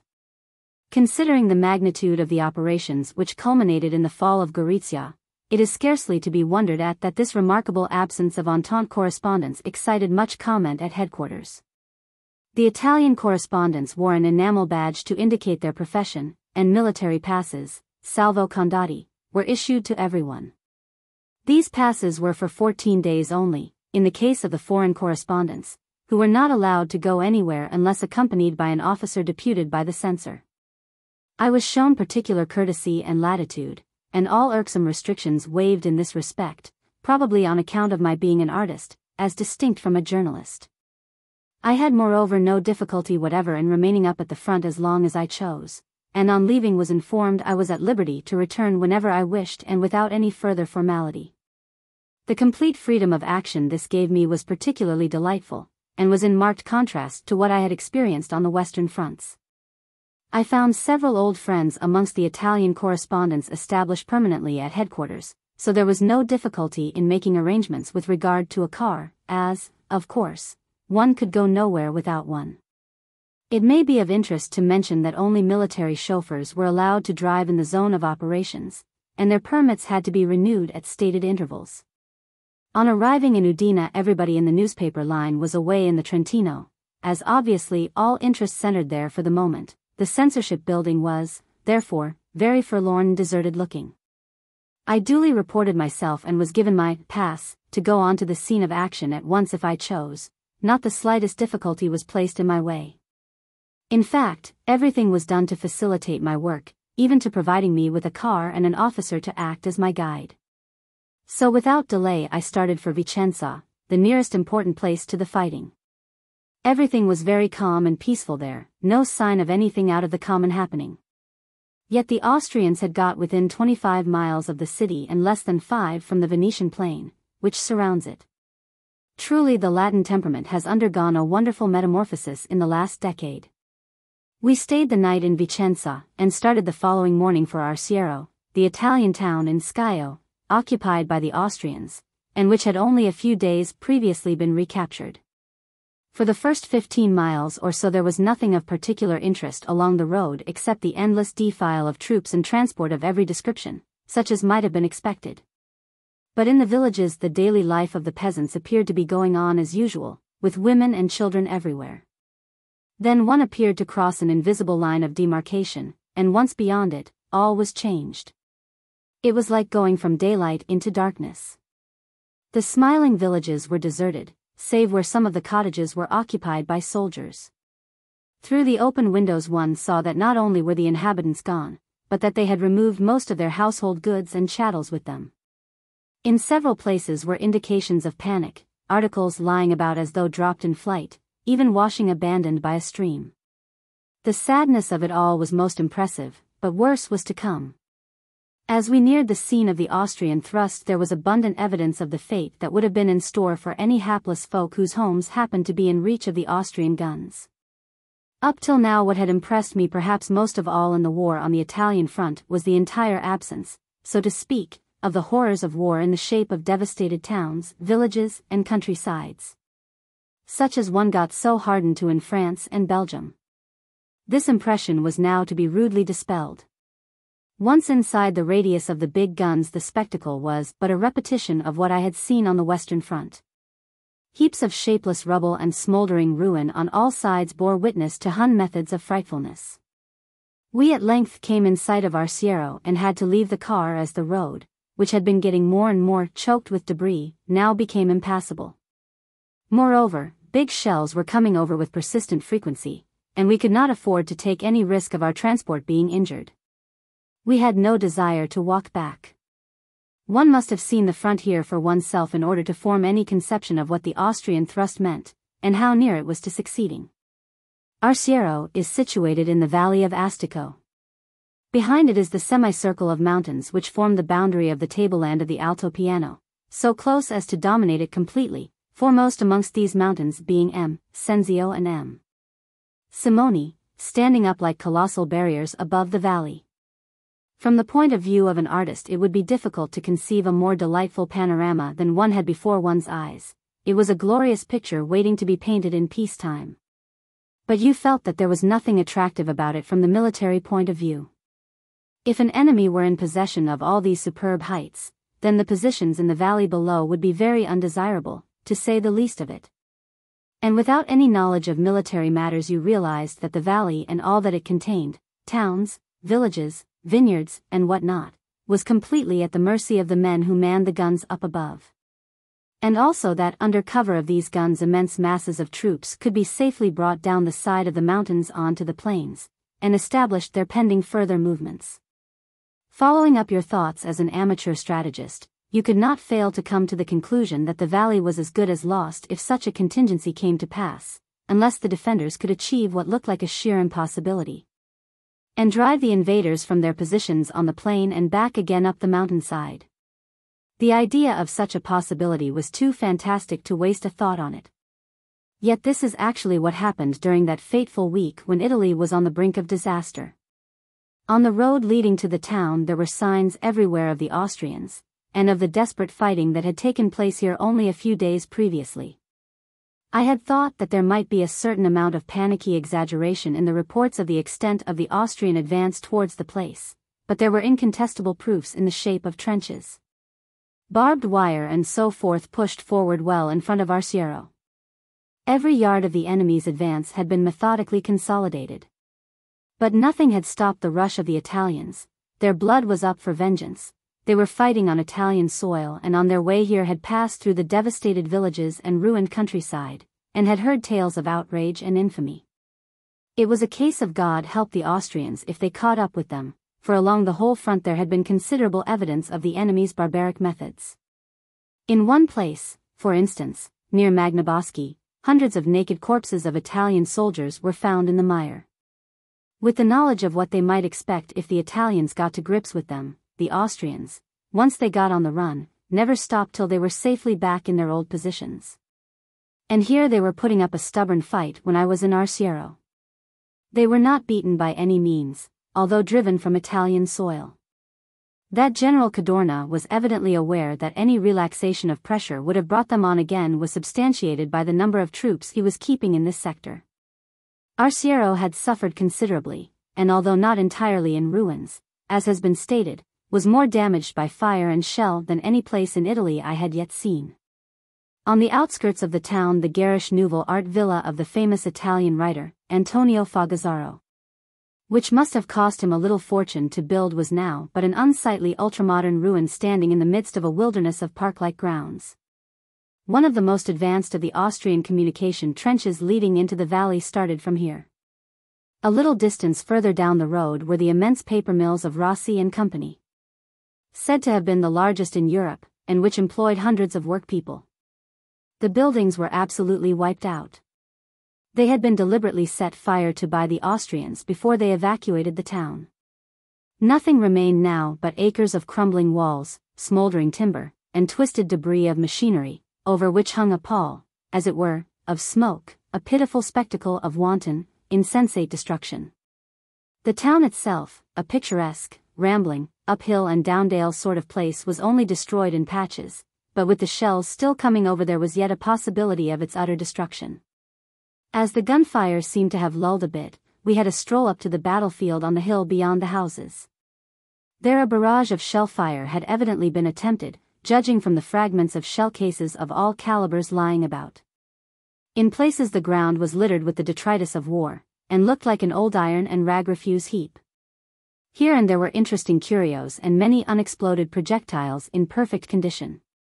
It occurred to me that I would take one of these away with me as a souvenir for my studio, and was stooping down to pick up one when a soldier, who was passing, rushed towards me yelling out at the top of his voice, Non toccate. Non toccate. Signore.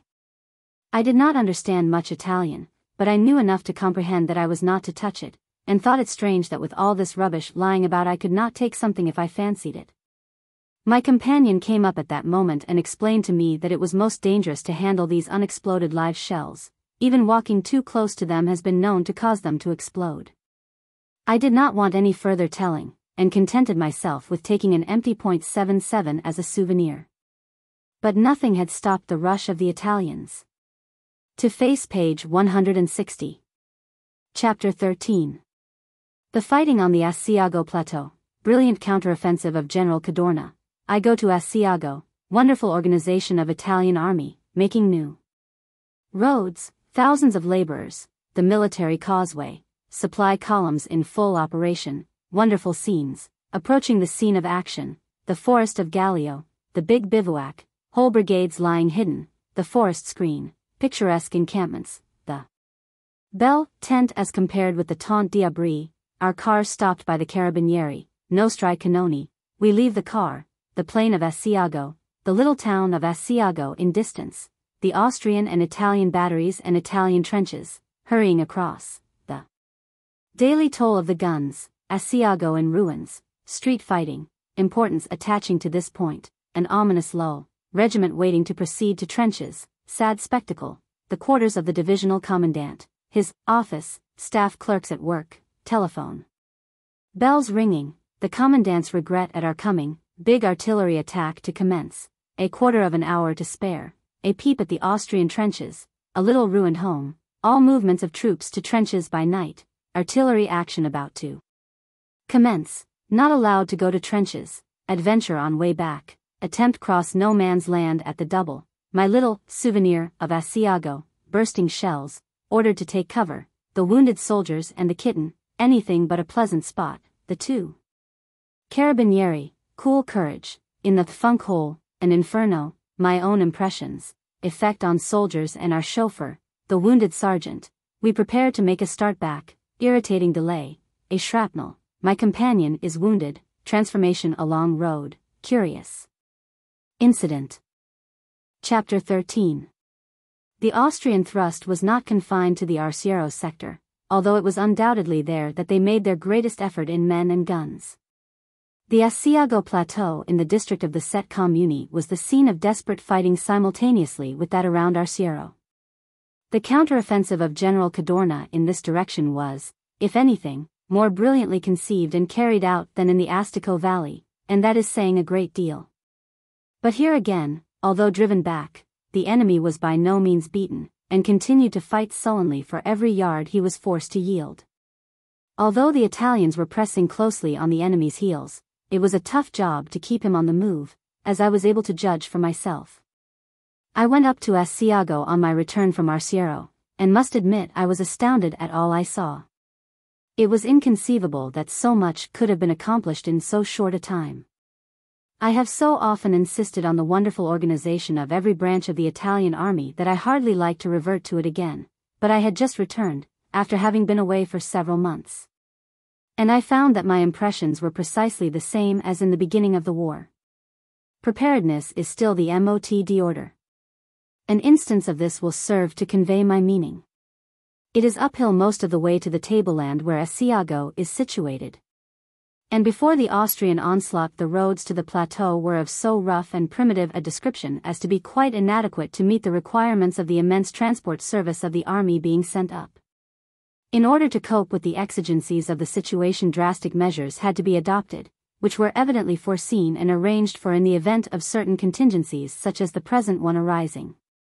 Thousands of laborers, young and old, of the military classes not yet called up, but who undoubtedly had been warned for this duty, were brought from all over the country, provided with picks and shovels and sent here by express trains.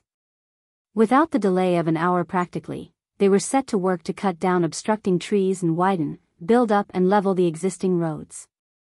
Of course they were well paid, five lires a day and their food provided. But it was not a mere question of pay, of that you cannot fail to be convinced, only men working with their hearts in their job could have accomplished what these gangs of men did in the time. It is truly an object lesson in the value of organized labor. The fine broad highway, complete in every necessary detail, such as stone parapets at the curves, and walling up where there is risk of landslides, came into being as though by the touch of a magician's wand. And proved of incalculable value in the counterattack which was meanwhile preparing. The transport of the masses of troops synchronizing with the completion of the roads. Certain it is that without such organization it would have required many weeks to have carried out what was done in a few days, and in the meantime the invaders, it is to be assumed, would not have been idle on their side. When I motored up to Asiago, had I not been told how long this roadway had been in existence I should have said it was years old, instead of days. Along this military causeway was as busy and animated a scene as could be imagined. The Italians had already recaptured all the positions in the Sette Commune, and were pushing steadily on towards the Altopiano beyond Asiago. The supply columns were, therefore, now in full operation, and one passed what was practically an endless convoy of munition trains, motor lorries, picturesque carts from every corner apparently of the peninsula, and long strings of pack horses and mules. In and out of this imposing column and up the steepest parts of the road dispatch riders on motor bicycles dashed along with reckless speed and marvelous dexterity. It was a wonderfully inspiriting scene, and this was accentuated as one gradually began to hear the booming of the Italian guns in the distance. We were rapidly approaching the scene of action, and the Austrians were being given no respite. The effect of all this, together with the glorious air of the mountain, was as exhilarating as champagne, one felt years younger. The car seemed to go too slowly, so eager were you to get on, and be in the thick of it all. The mountainside was bare and bleak, with scarcely a vestige of tree or shrub, but on the tableland beyond the crest it gradually changed, and we entered a belt of pine forest, dark and gloomy. This was the forest of Gallio. The road wound in and out of the dense trees, and only a short distance ahead could be seen. We had now passed the head of the transport convoys, and came up with reinforcements hurrying forward. A remarkable scene now presented itself. The forest on either side of the road was a big bivouac. The gloom under the trees was alive with troops as far back as one could see. Every yard of ground appeared to be occupied, whole brigades were lying hidden here waiting the order to advance. No more effective screen could have been wished for than this belt of forest, and it must have been a continual source of anxiety to the Austrian generals to know what it concealed. It was probably for this reason that the forest of Gallio was the hottest section of this front, as it was continually being shelled, and the casualties were always correspondingly heavy. There was something singularly reminiscent of mining scenes in the far west in all I saw around me as many of the men had erected their picturesque little tents d'abri and formed little encampments in all sorts of out-of-the-way corners. The soldiers were apparently allowed considerable latitude in this respect, possibly because these tents are so easily handled, and by reason of their small dimensions are easily disguised with foliage. The big and cumbersome bell tent so fondly adhered to by the British Army authorities under all circumstances would have looked very out of date here, where initiative not dogma reigned supreme. After passing through what gave the impression of miles and miles of encampment, we approached the confines of the trees, and were suddenly hailed by two carabinieri standing under the trees just off the road. And informed that the car was not allowed to proceed any further. The carabinieri have a special status in Italy, and only men of the very highest character are accepted for the corps. In peacetime they are country constabulary, and patrol the rural districts. In war they automatically become military police and are exclusively employed in the immediate rear of the fighting line, watching for deserters, looking after prisoners, carrying dispatches, and so forth. They only take orders from their own officers, and never do any military service. On but one occasion have they become combatants, and that was at the Battle of Palestro in 1859, when they saved the life of King Humbert by forming a square to protect him. Their war footing is 50,000, of whom 8,000 are mounted. Of course our chauffeur pulled up without hesitating, he knew that carabinieri have to be obeyed without parley. My companion got out, and I was following him when, scarcely had I got my foot off the step, then there was a deafening report like a thunderclap a few yards away. For a moment I thought my head had been blown off. Sono nostri cannoni, remarked my companion, who had been there before, and who knew of an Italian big gun hidden in the trees within a few yards of us. One of many along the outskirts of the forest, I was told later, and which were giving the Austrians much trouble. We left the car here to await our return and walked on. A hundred yards or so and we were clear of the forest, which ended abruptly on the edge of a slight acclivity. A little below us was a wide expanse of grass-covered plain, and in the center of it, about a mile away, were the white houses of the little town of Asiago, of which one had read so much during the past few weeks. Just beyond the town a line of low-lying hills stood out against the horizon. On the crest of one of these hills, Monte Interrotto, about two and a half miles distant were the Austrian batteries, and on the slopes below were the Austrian and Italian trenches. In the far distance to the north, Monte Zebio stood out amongst some rugged peaks. For the moment the scene was fairly peaceful, that is to say the guns on either side were only firing in a desultory way. But, of course, one could not tell how long this would last and what might come over at any moment. However, as we had come here with the intention of going right into Asiago, this had to be chanced. My companion advised hurrying across as quickly as possible as there was no cover anywhere, and the road was quite exposed to the view of the Austrian gunners. It was a typical summer morning, with the birds singing merrily on all sides, so it was somewhat difficult to realize that there was danger in strolling along leisurely. But before we had gone far we met stretcher bearers coming towards us with their sad burdens, and quite a number of soldiers carrying wounded men on their backs. No big engagement was in progress we learned, but the guns and rifles were taking their steady and relentless daily toll all the time. This constant stream of wounded ended by getting on one's nerves, and made you wonder what the fates had in store for you. The town, from a distance, appeared to be quite undamaged, but on getting near to it one found it was in a sad state of ruins. very few of the houses had escaped the ravages of fire or bombardment. The position of Asiago, midway between the opposing batteries, had, of course, in a great measure brought this about, and was responsible for its gradual destruction. There was a great deal of street fighting before the invaders were driven out and back to the hills, and in several places were hastily erected barricades formed with broken furniture and other miscellaneous articles.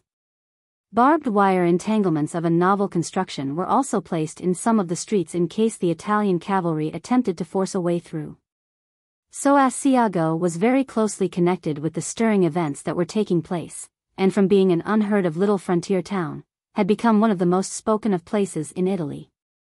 The fact that the communiques referred to it almost daily is proof of the importance attaching to this point, and it required ceaseless vigilance on the part of the Italians to retain their foothold in its ruined streets. But no attempt has been made to fortify the place, its defenses are the trenches on the hills beyond, and which, at the time I was there, were gradually being pushed forward. Any troops in the town itself were only there to passage for a few hours. It would have been risking unnecessary sacrifice of life to have kept them there for any length of time. We were in about as exposed a position as could probably have been found on any front, but for the moment there was an ominous lull which portended no good, and so it turned out. The respite was not to last long.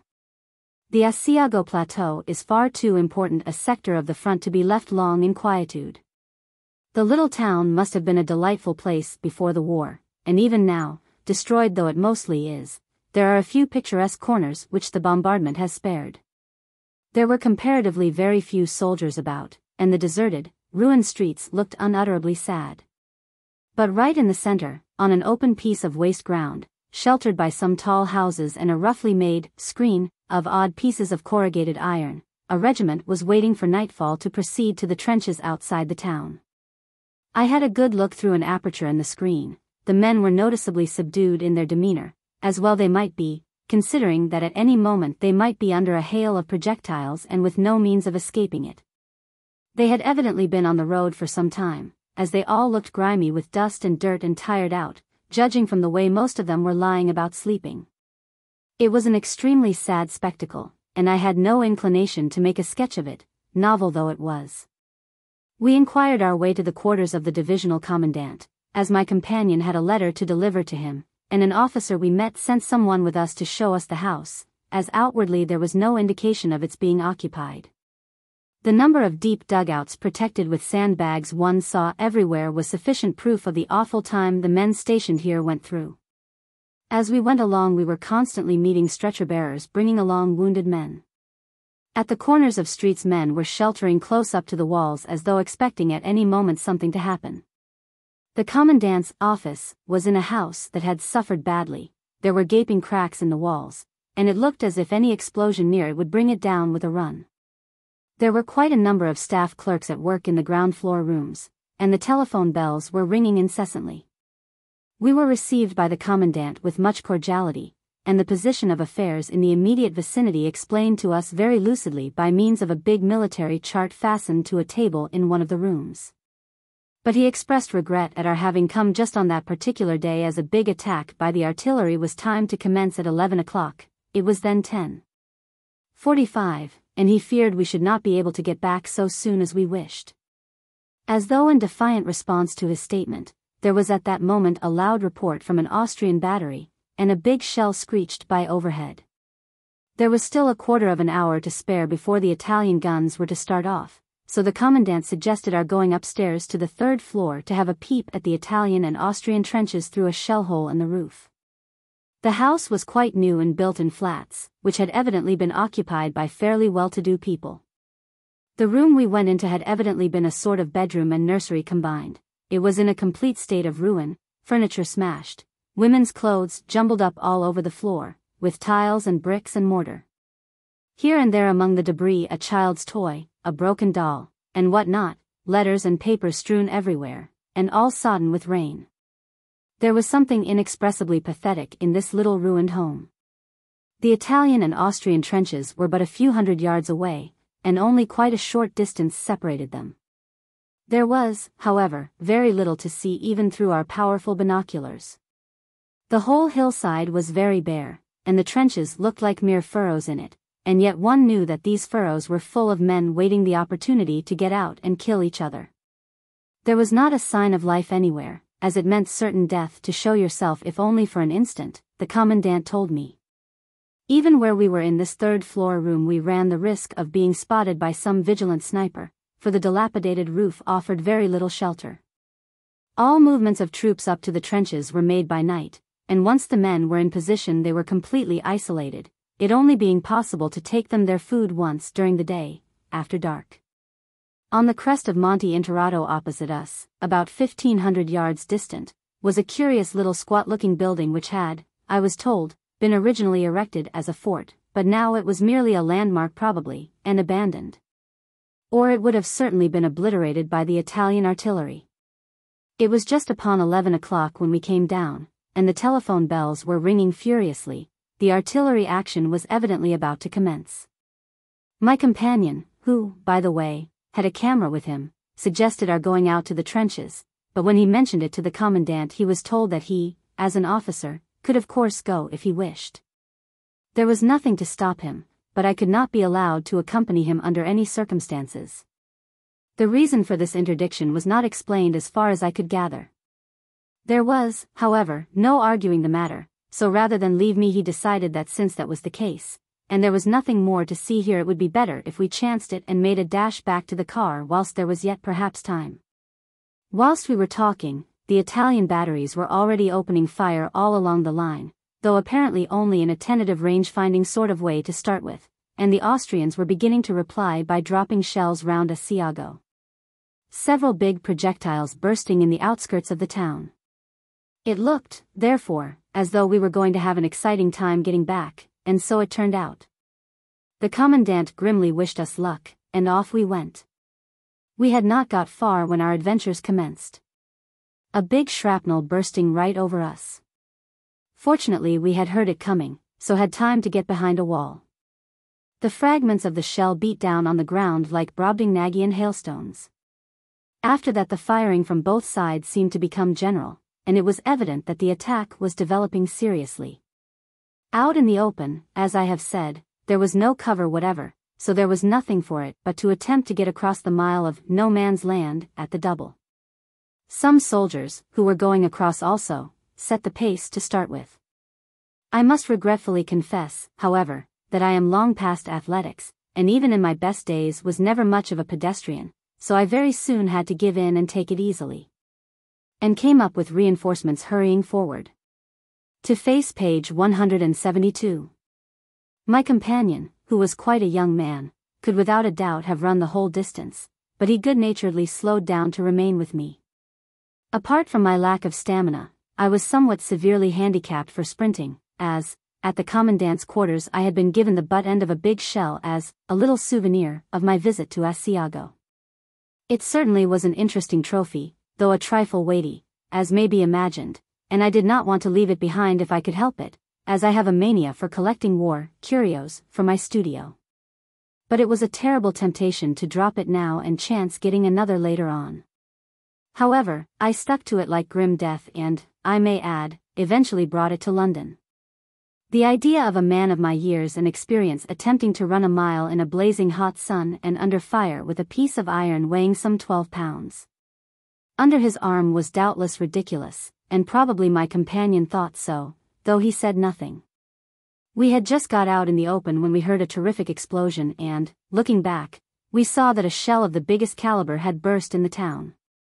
An immense column of white smoke and dust rose high in the air, and in it you saw fragments of timber and other debris suspended by the force of the explosion in the still atmosphere for what seemed a few seconds, so long, in fact that my companion actually had time to get his camera out of its case and take a snapshot. The artillery duel was now spreading ominously, and we could see that shells were bursting unpleasantly near the spot where we had left the car, the objective of the Austrians being, of course, the Italian batteries along the edge of the forest.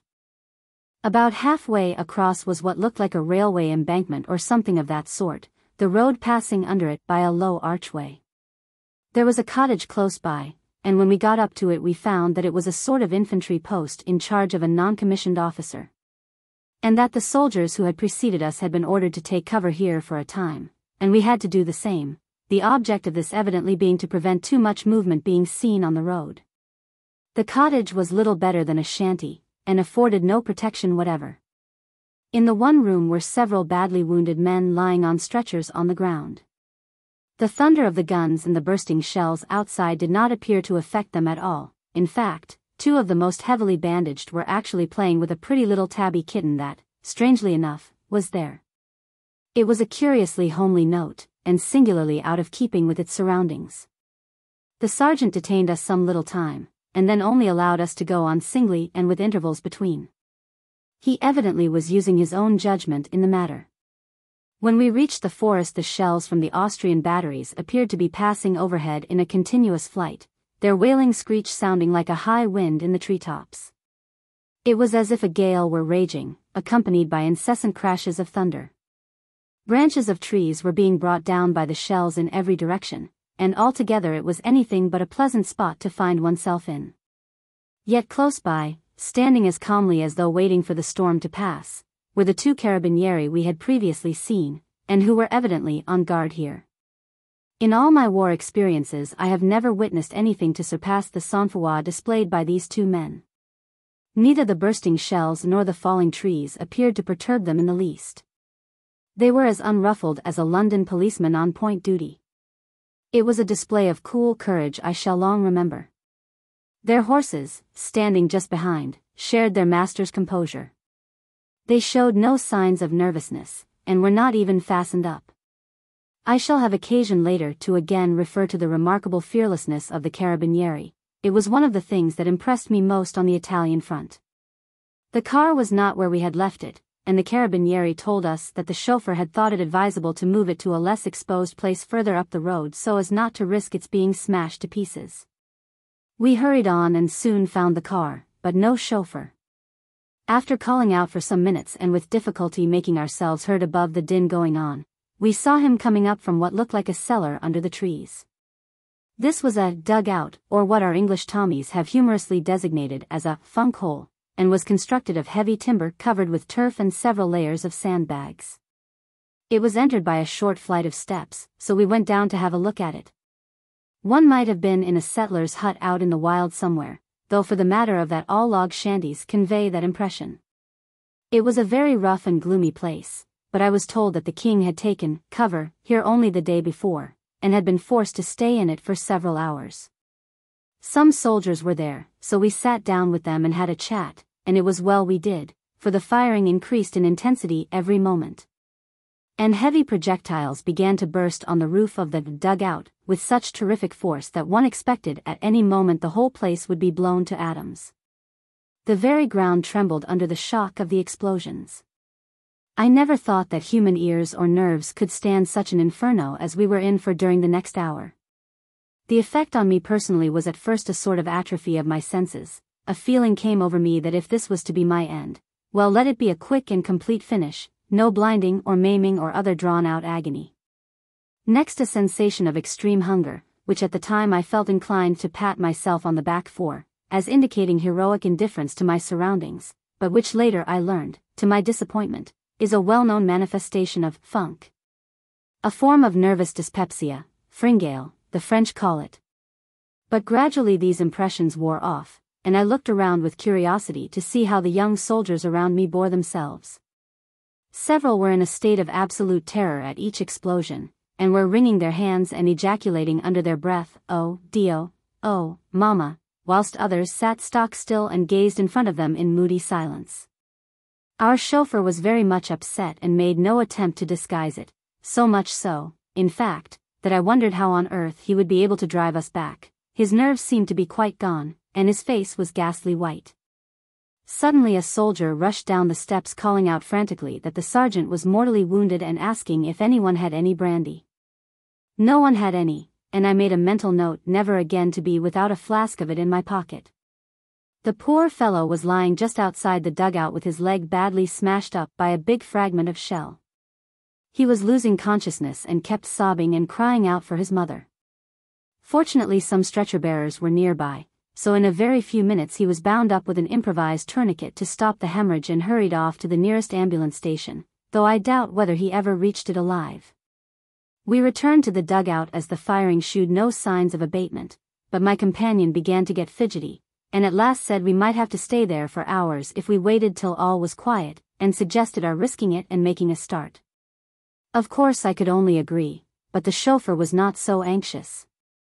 He was, if anything, still more upset by what had just happened. However, a few kind but forcible words brought him to his senses, and with an effort he managed to pull himself together.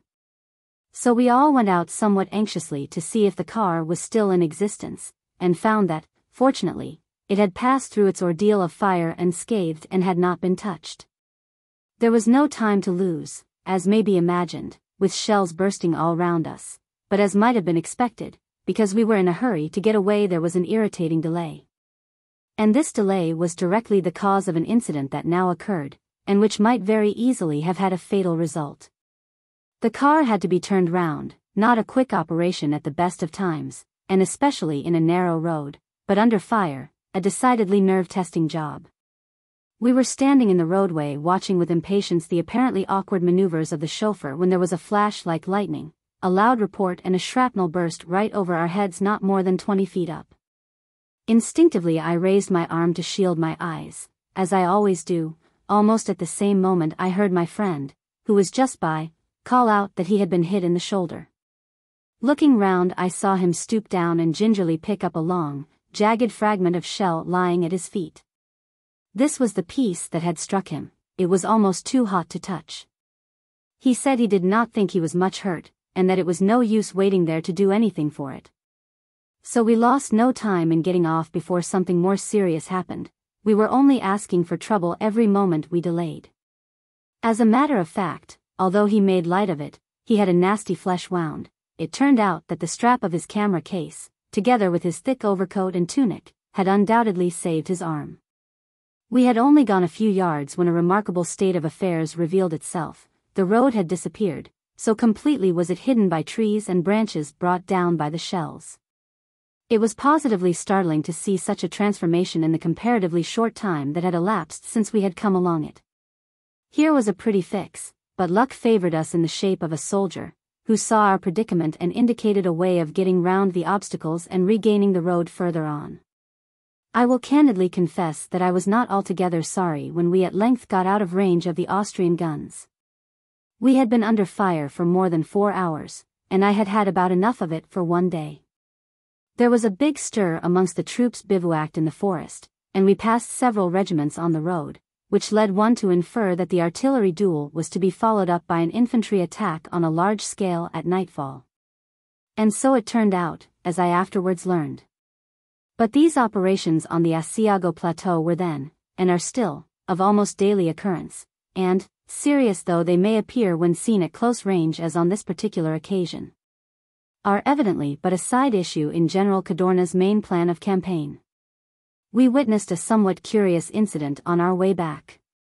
Going down the steep zigzag road a big motor ambulance wagon failed to take one of the sharp curves sufficiently to get onto the straight run beyond, and was only brought up by the brake on the extreme outer edge of the road, which, as it happened, had no parapet at this particular spot.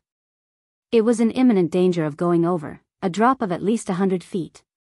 There was no lack of help, as there was an endless line of traffic going both ways, and it was, of course, all held up by the occurrence, so many willing hands were forthcoming.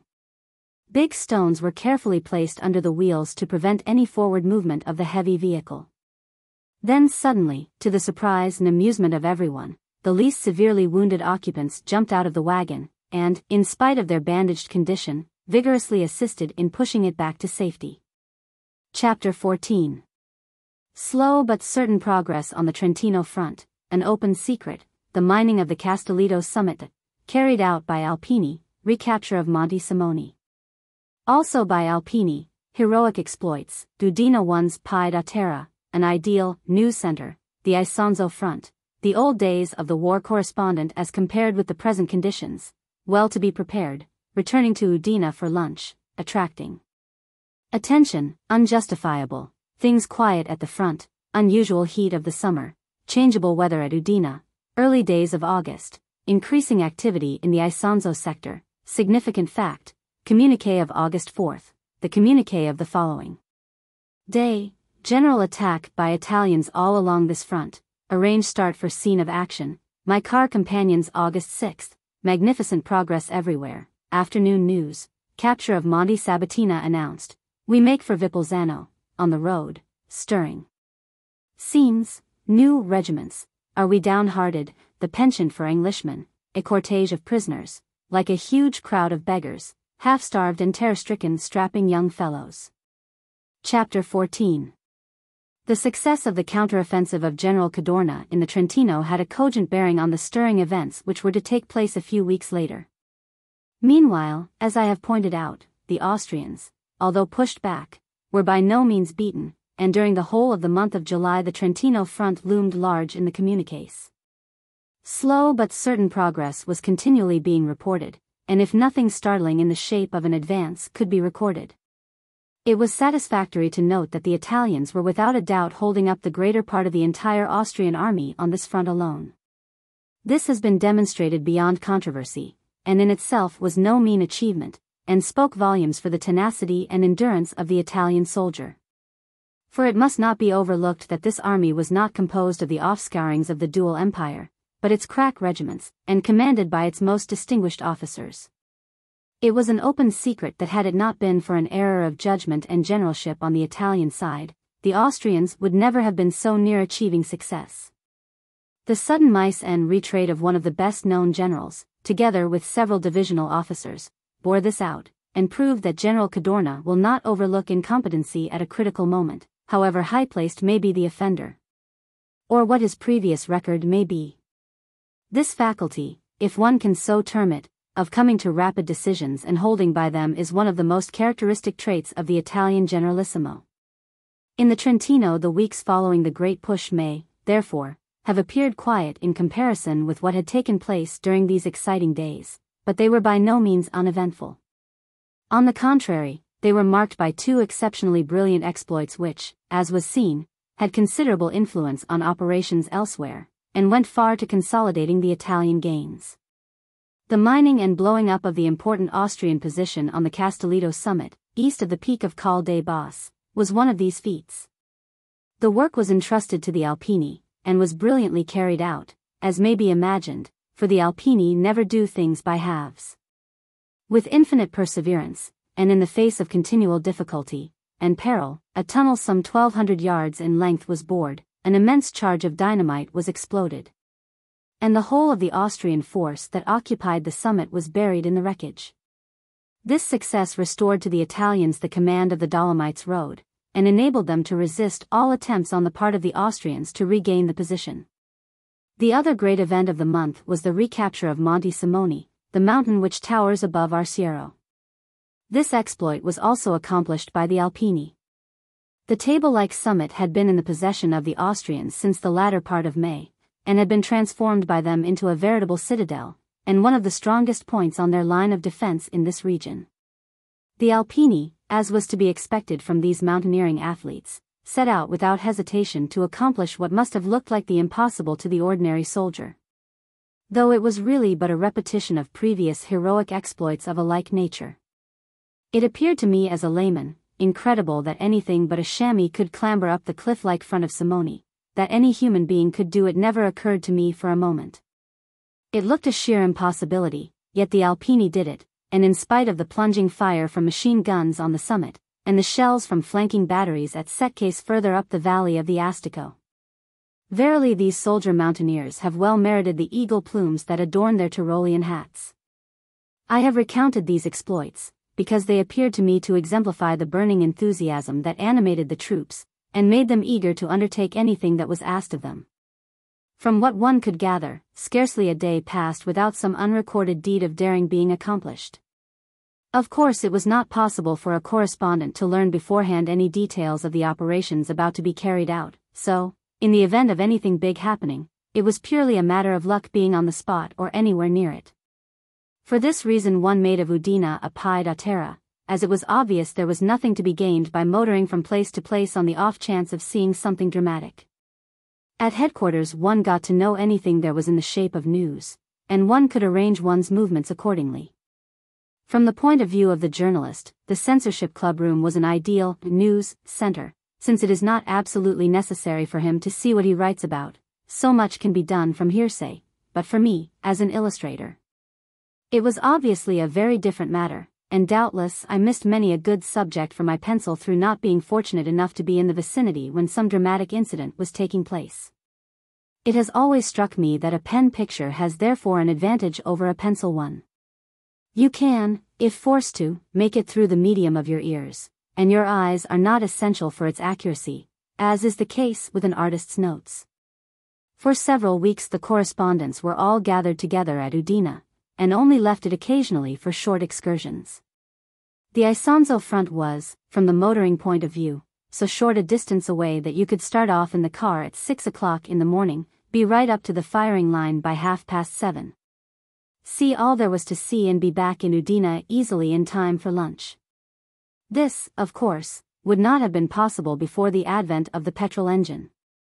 In the old days of the war correspondent, when he could only get about by means of horses, a trip, such as is now made easily in a morning would have meant a real journey of probably a couple of days.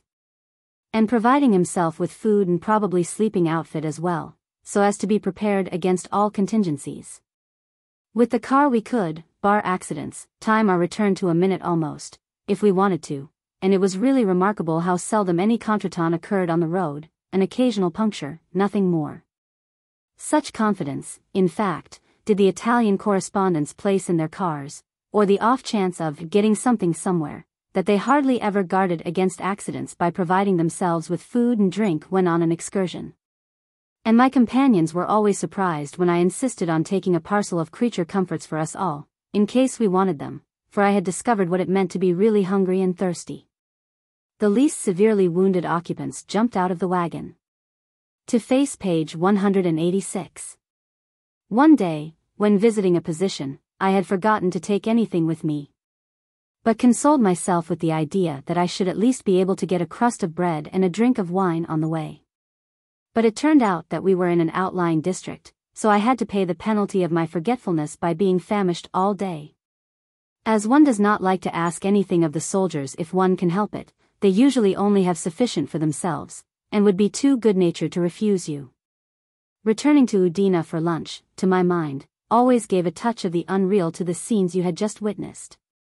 There were, as I have said, several really decent restaurants in the town, where everything was well served, and the appointments were quite good. These would be crowded of a day, and one always saw many ladies at lunchtime and dinner. At one or other of these places you could be sure of meeting friends, and as one was usually much too hot and tired after a long motor drive to trouble to go back to one's rooms to change, you would drop into a restaurant just as you were. In campaigning kit, and covered with dust or mud. It generally happened, therefore, that you attracted as much attention amongst the well-dressed habitués of the place as if you were got up for a fancy dress ball. At times, when one came back after a surfeit of horrors, it almost seemed unjustifiable to be sitting down to a civilized meal in a cheerful restaurant. Of course it goes without saying that Udine was not by any means inclined to be light-hearted, and usually the sole topic of conversation everywhere was La Guerra and the operations on the different fronts. There was an entire absence of excitement at all times, in spite of the daily thrills provided us by the local press, and the arrival in the evening of the big daily papers of Milan, Rome, etc. When things were quiet at the front, life in Udine was stagnant, and I often used to wonder what the Italian correspondents could find to write or wire about every day, for they always seemed to be hard at it. Even when the communiques were of the very briefest character. Meanwhile events were undoubtedly shaping well, and day by day one heard of minor successes in Trentino, and steady Italian progress all along the line. It was only what we all expected, but there was nothing yet of a sufficiently startling nature going on anywhere to induce one to start on motor trips to witness long-range artillery duels. Moreover, you had got to know every mile almost of the road leading to the front lines, and it ended by becoming as monotonous as it had been interesting at first, as you seldom saw any change. The guns were always booming in the distance, the Drachen hung motionless in the still air, and Taubes came over and were fired on assiduously but generally without result by the anti-aircraft guns. Fresh subjects for one's sketch book became more and more difficult to find. It was a period of comparative suspense so far as one was able to judge, and as combined with this, it was a summer of unusual heat even for Italy. A good deal of superabundant energy was necessary to rouse you to activity when there was so little to call for it. Udine was also bearing out its evil reputation of having the most changeable weather of any place in Italy. Three fine days and a thunderstorm became a bit monotonous, however much you might get used to it. In the early days of August there was every indication that the period of quiescence was coming to an end, and the communiques began to refer persistently to increasing activity in the Isonzo sector, and the Trentino was barely mentioned. The atmosphere for some days past had been charged with rumors that big events were impending, but one got so used to rumors here that no undue importance was attached to the latest. You could only hope that there was some truth in it, as one was beginning to get heartily sick of doing nothing. Still it was a significant fact that the king and General Cadorna had been frequently seen in this sector during the preceding week and that important movements of troops and material were taking place daily. It was not, however, till the August 4th that there were any real indications that rumor for once was true. In his communique of that date the Generalissimo concluded with a line which, read in the light of subsequent events, was pregnant with historic interest, on the Isonzo, commencement of very active fire with heavy shells. The communique of the following day gave the welcome intelligence that there had been a vigorous attack in the Monfalcone sector, and that 145 prisoners, amongst whom were four officers, had been taken. After this there appeared no doubt that something really important was afoot, and this was confirmed by news that came in during the day that a general attack by the Italians all along this front was rapidly developing. There was no hesitation about leaving Udine now, and the correspondents prepared to start at once. I arranged for a seat in the car of Gino Piva, of the Resto del Carlino, of Bologna, and with us was Roberto Cantalupo, of the Corriere d'Italia, of Rome. Meanwhile one could hear the thunder of the guns in Udine, and from the terrace of the castle the smoke of the bursting shells on the hills was quite distinctly visible, although forty miles away. And during the night the flashes from the guns looked like distant lightning. On the 6th of August the whole town was agog with excitement all day, and news arrived almost every hour with the welcome intelligence of magnificent progress everywhere. As it was already rather late to make a start, we decided to wait till the following morning before leaving, in order to be better able to judge from the news that came in the meantime which would be the best point to make for. A somewhat important consideration. We did not want to waste time and petrol rushing about all over the country, and one knew from previous experience that it was generally only at headquarters that reliable information could be obtained. Out in the country nobody ever seemed to know anything of what was going on a mile away from his own section. As it turned out, it was particularly fortunate we deferred our departure. Late in the afternoon the news reached Udine that the first line of the Austrian defences from Monte Sabotino to Monte San Michele had been completely destroyed by the terrific bombardment of the Italian artillery. And that the infantry were preparing to advance. Later it was announced that Monte Sabotino itself, the key of the defences of Gorizia, had been captured and many prisoners taken. Events were indeed marching with startling rapidity.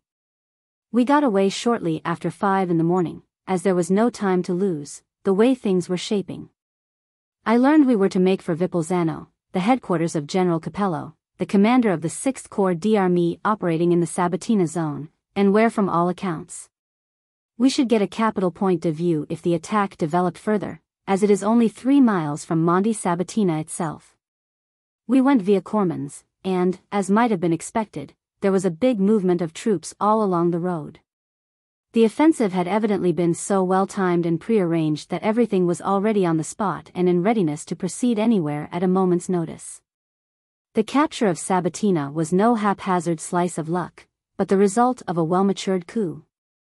We passed several new regiments of infantry on their way to the trenches, and one could not fail to be greatly impressed by their smart appearance.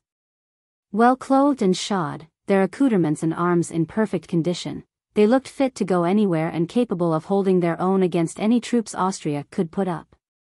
The men were bubbling over with animal spirits and enthusiasm, and we came in for a lot of good-natured banter as we drove past. As I was in khaki there was no mistaking my nationality, and they seemed delighted to see an Englishman. In fact, I heard several real Cockney remarks made for my benefit by fellows who had evidently lived in England, such as, Are we downhearted? Give my love to London, which elicited much laughter from their comrades, and cries of Viva el Inglaterra. In this connection I must say that the penchant for Englishmen and everything English was quite remarkable amongst the soldiers everywhere at the front. And I am convinced that most of the good fellowship shown to me whilst in Italy was chiefly by reason of this sympathy rather than from anything personal. In a village through which we had to pass we were held up for nearly three quarters of an hour, whilst a long column of prisoners from Sabotino passed. There must have been over 3,000, and it would be difficult to imagine a more depressing spectacle than this long cortege of weary, dispirited men, plodding moodily through the ruined village. The convoy was guarded by soldiers, and the inevitable carabinieri on horseback. Had it not been for the uniformity of color, which was, however, but a semblance of the original field gray, and their headgear. There was scarcely anything to indicate that only a few hours previously these had all been fully armed and equipped soldiers. It looked almost like a huge crowd of beggars going past, for most of the bedraggled men were in rags, and very few had any belongings, and all had a half-starved, terror-stricken appearance that was pitiable. As a matter of fact, many of them we learned had not eaten or drunk anything for several days, the awful intensity of the fire of the Italian artillery having prevented any supplies reaching them. Several were badly wounded, and limped along painfully or were assisted by their comrades. So many stories have been going around the press of the degeneration of the Austrian army, that I was astonished to see that most of the prisoners were strapping young fellows.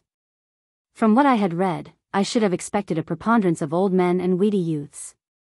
If these were specimens of the troops Austria is still able to put in the field, then she cannot yet be in such a condition of delabrement as has been stated. Chapter 15 The commencement of the battle for Gorizia, we approach scene of action, sheltered road, Curious, Chinese, effect, headquarters of the 6th Corps d'Armée, cottage of British Red Cross, our cordial reception by General Capello, a glorious coup d'oeil, wonderful spectacle, the socialist minister Leonida Bissolati, more good news received, the scene before us, explanation of word Monte, continuous line of bursting shells, country in a state of eruption, no indication of life anywhere, not a sign of troops, my motor goggles, Curious incidents, progress everywhere. Colonel Claricetti announces good news, capture of Gorizia bridgehead, excited group of correspondents and officers. Arrange start at once with two confreres for fighting front. Our plan, the thunder of the guns, the rearguard of advancing army. Our pace slackened, miles and miles of troops. Wonderful spectacle of war. Mossa, go on to Vallicella. Machine guns and rifle fire, ghastly radiance. General Marazzi's headquarters. Not allowed proceed further. Decide make for Vipulzano, arrive close on 10 o'clock. Bit late to pay visit, General invites us to dinner, large party of officers, memorable dinner, atmosphere of exultation, news Austrians retreating everywhere, thousands more prisoners, dawn of day of victory. I propose a toast, on the terrace after dinner, battle in full progress, awe-inspiring spectacle, little lights. Like will-o'-the-wisps, amazing explanation, methodical precision of it all, Austrian fire decreasing gradually, time to think of getting back to Udine and bed. Chapter 15 As we got nearer the scene of action it was as though we were approaching a thunderstorm, the roar of the guns was absolutely continuous. The road now began to present a very curious appearance. For several miles it was bordered on either side with high screens of straw matting hung from poles, and wide strips of the same material were hung across the center. The object of this being to hide movements of troops and convoys from the view of the Austrian gunners or the prying eyes of airmen. Quite a Chinese effect was produced by this curious screening of the road. These postiches, as I believe they are called, have long been used on the Western Front, but it was the first time I had seen them here. The sensation of driving through these sheltered roads was almost eerie, as you knew that any moment a shell fired at random might come through the matting, as it was all in full view of the Austrian batteries. This, in fact, not infrequently happens, I was told, when the artillery is particularly active. The idea of the enemy evidently being to attempt to create a feeling of insecurity and check the va-et-vient along the road, but in this they have not succeeded, as the roads are used as freely as ever. In other places the screens and traverses were made of brushwood, which appeared to me to be perhaps more effective, as they were not so visible at a distance as the square patches of yellow matting. The headquarters of General Capello, the commander of the 6th Corps d'Armée, were in a large and picturesque house standing in its own grounds on a slight acclivity off the road, and about as near to the operations as one could get that day. In fact, a battery was stationed in a vineyard within a hundred yards of the building, and was firing with clockwork regularity the whole time we were up there, whilst the Austrian shells in reply were bursting much too near to us to be pleasant. A cottage on the opposite side of the road had been taken by the British Red Cross Society, and fixed up as an emergency station. One of their big ambulance wagons, with an English chauffeur in khaki, was waiting outside. The general received us with marked cordiality, and readily gave his permission for us to go wherever we chose in the vicinity, but there was no need to go far, for, as it turned out, one could not have hit on a spot better situated for getting a panoramic view of the battlefield. There was a broad terrace at the back of the house, from which one obtained a glorious coup d'oeil of the whole area from Monte Sabotino to the Carso. And here we found a group of staff officers keenly watching the wonderful spectacle with the aid of a powerful telescope on a tripod. There were two civilians amongst them who looked strangely out of keeping with the martial surroundings. One of these, an elderly man, was the famous socialist deputy, now a cabinet minister, Leonida Bissolati, who was making a tour of the front, accompanied by his private secretary, Cavalier Eusebio Alamandola. There was also another deputy present, Senior Arsai, but he was in the uniform of a sub-lieutenant of artillery. Everyone was very elated, as well they might have been considering the way things were shaping for the Italians, the general telling us that further good news had been received that morning and that still more prisoners had been taken. So far as one could judge the action was still in the nature of a colossal artillery duel, but the scene before us was so vast that it took some little time to grasp the full import of what was taking place. I will depict it roughly in order to convey some idea of our position. On our left was Monte Sabotino. In front of us was Monte San Gabriele. The richly wooded undulating plain of Friuli, dotted with villages, stretched away from below the terrace. In the distance, a couple of miles or so away, was the Podgora Ridge, bristling with gaunt tree stumps. Beyond it you could just distinguish the houses of Gorizia. To the right was the Carso and Monte San Michele, some five miles away. It may be mentioned here that the word Monte, in Italian does not necessarily signify a, a mountain, as it is understood in English. The Italian Monte is a very elastic term, and, according to the dictionary, may mean a mountain, a hill, or a heap. Monte San Michele in the Carso, for example, is an ant heap as compared with, say, Monte Cristallo in the Alps, but they are both referred to as Monte. I mention this because so many people I have met speak of the Carso and the lower Isonzo round Gorizia as a mountainous region, whereas the elevations there are merely in the nature of foothills. However, to revert to the spectacle we had before us at Vipulzano. From Monte San Gabriel to Monte San Michele, a distance of, roughly, 9 miles, was one continuous line of bursting shells of every caliber. It never ceased for a moment, and this we were told had been going on without a lull for 48 hours. The whole country appeared to be in a state of eruption, and columns or smoke of various colors and fantastic shapes were to be seen rising everywhere like embryo volcanoes. All this, combined with the incessant thunder of the guns near and far, and the crash of the explosions, was positively blood-curdling. Meanwhile the Austrian artillery was returning shell for shell apparently, and the Italians were not having it all their own way, though, as it turned out, the Austrian defensive had no backbone to it. And its weakness was becoming more and more evident as time went on. Seen through the telescope, the desolation of the countryside was revealed in all its horrors. At a first glance it was a rich and smiling landscape bathed in the glorious sunshine of an Italian summer morning, but one soon discovered that the white houses of the villages were now but heaps of ruins. There was no indication of life in them anywhere, the god of war reigned supreme.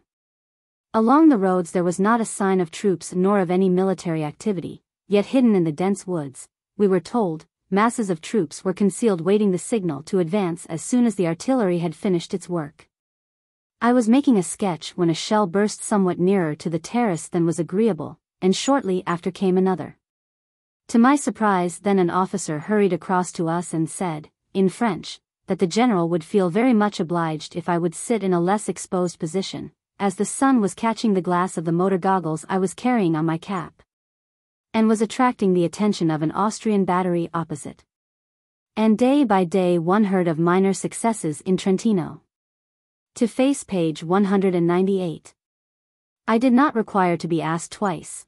One well-aimed shell of the caliber they were using would, I knew, have made short work of the headquarters chateau.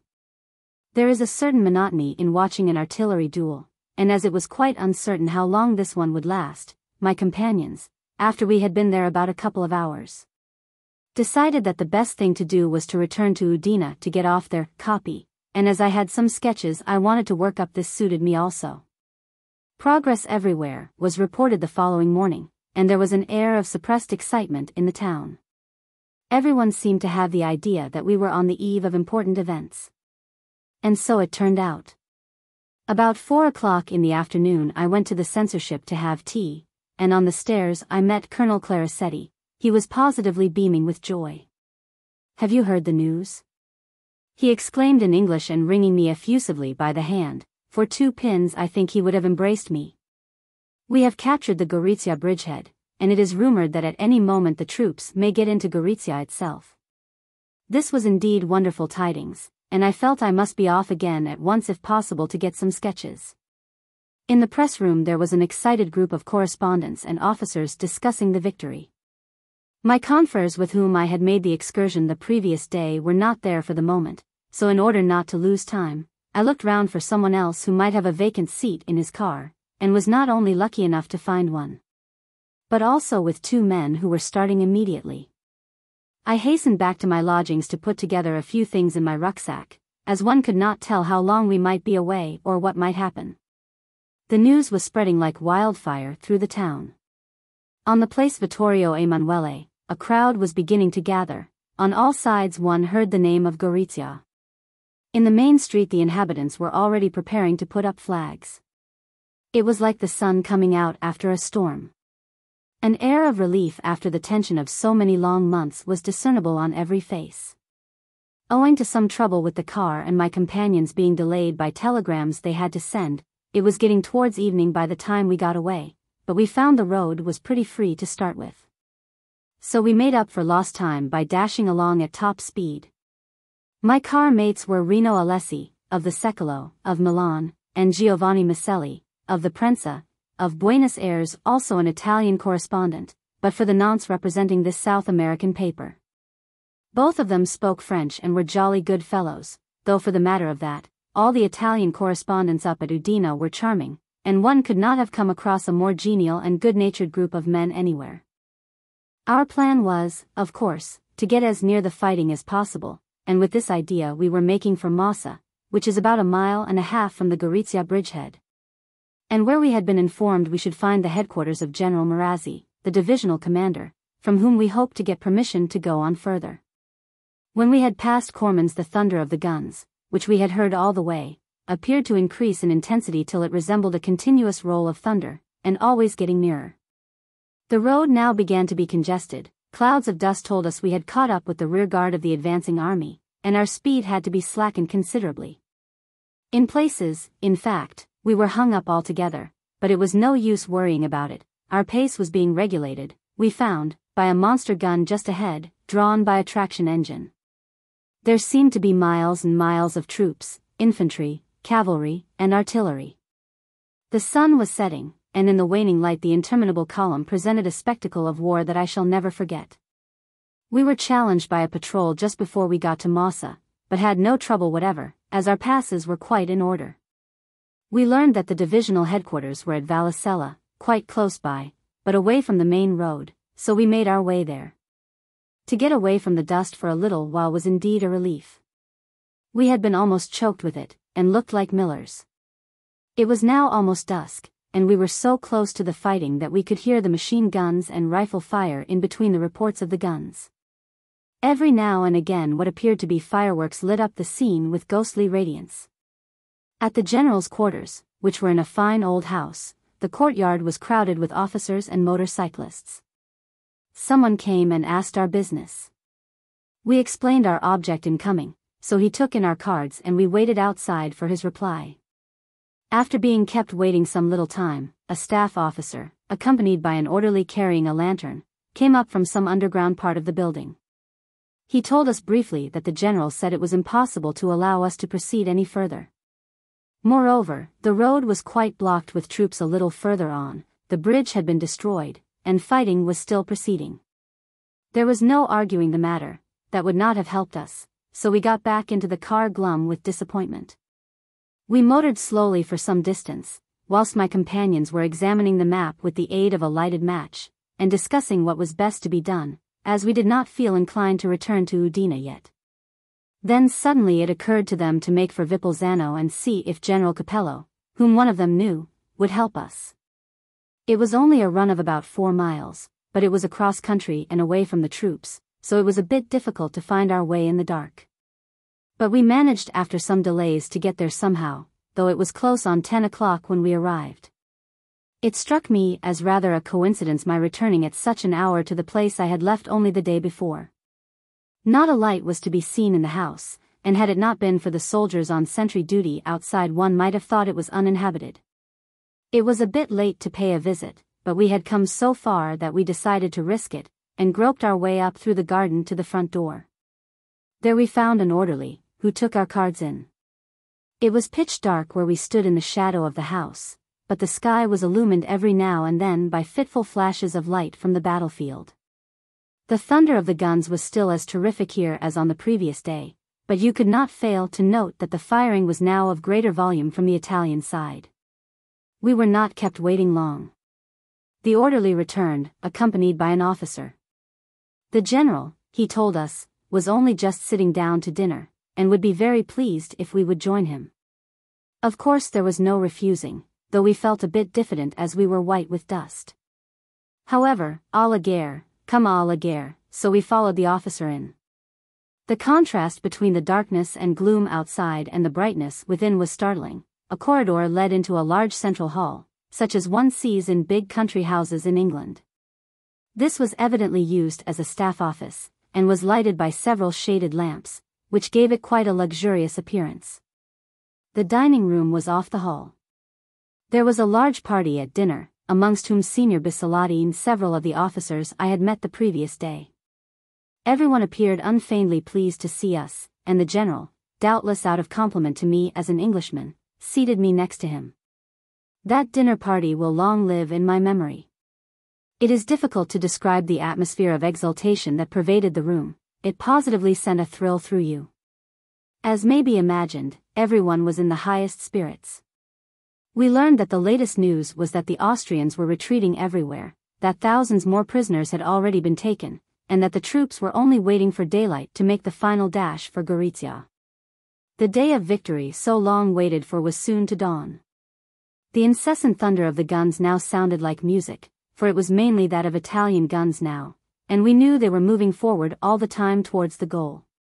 I am usually painfully nervous when I attempt to make a speech, however short, but this was an occasion when nervousness was impossible, so I got up and raising my glass towards the general. Asked to be permitted to drink to the glory of the Italian army. Needless to add, that the toast was received with a chorus of applause. The dinner consisted of five courses, and was excellent, in fact, the chef must have tried to surpass himself in honor of the victory.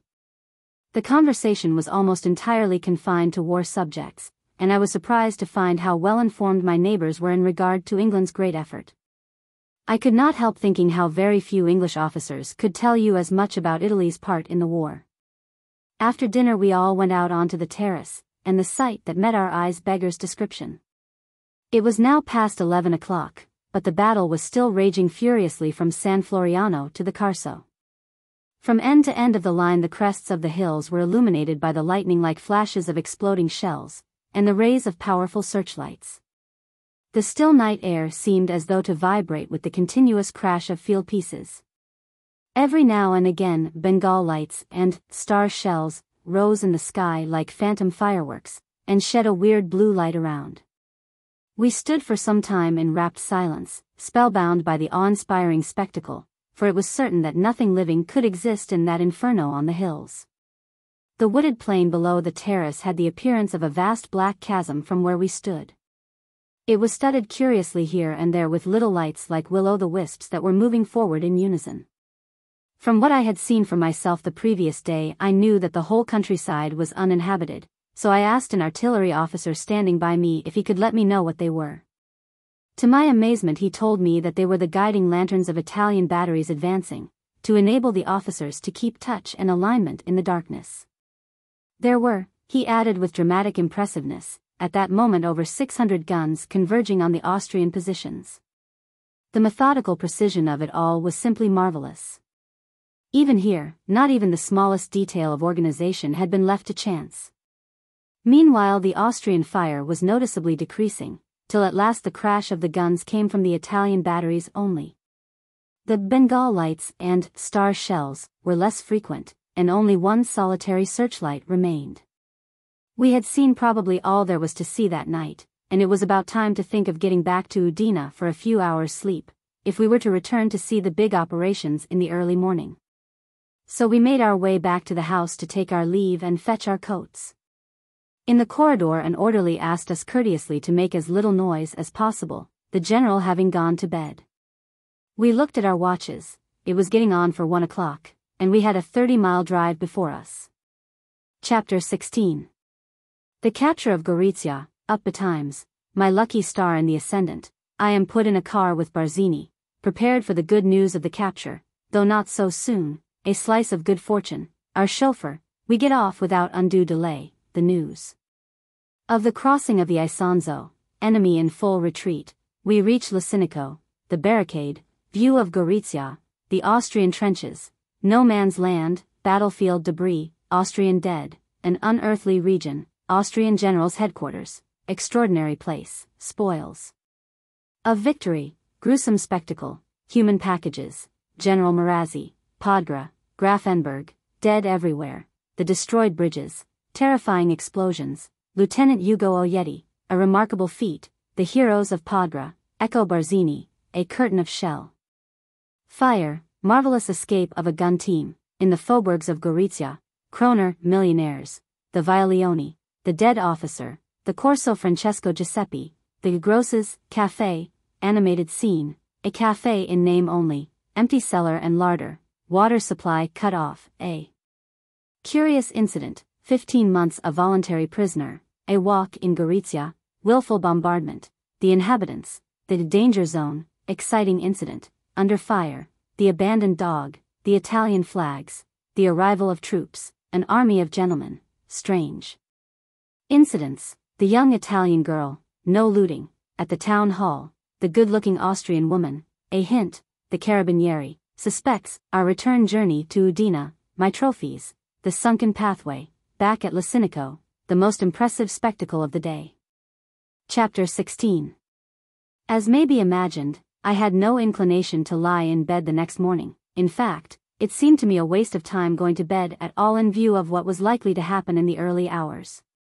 Still there was no help for it since one could not stay at the fighting front all night, so the only remedy was to be up and out as soon as possible. I was, therefore, down at the censorship betimes on the chance of finding an officer or a confrere who was going in the direction of the operations, and who would let me have a seat in his car. My lucky star happened to be in the ascendant, for shortly after my good friend, Colonel Claricetti, turned up, beaming with good humor, and on seeing me exclaimed. You are the very man I am looking for. Barzini is leaving in a car I am letting him have, as his own has broken down, and if you like I will put you with him. I thought you would want to get some sketches as the troops will be entering Gorizia this morning. Of course I had been somewhat prepared for this news from what I had learned overnight but I certainly had never expected it would come so soon, although I had long had the conviction that when Gorizia was captured it would be in dramatic fashion. I was therefore delighted to have a chance of being on the spot when it happened, and was now on tenterhooks to get off at once. Every minute of delay meant perhaps missing seeing something important, for on such an occasion every detail would doubtless be of absorbing interest. It was indeed a slice of good fortune to be going with Barzini, as he is certainly the best known and most popular of Italian war correspondents, and where he can't manage to go isn't worth going to. His genial personality is an open sesame in itself, as I soon found. Curiously enough, as it turned out, we were the only correspondents to leave Udine that morning. Whether it was that the others did not realize the importance of what was likely to happen or did not learn it in time, I could not understand, but it was certainly somewhat strange. Our car was driven by a very well-known journalist of the staff of the Corriere della Sera, named by Teddy, who is doing his military service as a chauffeur and is a very expert one at that, and with him was a friend, also a soldier chauffeur. So we were well guarded against minor accidents to the car en route. Well, Barzini and I got off without undue delay, and I soon discovered that with him there would be no holding up the car on the way. We made straight for Mossa, which is close to the Gorizia bridgehead. There we got some great news. During the early part of the night detachments of the Casale and Pavia brigades had crossed the Isonzo and consolidated themselves on the left bank, and the heights west of Gorizia were completely occupied by the Italian infantry. The enemy was in full retreat, and had abandoned large quantities of arms, ammunition and material. Over 11,000 prisoners had been taken, and more were coming in. Everything was going on Merville, and Austria's Verdun was virtually in the hands of the Italians already. The object of this being to hide movements of troops and convoys. To face page 210. There was no time to lose if we were to be in, at the death. Half a mile further on we reached Lucinico. The Italian troops had only passed through a couple of hours before, so we were close on their heels. The village was in a complete state of ruin, hardly a house left standing, and reminded one of what one got so accustomed to see on the Western Front. The car had to be left here, the road being so blocked that driving any further was out of the question, so, accompanied by two officers and our chauffeur and his friend, we set off on foot with the idea of attempting to cross the battlefield. Beyond Lucinico we were right in the very thick of it. The railway line to Gorizia ran through the village, but just outside the houses the rails had been pulled up and a solid barricade of stones had been erected across the permanent way. We got a splendid view of Gorizia from here, it looked a beautiful white city embowered in foliage, with no sign at all of destruction at this distance. On the high hills beyond, which one knew to be Monte Santo and Monte San Gabriel, little puffs of smoke were incessantly appearing, these were Italian shells bursting, the booming of the guns never ceasing. The Austrian trenches commenced a few hundred yards beyond Lucinico, and we were now walking along a road that for fifteen months had been no man's land. The spectacle we had before us of violence and death is indescribable. Everything had been leveled and literally pounded to atoms by the Italian artillery. The ground all around was pitted with shell holes, and strewn with every imaginable kind of debris, the remains of barbed wire entanglements in such chaotic confusion that it was frequently a matter of positive difficulty to pass at all. Broken rifles, and used cartridges by the thousand, fragments of shell cases, boots, first aid bandages, and odds and ends of uniforms covered with blood. We had to pick our way in places along the edge of the communication trenches, which were very deep and narrow, and looked very awkward to get into or out of in a hurry. We had to jump across them in places, but otherwise we endeavored to give them as wide a berth as possible, as the stench was already becoming overpowering under the hot rays of the summer sun. It only needed a glance to see for yourself what caused it. The Austrian dead were literally lying in heaps along the bottom. They were so numerous in places, that had it not been for an occasional glimpse of an upturned face, or a hand or a foot, one might have thought that these heaps were merely discarded uniforms or accoutrements.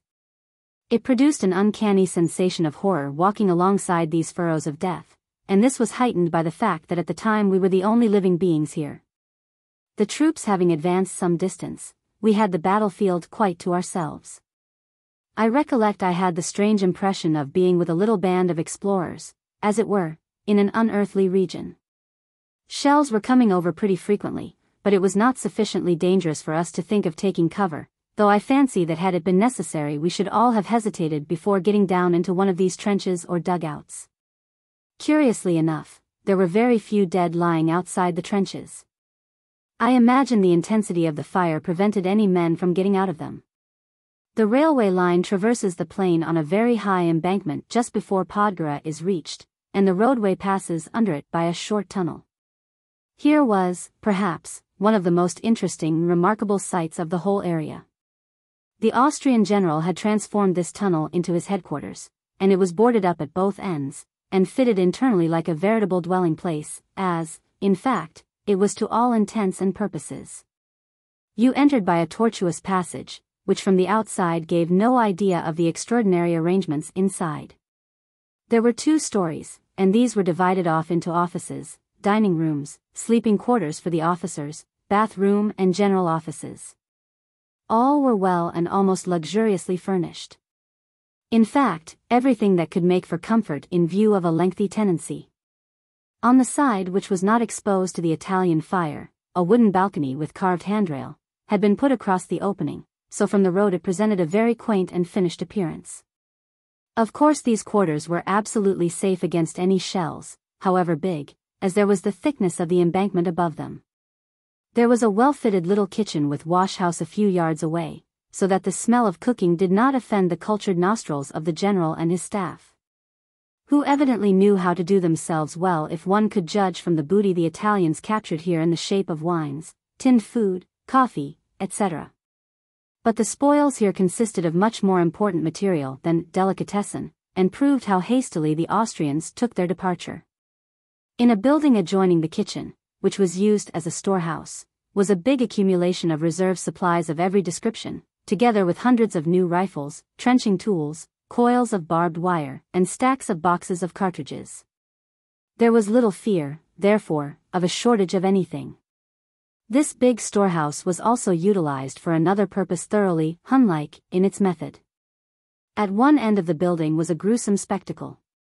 Lying on the ground, like so many bundles of goods, were about 40 corpses tied up in rough canvas ready to be taken away. I don't think I have ever seen anything quite so horrible as these human packages. They were only fastened in the wrappers for convenience in handling as there was no attempt to cover the faces. The callousness of it gave me quite a shock. Of course it was not possible to ascertain what was going to be done with them, but there was no indication of a burial ground anywhere near. In the roadway opposite the entrance of the headquarters was another motley collection of spoils of victory, rifles, bayonets, ammunition pouches, boxes of cartridges, and a veritable rag heap of discarded uniforms, coats, caps, boots, and blankets. There was also a real curio, which I much coveted, but which was too heavy to take as a souvenir, in the shape of a small brass cannon mounted on wheels. What this miniature ordnance piece was used for I could not make out, as I had never seen one before. All this booty, of course, only represented what the Austrians had abandoned near here. The amount of rifle ammunition captured must have been enormous. General Marazzi, with several of his staff officers, were using the entrance of the arch as a temporary orderly room, with table and armchairs. Though he was, of course, much occupied, he courteously gave us any information we wanted. He even went further by presenting us with an Austrian rifle apiece as souvenirs of the victory. The roadway from here passed along the foot of Podgora, the ridge of sinister memories. Every yard of the ground here had been deluged with blood, and had witnessed some of the most desperate fighting in the war. It had once been thickly wooded but now not remains of the trees on its hogback and slopes but jagged and charred stumps. There was not a trace of vegetation, and one could see that the surface had been literally ground to powder by high explosives. Shells were still bursting over it, but they appeared to raise dust rather than soil, so friable had it become. In the long, straggling, partially destroyed village of Grafenberg through which we now wandered, there were some Italian soldiers, but so few that one might have wondered why they had been left there at all. A telltale odor on all sides conveyed in all probability one of the reasons. The dead were lying about everywhere and in all sorts of odd places, in the gutters alongside the road, just inside garden gates, anywhere they had happened to fall. There was a ghastly object seated in quite a lifelike position in a doorway, with a supply of hand grenades by its side. Grafenberg was distinctly not a place to linger in. Meanwhile we were walking parallel with the Isonzo, which was only a hundred yards or so away. And the Austrians, though in full rout, were keeping up a terrific flanking fire with their heavy artillery, placed on Monte Santo and Monte San Gabriel with the idea undoubtedly of destroying the bridges. Two were already wrecked beyond immediate repair, one of the arches of the magnificent railway viaduct had been blown up, and the long wooden structure just above Grafenberg had been rendered useless for the moment. There were two others still intact, an iron bridge the artillery and cavalry were crossing by and a small footbridge we were making for. To demolish these, and so further delay the Italian advance, was now the object of the Austrians. To effect this they were sending over projectiles of the biggest caliber. The terrifying noise of the explosion of these enormous shells would have sufficed to demoralize most troops. At last we came to a pathway leading to the small bridge we hoped to cross by. It was a pretty and well-wooded spot, and the trees had not been much damaged so far. A regiment of infantry was waiting its turn to make a dash forward. We learned that the bridge had been much damaged in the early morning, but had been repaired under fire and in record time by the engineers. A friend of mine, Lieutenant Ugo Ojetti, the well-known art critic in civil life, did some plucky work on this occasion, for which he received a well-deserved military medal a few days later. Whilst the repairs were being carried out, two infantry regiments, the 11th and 12th, forded and swam across the river, a remarkable feat, as it is here as wide as the Thames at Richmond, though it is broken up with gravel islets in many places. It is frequently 10 feet deep, and the current is very strong and treacherous. We pushed our way through the soldiers who filled the roadway, and got to the bridge, which was a sort of temporary wooden structure built on trestles known in German military parlance, I am told, as a Behelfsbrücken. And evidently constructed to connect the city with Podgora. A continuous rain of shells was coming over and bursting along the bank or in the river, and we looked like being in for a hot time. At the commencement of the bridge two carabinieri stood on guard as placidly as if everything were quiet and peaceful. There was no objection to our crossing, but we were told we must go singly and run the whole way. The screech of the projectiles passing overhead, and the terrific report of explosions close by, made it a decidedly exciting spurt, and I, for one, was not sorry when I got across. The opposite bank was steep and rocky, in curious contrast to the Grafenberg side, and was ascended by a narrow gully. The bridge ended with a wide flight of steps leading to the water's edge, where there was a strip of gravel beach, and seen from below the structure had quite a picturesque appearance. The high banks made fine cover, and under their shelter troops were resting. These were some of the courageous fellows who had forded the river, after having stormed the positions at Podgora.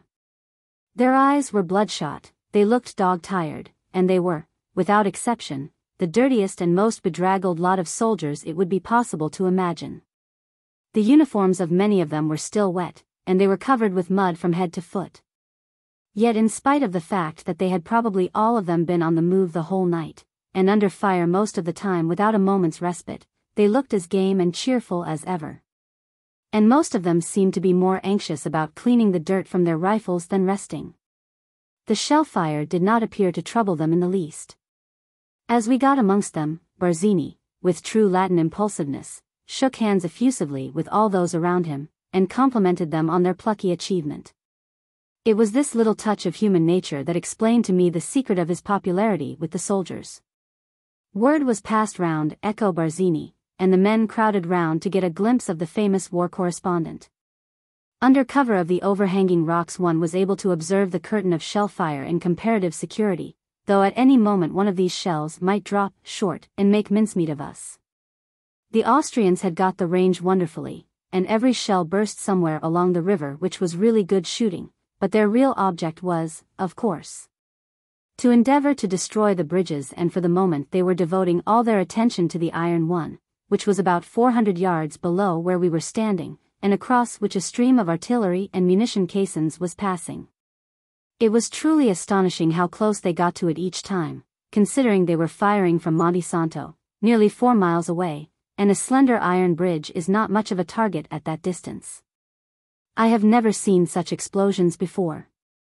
They were firing 305 mm shells, and the result was appalling to watch. They might have been mines exploding, the radius of destruction was so enormous. It brought your heart into your mouth each time you heard the approaching wail of a shell, for fear this might be the one to get home. You watched the bridge and waited in a state of fascination as it were. Suddenly, as we were gazing with our eyes glued to our field glasses, someone called out in a tone of horror, They've hit it at last. A shrapnel had burst low down, right in the center of the bridge, and just above a gun team that was going along at the trot. For a moment, till the smoke lifted, we thought that men, horses, and guns were blown to pieces. It looked as though nothing could escape, but when it had cleared off we saw that only one of the horses had been killed. In incredibly quick time the dead animal was cut loose and the team continued on its way.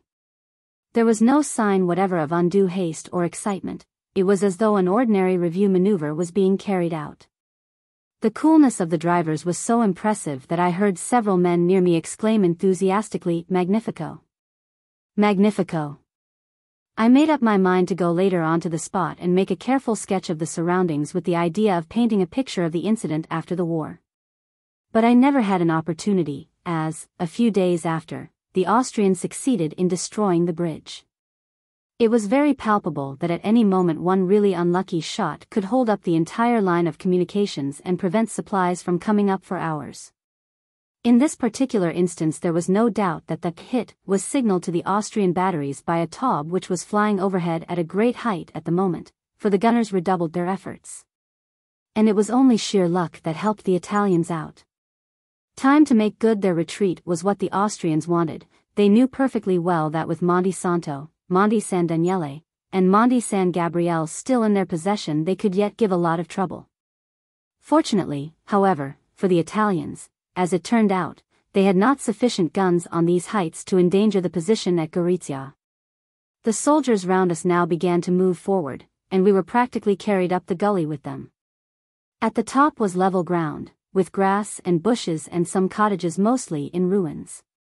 We were in the outskirts of Gorizia.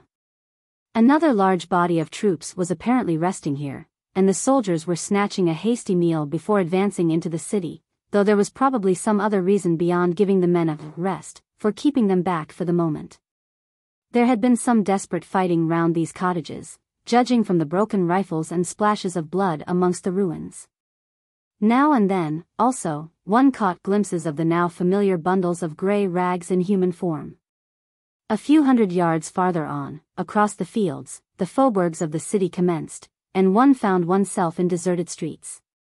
There were numbers of fine villas, many of considerable architectural pretension and artistic taste, standing in pleasant gardens. These were evidently the residences of Gorizia's kroner millionaires.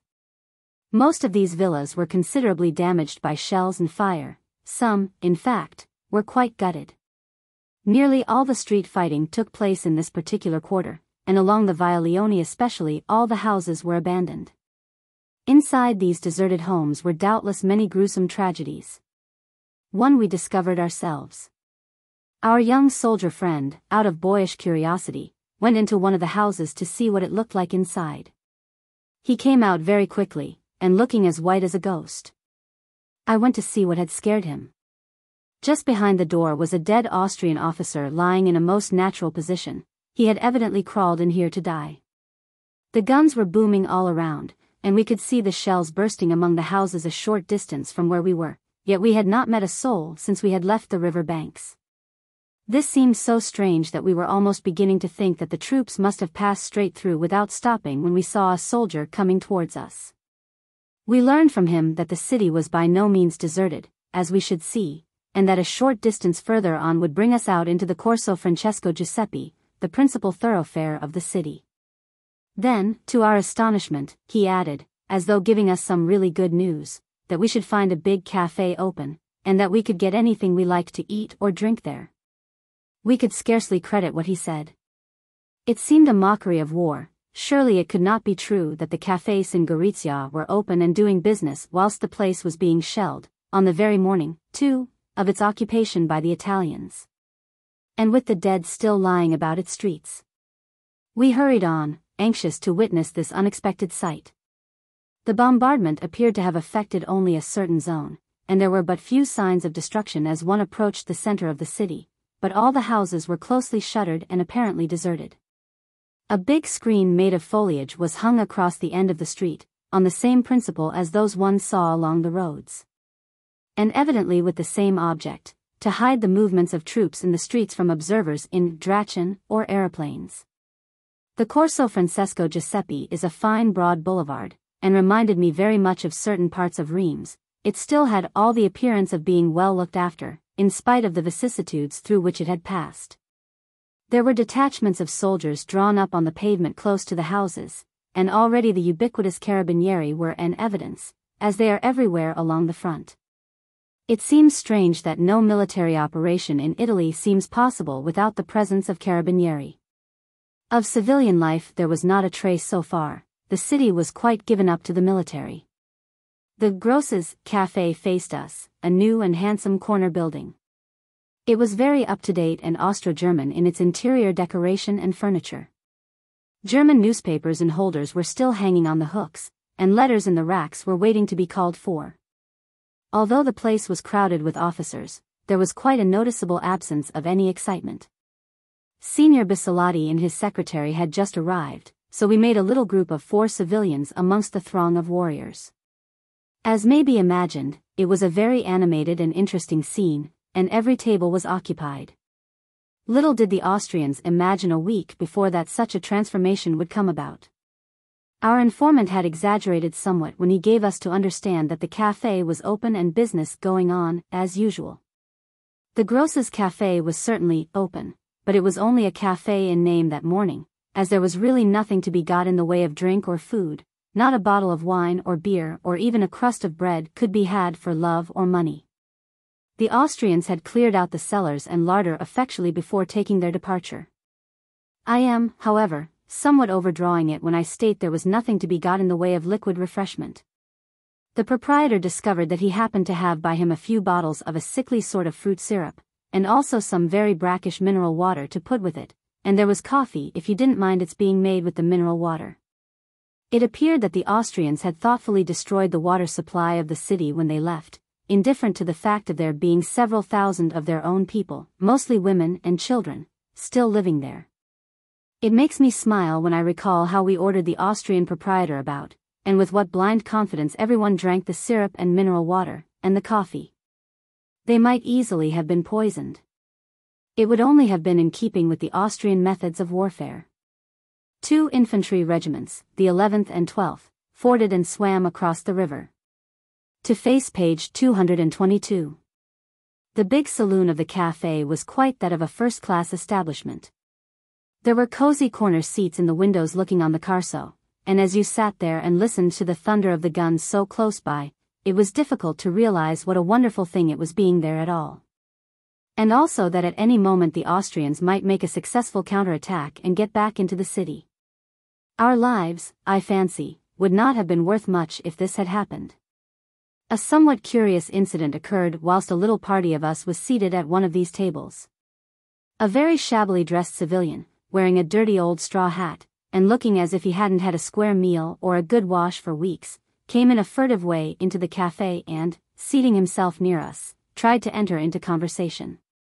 With true journalistic flair Barzini encouraged him to talk, and it turned out that he was an Italian professor who had lived many years in Gorizia, where he taught Italian in one of the colleges. When the war broke out the Austrians called on him to join the Austrian army. He could not escape from the city, so rather than fight against his own countrymen, he determined to hide till an opportunity presented itself for him to get away. An Italian lady, also living here, helped him to carry out his resolve, and for fifteen months he never once moved outside the little room he slept in. His friend would bring him by stealth food and drink once a week, and so cleverly did she manage it, that no one in the house even knew he was still there. Of course it would have meant death for her if she had been caught helping him to evade fighting in the Austrian army. His feelings, he told us, were indescribable when he learned that at last the Italians were approaching and his deliverance was at hand. No wonder the poor fellow wanted to have a talk with someone. He had not spoken to a living soul all those long months when Gorizia was being bombarded daily. He offered to act as our guide and show us round, and we gladly accepted, as it was a chance to see something of the city before its aspect was changed by the Italian occupation.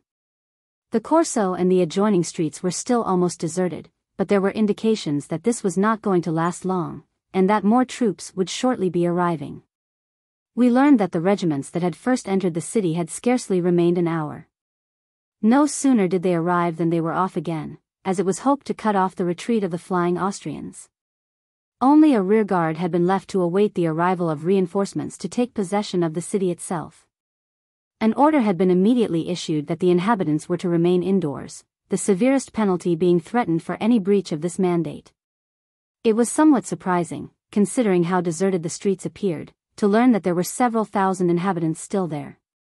We had thought we had the streets quite to ourselves as we strolled along in the middle of the roadway, our footsteps awakening the echoes. So it came as a nasty shock to suddenly realize that all the time we were thinking this we were being glared at from the little lattices in the shuttered windows above us on either side. Hundreds of eyes full of malevolence followed our every movement. You had, after this, the uncanny sensation that at any moment you might be shot at from some upper story. The city was quite attractive, and one was not surprised it was called the Austrian Nice, and that it had been a very delightful and gay place to live in. There were several fine buildings, and a park with the inevitable bandstand. It was to a great extent an Italian city of some 25,000 inhabitants, and its picturesque surroundings and genial climate made it a favorite health resort. Our guide told us that it was largely inhabited by retired Austrian officers with their families, many having built themselves villas in the faubourgs. The story of Gorizia being in ruins in consequence of the Italian bombardment was evidently spread by the Austrians. There was, of course, a good deal of damage done, but nothing like one had been led to expect.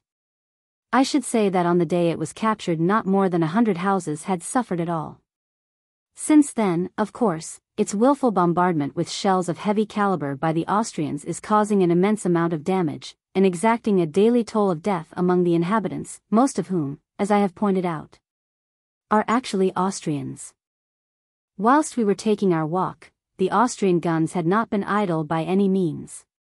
And the crash of explosions in the streets around indicated that the peril of the women and children living in the houses was actually accentuated by the entry of the Italians.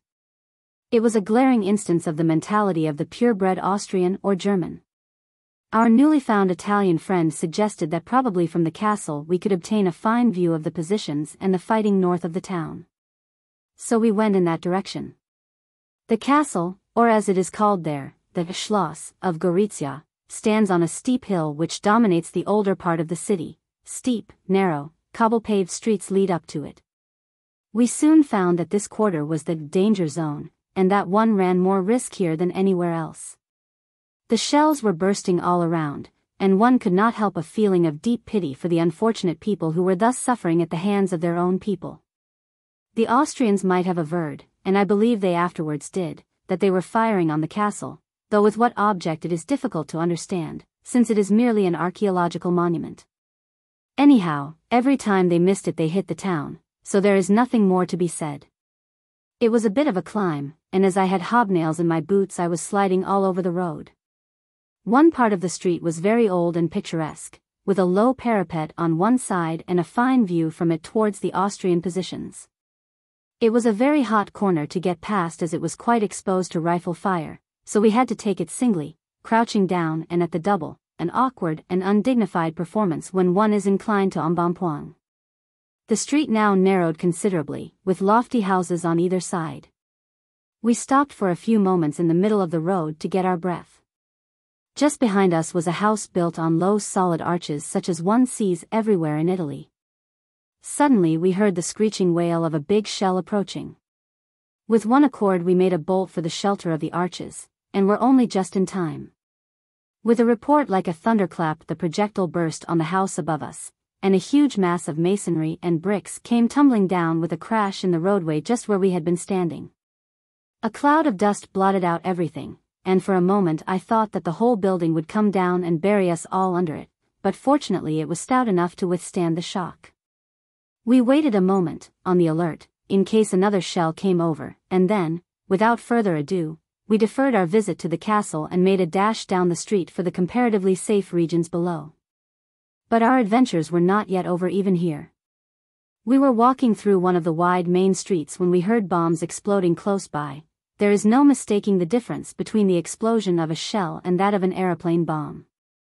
We looked up, a Taube had spotted us and was slowly circling overhead directly above us.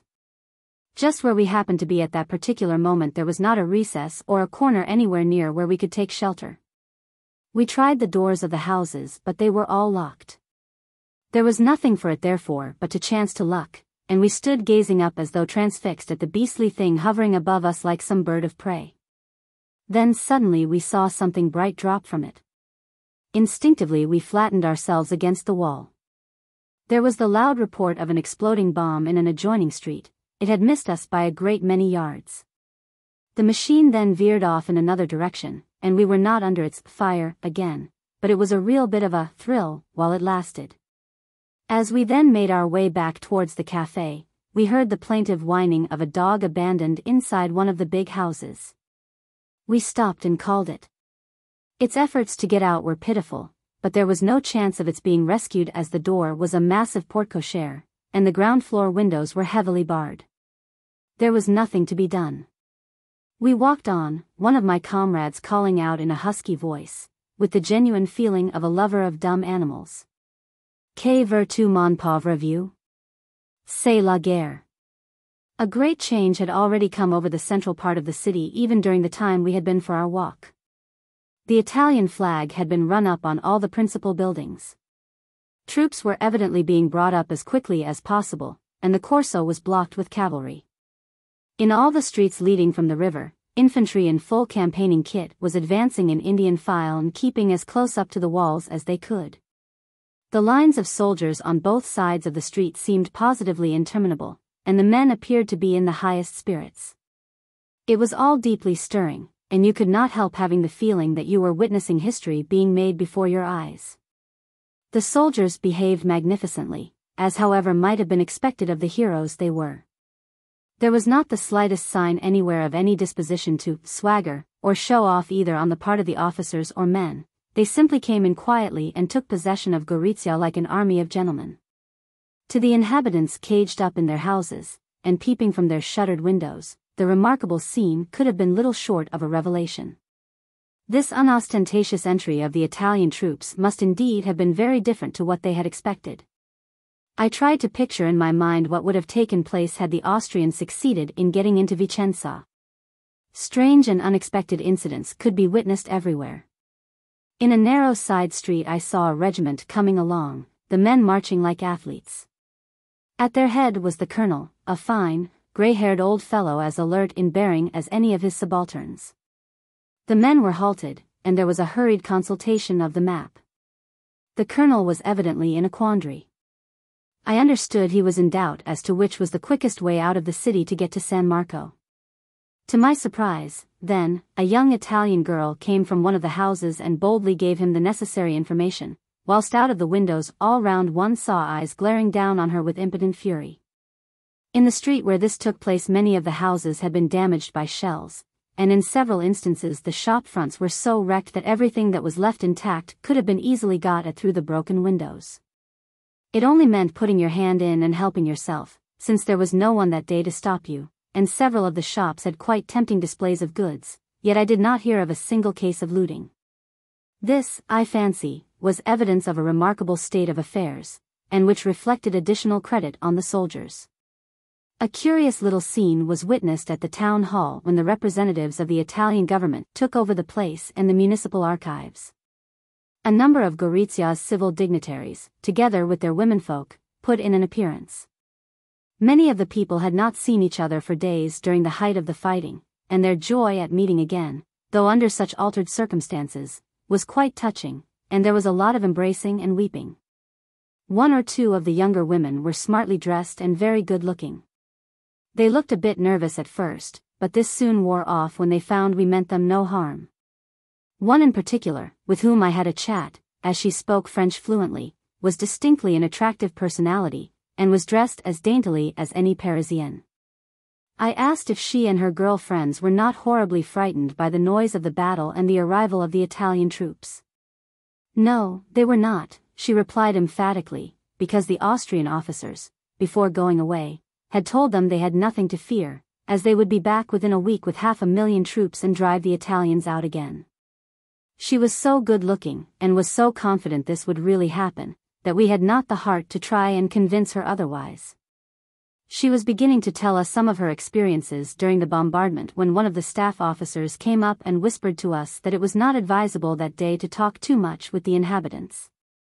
Almost needless to add we took the hint. Carabinieri were already on guard here at the entrance to the building, and from their stolid, impassive demeanor one would have thought they were part and parcel of the municipality of Gorizia. Here is an example of their all-round handiness. In an adjoining street a big house had been set on fire by a shell, and had been burning for three days we were told. There was no water available to put it out with, and the inhabitants of the houses round were in terror in case it should spread. The carabinieri did not stand looking on, but took the matter in hand without hesitation, found out where the fire pump was kept, cleared the street, and in a very short time were fixing up a water supply. But the occasions when the carabinieri were in evidence were legion. On the broad pavement outside the cafe during the hot afternoon their colonel and one of his officers held a sort of rough and ready court of inquiry. Chairs were brought out and placed under the trees, and three civilian suspects were brought up to undergo a summary sort of cross-examination. It was a very unconventional and curious scene, and brought significantly home to one the tragic power that can be wielded by a conqueror. In this instance, however, there was no fear of any injustice or cruelty being inflicted on prisoners. They would get a fair trial at the hands of the Italians, no matter what they had done to warrant their being arrested. The three suspects, in this instance, a man, a woman and a little girl, did not look very terrible, rather the contrary in fact, and one wondered what they were suspected of doing. The man, a tall, young fellow with long hair, was dressed in such extraordinary fashion that this in itself may have caused him to be looked on with suspicion. He had a Panama straw hat, a dark Norfolk jacket, white shirt with very large, low-cut collar outside his coat collar, and no tie, white flannel knickerbockers, blue socks, and black side-spring boots.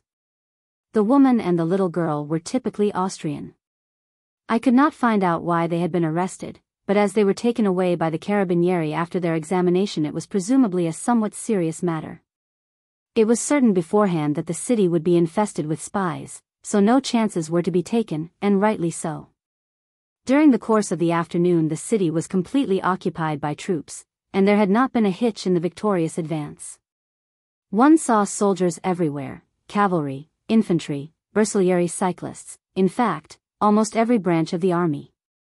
In every open space and in the courtyards of the principal public buildings were bivouacs, all being carried out in the usual methodic manner of the Italians.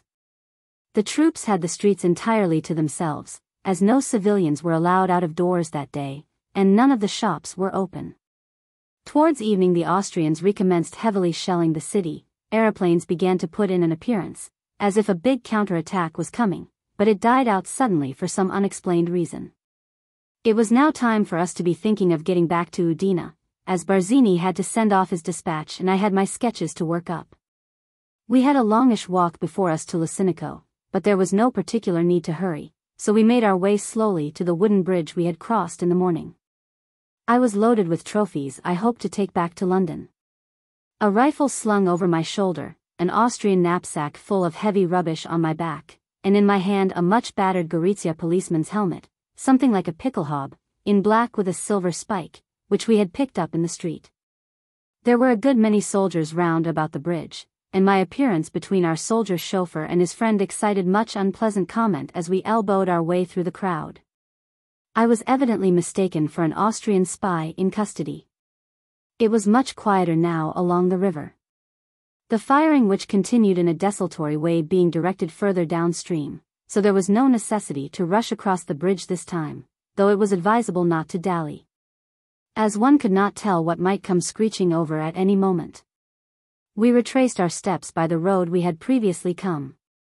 Nothing was changed yet, the dead were still lying about everywhere, but at the archway under the railway embankment soldiers were already beginning to clear the place. General Marazzi, who was still there, advised us not to take the road across the battlefield, as it was being heavily shelled at the moment.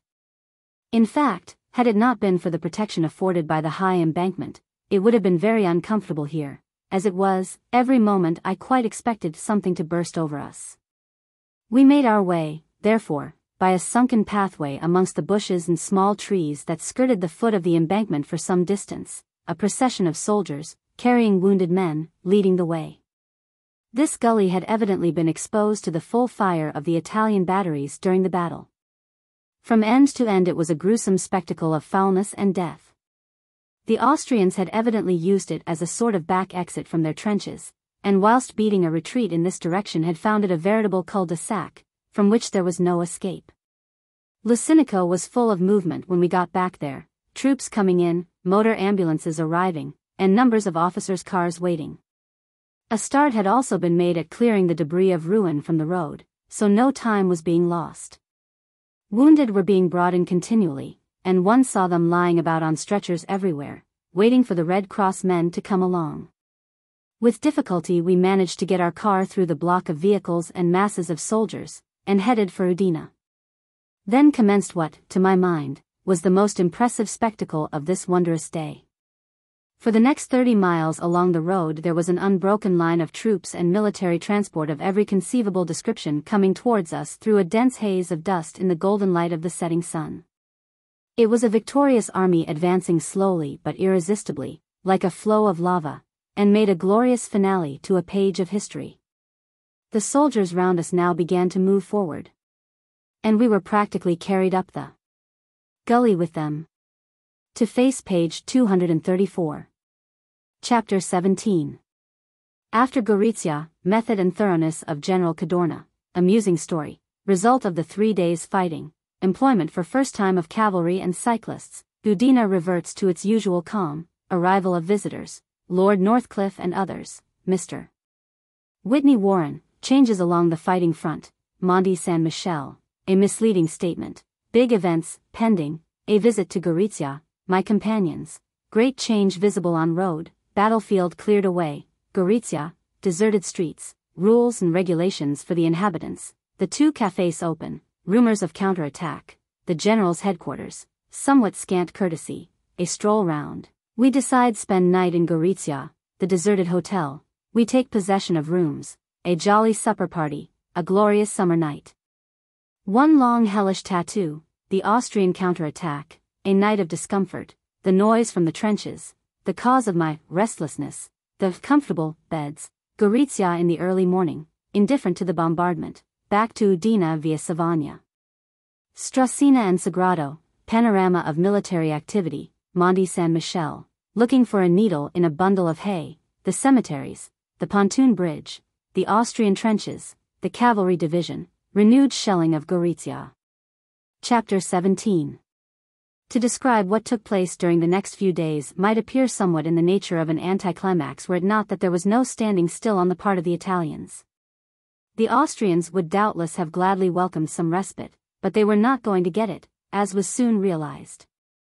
The method and thoroughness of General Cadorna were displayed in every move, and it is probably no exaggeration to state that even in the most minute details everything had been reckoned upon, so that had the unexpected unfortunately happened, he would not have been taken unawares at any point. I was told an interesting and amusing incident which conveys a good idea of this method and thoroughness, which is so characteristic of the Generalissimo. On July 17, 1915, the mayor of Pavia, who is at present a captain of artillery, wrote to General Cadorna offering to present a silk Italian flag to the city of Gorizia the day it was occupied by the Italians. General Cadorna replied humorously, keep it in pepper for the present. Evidently as a preservative against moth. The mayor had quite forgotten the incident, when to his surprise, on the August 10, 1916, the day after the fall of Gorizia, he received the following telegram from General Cadorna. In reference to your letter of the July 17, 1915. If you like you can send or bring what you offer. Salutations. Cadorna. Every hour almost brought further confirmation of the magnitude of the victory that had been achieved by the Duke of Aosta's Third Army. During the three days fighting, 15,393 prisoners, including 350 officers, amongst whom were 20 senior officers, had been taken, 16 guns, a large number of machine guns, and an immense quantity of ammunition and material of every description. Nor was this all, the entire front was now readjusted, and the Austrians driven out of positions they had got to look upon as impregnable. They had paid particular attention to the fortifications of Gorizia, and had made the place a strategic center round which they had concentrated important forces. It transpired that orders were given for the evacuation of the city some 24 hours before the bridgehead, the key to the whole position, was lost, which proved they realized the straits they were in. And it is certain that this state of affairs was pretty well known to General Cadorna. Not the least interesting feature of the operations was the employment for the first time of masses of cavalry and the famous Bersaglieri cyclists, who preceded the advance of the main body of troops beyond the Isonzo. And from all accounts did most excellent work. I was fortunate enough to get some interesting sketches of the cavalry crossing the river under fire. In Udine, after the first flush of excitement had worn off, everything reverted to its usual calm. The inhabitants took a remarkably sober view of the situation, and it was realized that the victory of Gorizia, glorious though it undoubtedly was, was but a step further on the hard uphill road to final victory. And the flags were therefore not left up more than 48 hours. The importance of what Italy is doing was evidently being realized now, as several English visitors arrived in Udine during the next few days on flying visits, amongst others Lord Northcliffe, Mr. H. G. Wells, and Mr. Harold Cox, also a group of Spanish correspondents, and a very charming and erudite American citizen, Mr. Whitney Warren, the distinguished New York architect and member de l'Institut de France. He was bubbling over with enthusiasm for the cause of the Entente, and had a grip of the aims and doings of the war that made him at once a delightful and sympathetic comrade and a distinct addition to the censorship club. The fall of Gorizia brought about such changes along the fighting front that there was little fear, for the present at any rate, of any further period of stagnation so far as work for the correspondence was concerned. We looked like being full up for some time. On the Carso, Mont San Michel had been captured after a desperate assault and hand-to-hand fighting, simultaneously with the Gorizia bridgehead. So the long-standing menace and which had hitherto barred any possibility of an advance in this direction was removed. The potentialities opened up therefore by the conquest of the portal, as it were, of the Carso, were immense.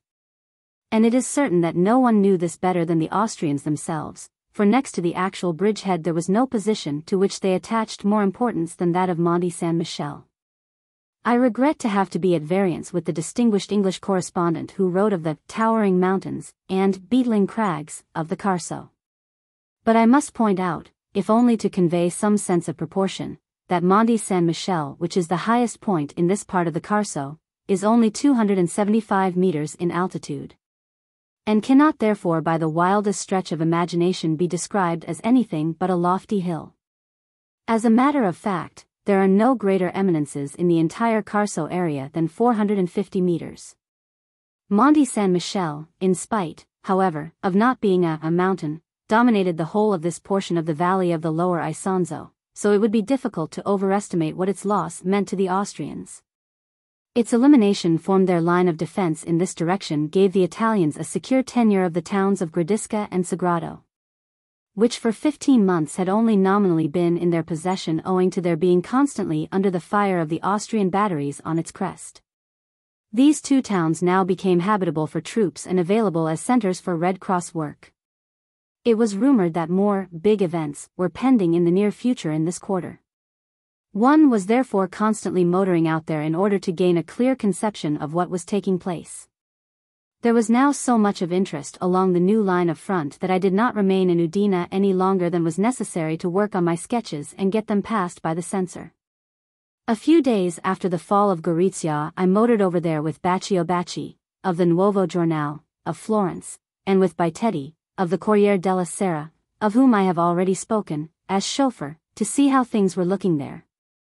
Not a week had elapsed since the victory, yet the changes along the road were simply incredible, and reflected enormous credit on the organization of the troops sanitaires, the sanitation brigade. The iron bridge had been so damaged by the Austrian curtain fire that it was out of commission for the time being, so we had perforce to go by the road Barzini and I had taken. I therefore had an opportunity of judging for myself what had been accomplished in five days.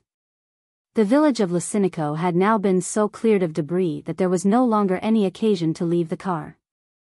We found to our surprise that the road was quite open all the way to Gorizia, across the battlefield round by Podgora and through Grafenberg. The Austrians were still busy sending big shells over at intervals, and a car just ahead of us had a very narrow escape. It was little short of a miracle it was not blown to pieces, and it makes me feel cold when I think of it. The change everywhere was positively bewildering. If I had not seen it for myself, I should never have believed it possible. With the exception of the ruined houses and the shattered trunks of the trees, there was no trace remaining of the battle. The trenches had been filled in, thus forming ready made graves for the dead, the wreckage of barbed wire entanglements, the shell holes, the gruesome litter of blood-stained garments, all had disappeared as though by magic. Perhaps, though, the most startling transformation was to be seen at the archway under the railway I described in a previous chapter. It was positively unrecognizable. Everything had been cleared away. Unless you had seen it before, you would never have believed that this very commonplace tunnel for the road under the embankment, such as one sees everywhere and through which we drove without stopping, was less than a week before the elaborately fitted up headquarters and domicile of an Austrian general and his staff. The storehouse in which I had seen the ghastly array of human packages was now but an ordinary empty shed, the kitchen close by only a simple wooden hut, the very last place one would have expected to find an elaborate cuisine in. To my companion this meant nothing, as it was the first time he had come this way, but I must confess to a slight feeling of disappointment that there should have been so much haste to remove all traces of Austrian military culture. I felt I should have liked to see it all again, though I suppose had I been able to, the impression would not have been the same as it was on that morning when the place had only just been vacated by the Austrians and the battlefield was. As it were, still red hot. There was nothing to stop for in Grafenberg, so we drove straight on till we came to a wooden bridge which brought us right into Gorizia. This was one of the bridges which had been partially destroyed on the day of the battle, but was now repaired. With the exception of soldiers, the streets were deserted, there was not a civilian to be seen anywhere, and the shops were still closed, the inhabitants, it appeared, only being allowed out of doors a few hours during the daytime. I think it was for two hours in the morning, and the same in the afternoon. After dark, no inhabitant was allowed in the streets under any pretext. This system saved a lot of difficult policing, and gave the troops greater freedom of movement. We found that two cafes were open now, the Grosses, and another next to the theater, but they were practically deserted. Coffee was about all you could get to drink. Wine and beer being quite out of the question, and food also, as we discovered later. We arrived somewhat late in the afternoon, but the evenings were still long, and there was a full moon, so we knew there would be no difficulty in getting back to Udine even if we remained till after dark. It was rumored that the Austrians were going to make a big counterattack on Gorizia that night, and it was with the idea of perhaps seeing something interesting and getting some good copy that we had come. Luckily, as will be seen, we ran across a confrere, Arnaldo Fraccaroli, of the Corriere della Sera, who had driven in earlier in the afternoon with the same idea as ourselves, and he joined us. As the man he had come with was returning to Udine at once. But for reasons which we were unable to fathom, it was soon pretty evident that we were not wanted in Gorizia that day. At the headquarters of the general in a big house on the Corso, we were received by an aide-de-camp with but scant courtesy. In fact, this was my first experience of anything of the kind in Italy, and was the more surprising as we all represented important papers, and our passes were in order in every respect. We were curtly informed, after being kept waiting in the street for some time, that the general was out, so we decided to go for a walk and return later. Except that more damage had been done by shells, there was little or no change in the streets, and from what we could gather there was little likelihood of the city resuming its normal aspect for a very long time. Such of the inhabitants as could get away were doing so, and the Italian authorities were putting no obstacles in their way. As a matter of fact, Gorizia was not a place for non-combatants, as it was continually being bombarded. When we got back to the general's headquarters we found he had returned, but it was, however, one thing finding him in, quite another matter getting him to receive us. After again being kept waiting outside the garden gate till it was almost dark, we were coolly told by a sergeant that the general had nothing to tell us, so could not receive us. This was very disappointing, but there was no help for it. He was evidently peevish about something and did not want visitors. We walked away slowly through the deepening gloom. There was not a light to be seen anywhere. Now and again the loud report of a big gun awakened the echoes of the empty streets. My companions were much upset at the reception we had received, and were discussing the matter at great length as we went along. Meanwhile, I was gradually feeling very hungry and tired and heartily sick of this aimless wandering along in the obscurity. Suddenly they came to a decision, and announced to me that we were going to spend the night in Gorizia, as it would be a pity to return to Udine and perhaps just miss something important, as there was no doubt, they explained to me. There was something en l'air. Of course I had no opinion to offer in the matter as I understood so little Italian, so there was nothing for it but to fall in with their views. Moreover, there was no possibility of my getting away without them since the car was theirs. It having, therefore, been decided to remain in Gorizia, the next important question was where to put up for the night. There was, as I have said, not a light to be seen anywhere. Not a soul was about, the soldiers having long since returned to their quarters. The two cafes were closed, and we were prowling along in the dark like a lot of tramps in a city of the dead. Had I been able to join in the conversation of my companions I might perhaps have found the adventure amusing, but as it was, from my point of view, it was deadly dull and uninteresting. However, I tried to buck myself up with the idea that something exciting might happen later, and so it did, as will be seen.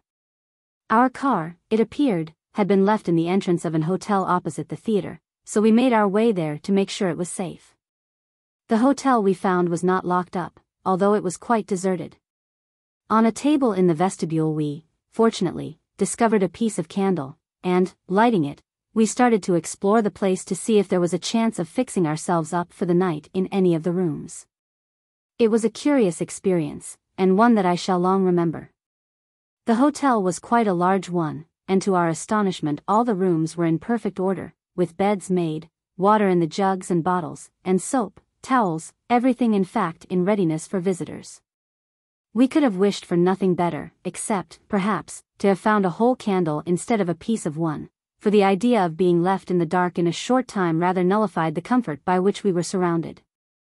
There were so many rooms to choose from that we were inclined to be fastidious. It is not often that one has the run of a whole hotel, and gratis at that. However, we settled on two, with a sitting room in between and with two beds in each. Now came the vital subject of supper. My car mates, with their usual inconsequence, had brought nothing at all in the shape of food or drink with them, always relying on something turning up. I had as usual taken the precaution of putting in my haversack a box of sardines, bread, cheese, chocolate, and my water flask was filled with wine, but, of course, this was not sufficient for us all. Then it turned out that after all we were in luck's way. Fraccaroli suddenly recollected that he had had the happy thought of bringing a hamper with him in case of accident, and we found that it had been put in our car when he had joined us. It was brought in amidst general acclamation, and on opening it we saw that whoever had packed it had, fortunately for us, had broad-minded views as to what one man's appetite should be like. There was ample for four people. Cold meat, cooked ham, butter, bread, fruit, and last, but certainly not least, a magnum bottle of excellent wine. One could not have wished for a better supper anywhere, and the mere sight of it, when I had arranged it artistically on sheets of newspaper, put us in the highest spirits, and the empty corridors echoed with our laughter as we tackled it. For we were pretty ravenous by now. I am sure that no jollier supper party than ours that night ever took place in Gorizia. After we had finished, Fraccaroli and Bitetti suggested, as the moon was now up, are having another attempt at seeing the general. Bacci and I, however, thought we had done enough walking for one day, so decided to remain where we were and have a quiet smoke before turning in. The two men, therefore, went out, and we heard their footsteps resounding through the empty corridor and down the staircase with ghostly effect. We filled our glasses again and lit up our pipes, and then Bacci suggested that as there was only a tiny bit of candle left we might dispense with it for a while as it was brilliant moonlight so we extinguished it and sat by the open window enjoying the cool breeze. The room looked onto a small courtyard, and facing us was a high wall, so we could not see far. It was a glorious summer night, and all was so quiet and peaceful that it was difficult for the moment to realize how near were the horrors of war. I was fortunate enough to get some interesting sketches of the cavalry crossing the river under fire. To face page 246. It was just the sort of night to engender depth of thought, and we were both in poetic vein. and soliloquizing on the iniquity of warfare while nature was always so beautiful, when the loud report of a gun rang out in the stillness of the night and brought us back to stern reality.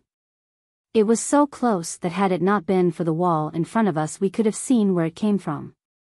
There were a few seconds of dead silence, and then there broke out the most terrific fusillade it would be possible to imagine. Machine gun and rifle fire mixed up in one long hellish tattoo, whilst, as though to punctuate the unearthly music, at intervals one heard the isolated bang of trench mortars and the sharp detonation of hand grenades.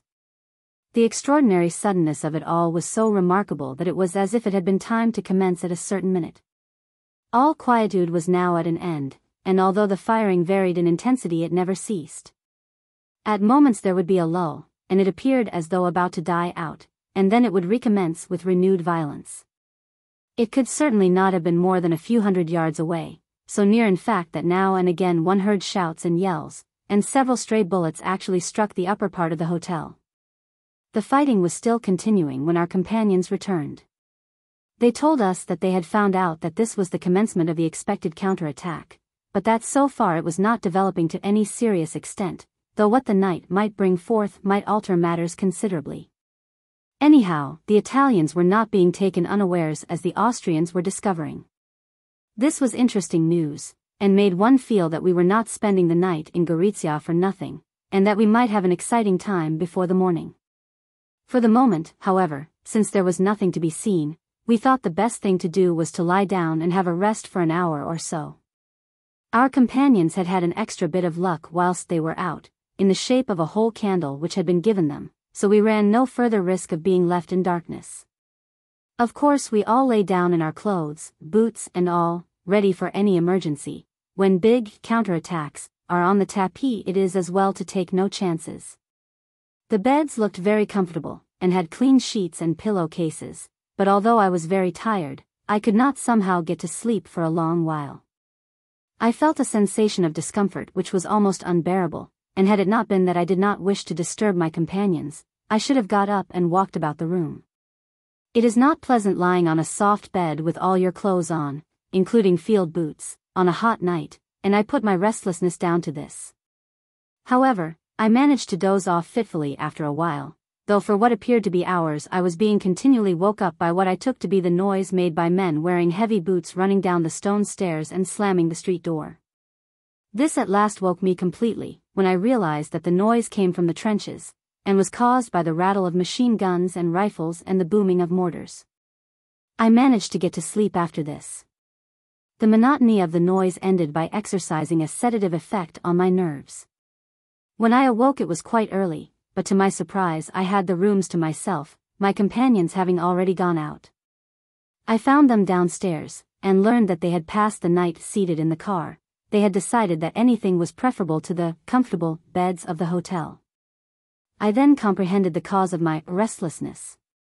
It was a striking instance of where ignorance is bliss, etc., for I had managed to have a good sleep in spite of it all. Gorizia, in the early morning sunshine, looked delightful, and everybody we met seemed bright and cheerful like the weather. And quite indifferent to the bombardment which still continued at intervals. An officer told me that one often ended by trying mentally to calculate what all this senseless waste of ammunition was costing per hour. Nothing had come of the counterattack, except to give the Italians a chance of further consolidating their frontier, and as there appeared no likelihood of anything important happening that day we arranged to return to Udine forthwith. Instead, however, of going via Grafenberg, we took the road which follows the left bank of the Isonzo and goes through Savogna, Sdraussina, and Sagrado. As Bacci was anxious to shake hands with a doctor friend of his who was with a field hospital somewhere this way. This gave us an opportunity of seeing the wonderful cantonments of the troops waiting to advance on the Carso. From Savogna right on to Sagrado, a distance of, roughly speaking, six miles, was one continuous encampment on either side of the road. A whole army corps must have been gathered here, cavalry, artillery, infantry, motor transport, cyclists and motor ambulances, in endless encampments. It was as interesting a panorama of military activity as I had seen anywhere on the Italian front, and was alone worth coming here to see. The troops were fully protected from shell fire, as the road all the way is sheltered by Monte San Michele and the adjacent hills, which tower above the route, so it was possible to construct permanent huts on the slopes of the hill. And also to take advantage of the many caves which are a feature of this region, to quarter the men in. Monte San Michel, as I shall describe in my next chapter, was captured simultaneously with Gorizia, and one saw from here the formidable series of trenches the Italians, with a courage which will pass into history. Constructed and gradually pushed forward up the hill, under the fire of the Austrian guns, until the final assault, when the whole position was taken. Unless this operation had been successful, no troops would have been here now, as this road was, prior to the victory, a no man's land. One saw every phase of soldier life along this interesting road, and one could not fail to be deeply impressed by the extraordinary completeness, I can think of no other word, of the arrangements on all sides and the businesslike air of readiness to go anywhere at a moment's notice of every unit. Certain it is that the Austrians had no conception of what was ready for them behind these hills. It was like looking for a needle in a bundle of hay to find any particular field ambulance amongst such a multitude, and the more specially as these ambulance stations are continually being shifted as necessity arises. So, after trying for some time and going backwards and forwards up and down the road in the vicinity of Sdraussina, where we hoped to come across it, we had to give it up as a bad job. A somewhat striking feature of this vast camping area were the military cemeteries, where hundreds of soldiers' graves were crowded together in serried lines.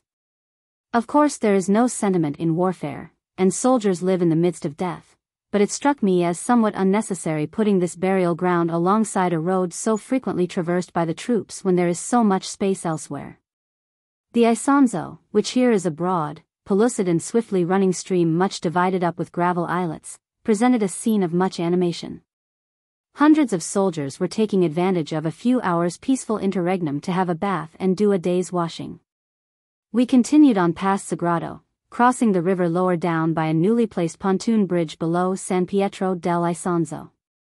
Here there was no regular road, but merely a rough track leading to the river, and it was only by the skillfulness of our chauffeur friend that the car was got through at all without accident. Round about here were many Austrian trenches that had been hastily abandoned, so we had a good opportunity for examining them. They struck me as being constructed on the most approved principles, and were finished in elaborate style with wicker work lining to the walls and along the floors.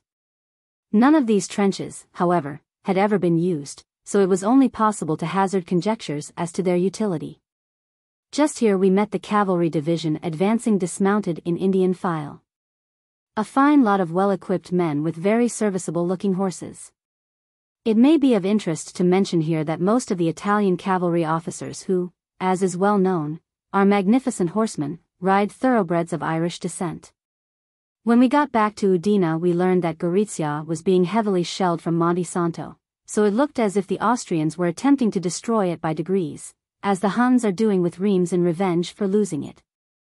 Chapter 18 Big operations on the Carso, general optimism, no risks taken, great changes brought about by the victory, a trip to the new lines, Gradisca and Sagrado, a walk round Gradisca, Monte San Michel, Sagrado, disappearance of Austrian aeroplanes and observation balloons, position of Italian Drachen as compared with French, on the road to Doberdo, moral of troops, like at a picnic, a regiment on its way to the trenches, the Italiana thinker, noticeable absence of smoking, my first impression of the Carso, nature.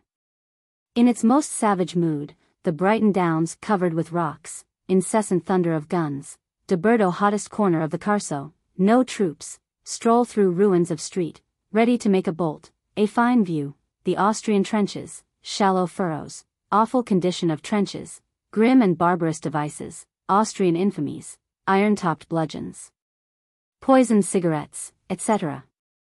Under fire, a dash for a dugout, the imperturbable carabinieri, like a thunderbolt, a little incident, brilliant wit, the limit of patience, the Italian batteries open fire, no liberties to be taken, on the way back, effect of the heavy firing, motor.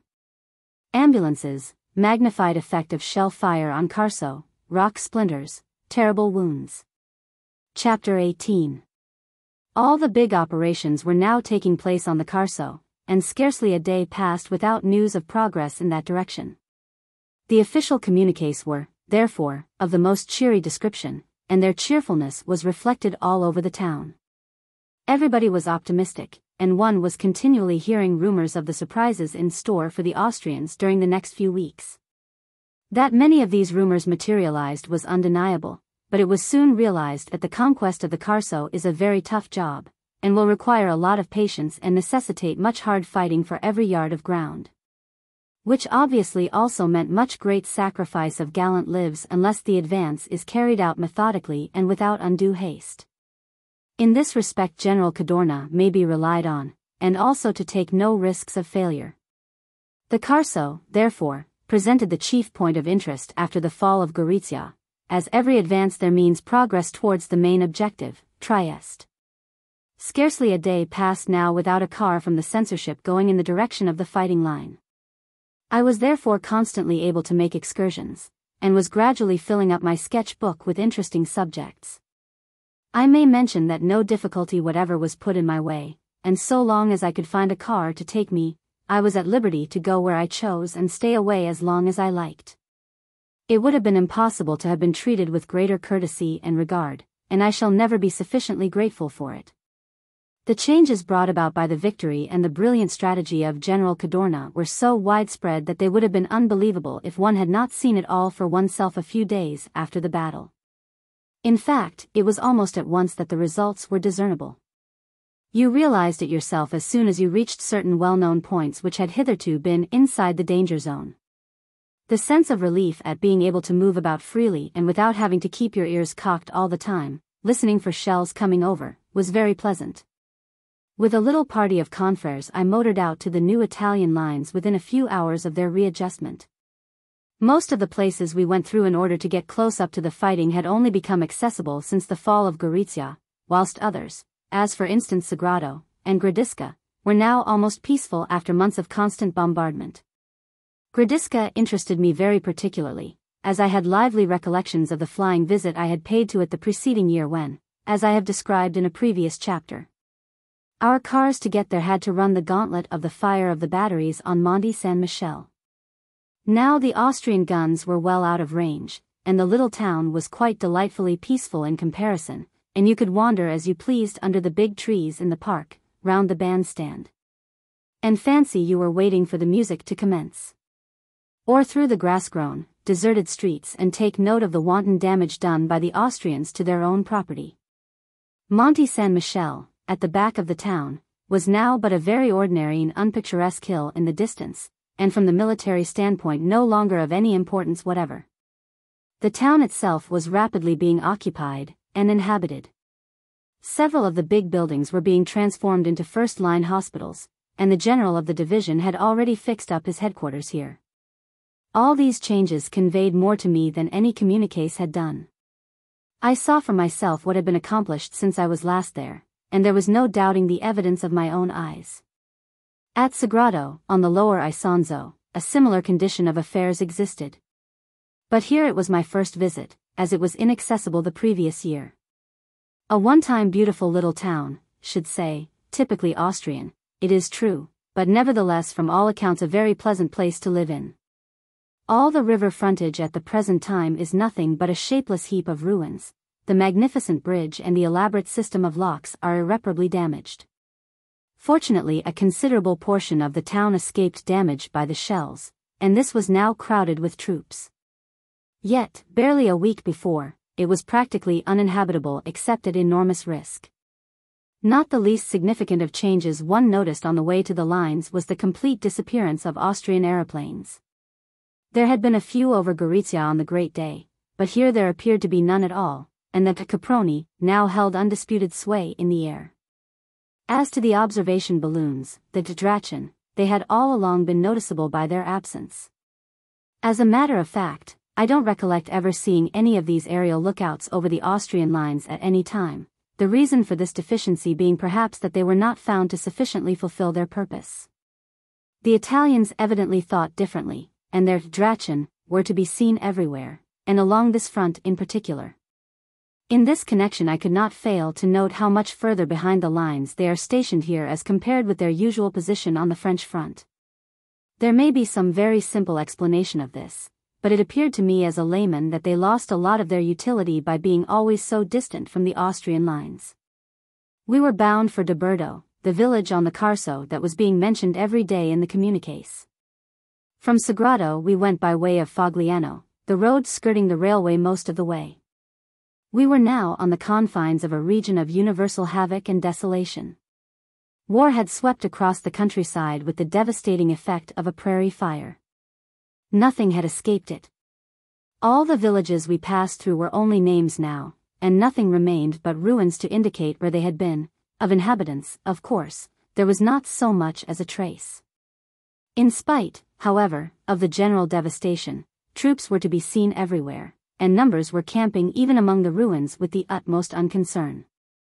In fact, you couldn't fail to notice that the moral of the men was wonderful, and that they seemed as cheerful as if at a picnic. The Italian soldier struck me as having a happy faculty for making the best of everything, so hardships do not seem to trouble him, and the equivalent of grousing is, as I have already stated, an unknown word in his vocabulary. This was particularly observable here, though, of course, the glorious weather may have had something to do with it, but the fact remained that they were supporting exceptional hardships with a stoicism that was quite remarkable, I thought. The only difficulty the officers experienced was in getting them to advance with caution. To face page 258. Along the road at one place we passed a regiment halted on its way to the trenches. The men, all apparently very young, were sitting or lying about on either side of the road. We had to slow down in order to get past, so I had an opportunity to take a mental note of the scene.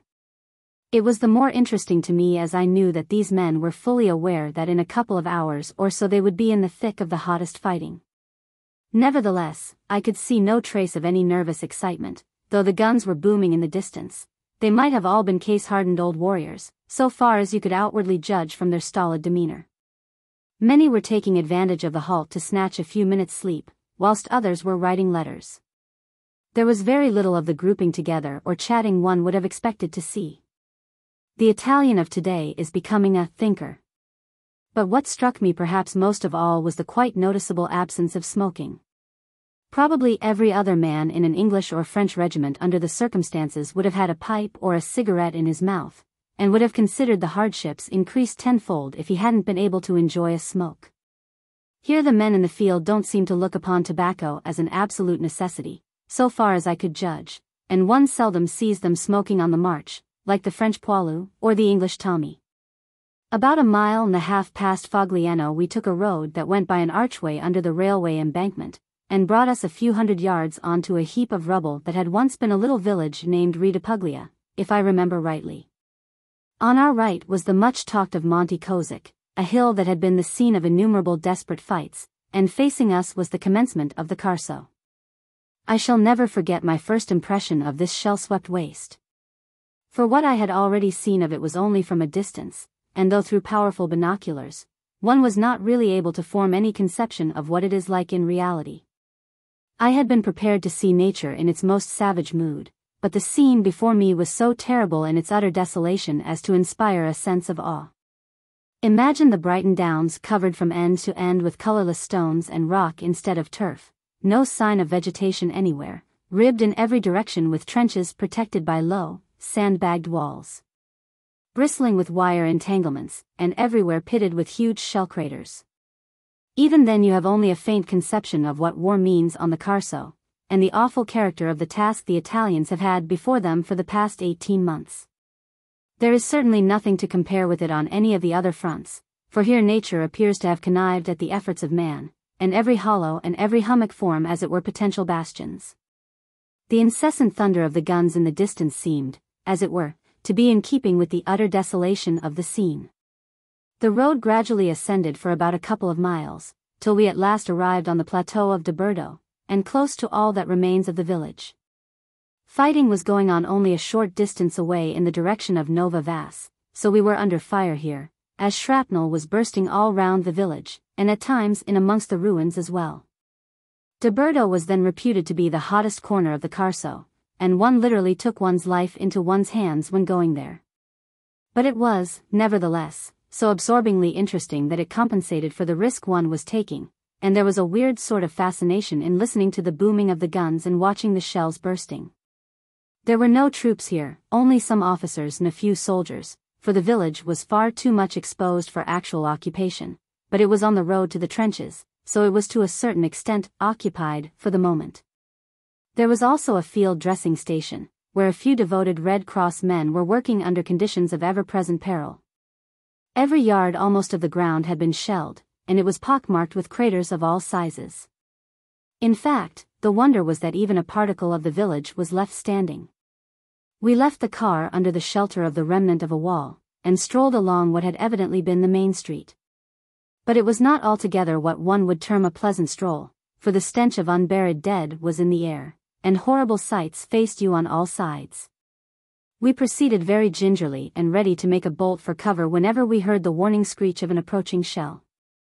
There was really not more to see at one end of the street than the other, but one feels just a little bit restless standing still under fire, so we started off on a look round. At the end of the village there was a fine view looking towards Opacchiasella on the left, and Monte Kozik and the road by which we had come up on the right. One was, therefore, able to judge for oneself what fighting in this arid wilderness means. You had the impression of gazing on the scene of an earthquake, so little semblance to anything recognizable was there in sight. Here and there a black and gaping hole on the hillside indicated the entrance to one of the famous Carso caves, which are so characteristic a feature of the region. What was left of the Austrian trenches after the Italian artillery had done with them was sufficient to convey an idea of the awful time their occupants must have passed through. You had the idea that any human beings who survived after being in such an inferno deserved peace and quietude to the end of their days. In many cases these trenches were only a few yards apart, so the courage necessary to take them by direct assault must have been extraordinary. One could see the dead lying in between them. The peculiar rock formation of the whole area precludes any making of actual trenches except with enormous labor.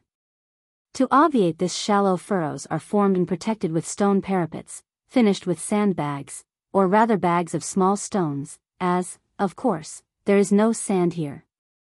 The condition of these parapets and trenches, after continual pounding with high explosives, may be left to the imagination. A gruesome detail must be mentioned, so difficult is it to excavate the ground here that the dead are not being buried, but simply covered over with stones. Many grim and barbarous devices for causing death in the most horrible and unexpected form were discovered in the Austrian trenches here on the Doberdo Plateau and the mere sight of them was often sufficient to rouse the Italian soldiers to a pitch of frenzy. One is apt to forget at times that the Austrian is by nature quite as callous and inhuman a creature as the Hun, but here one had ample reminder of what he is capable of when he realizes that he is up against a better man than himself. It is of historic interest in this connection to recount a few of the new infamies these apt disciples of the Hun have introduced, the poisoned cigarettes and shaving brushes left in the trenches, the bombs under dead bodies, explosive bullets. Bacilli of typhoid dropped from aeroplanes, and the iron-topped bludgeons. The latter instrument of torture, for it is nothing less, is quite one of the latest devices of Austrian Kultur for putting a wounded adversary to death. The iron head is studded with jagged nails, and has a long spike let into the end. No South Sea cannibal ever devised a more awful weapon. I was lucky enough to get one and brought it back to London, where it makes a fitting pendant in my studio to another barbaric souvenir of the war, one of the Hun proclamations put on the walls in Reims before the Battle of the Marne. However, to revert to Doberdo. We stood for some little while at the end of the village endeavoring to grasp the import of the various strategic points we could discern from here. When all of a sudden the Austrian batteries started a furious bombardment in our direction with apparently no object whatever, except perhaps that our car had been seen, and they hoped to stop any further movement on the road. We could see shell after shell bursting with wonderful precision on either side, and in the center, of the road. Then they must have spotted our little group, for the range was shortened and we found ourselves apparently receiving the polite attention of all the guns. My two companions made a dash for a sort of dugout which was close by, and I was about to follow them when I happened to glance round and saw a carabinieri standing right out in the road a few yards away. As imperturbably as though it was a slight shower of rain passing over. He was looking in my direction, and I fancied I caught a twinkle of amusement in his eyes at my hurry. In an instant the thought flashed through my mind, if it doesn't matter to him remaining in the open why should it to me? So I climbed back onto the road, trying the while to appear as though I had never really intended to take shelter. I had scarcely regained my feet when I heard the wail of an approaching shell, and then the peculiar and unmistakable sound of a big shrapnel about to burst overhead. I only just had time to put my arm up to protect my eyes when it exploded. It was like a thunderbolt, and so close that I heard pieces of metal strike the ground all round me. A moment elapsed and footsteps approached. Turning round I saw a soldier I had not noticed before. He was fumbling with something in his hands which appeared too hot to hold easily. Then to my astonishment he said to me with a laugh, and in perfect English, I think this was addressed to you, sir, at the same time handing me a jagged little piece of shell. I was so taken aback at hearing English spoken just at that particular moment that all I found to say to him in reply to his brilliant wit was the idiotic commonplace, thanks very much, as I took the interesting fragment. It occurred to me afterwards that he must have thought me a very taciturn and phlegmatic Englishman, but I had just had a very narrow escape and felt a bit shaken up, as may be imagined, so was scarcely in the mood for conversational effort. We had hoped to have a look at the trenches round the lake of Doberdo, about three quarters of a mile away from the village, but with the firing so intense and showing every sign of increasing rather than diminishing. It would have been madness to have attempted to get there, as it was right out in the open. In fact, there was considerable doubt as to the advisability of starting on the return journey yet, as the road was in the thick of it. We had only just been remarking on the extraordinary quiescence of the Italian guns which had not fired a shot since we had been up here, when scarcely were the words out of our mouths than suddenly, as though the limit of patience had been reached, with a terrifying crash, all the batteries near us opened fire. The result was positively magnificent, and roused one to the pitch of enthusiasm. We could see the shells bursting along the crest of a hill some 2,000 yards away with such accuracy of aim that in a few moments there was probably not a yard of the ground that had not been plastered with high explosives. And anything living that was there must have been battered out of existence. The Italian commander had no intention of wasting ammunition, however, he only wished to show he was allowing no liberties to be taken with him.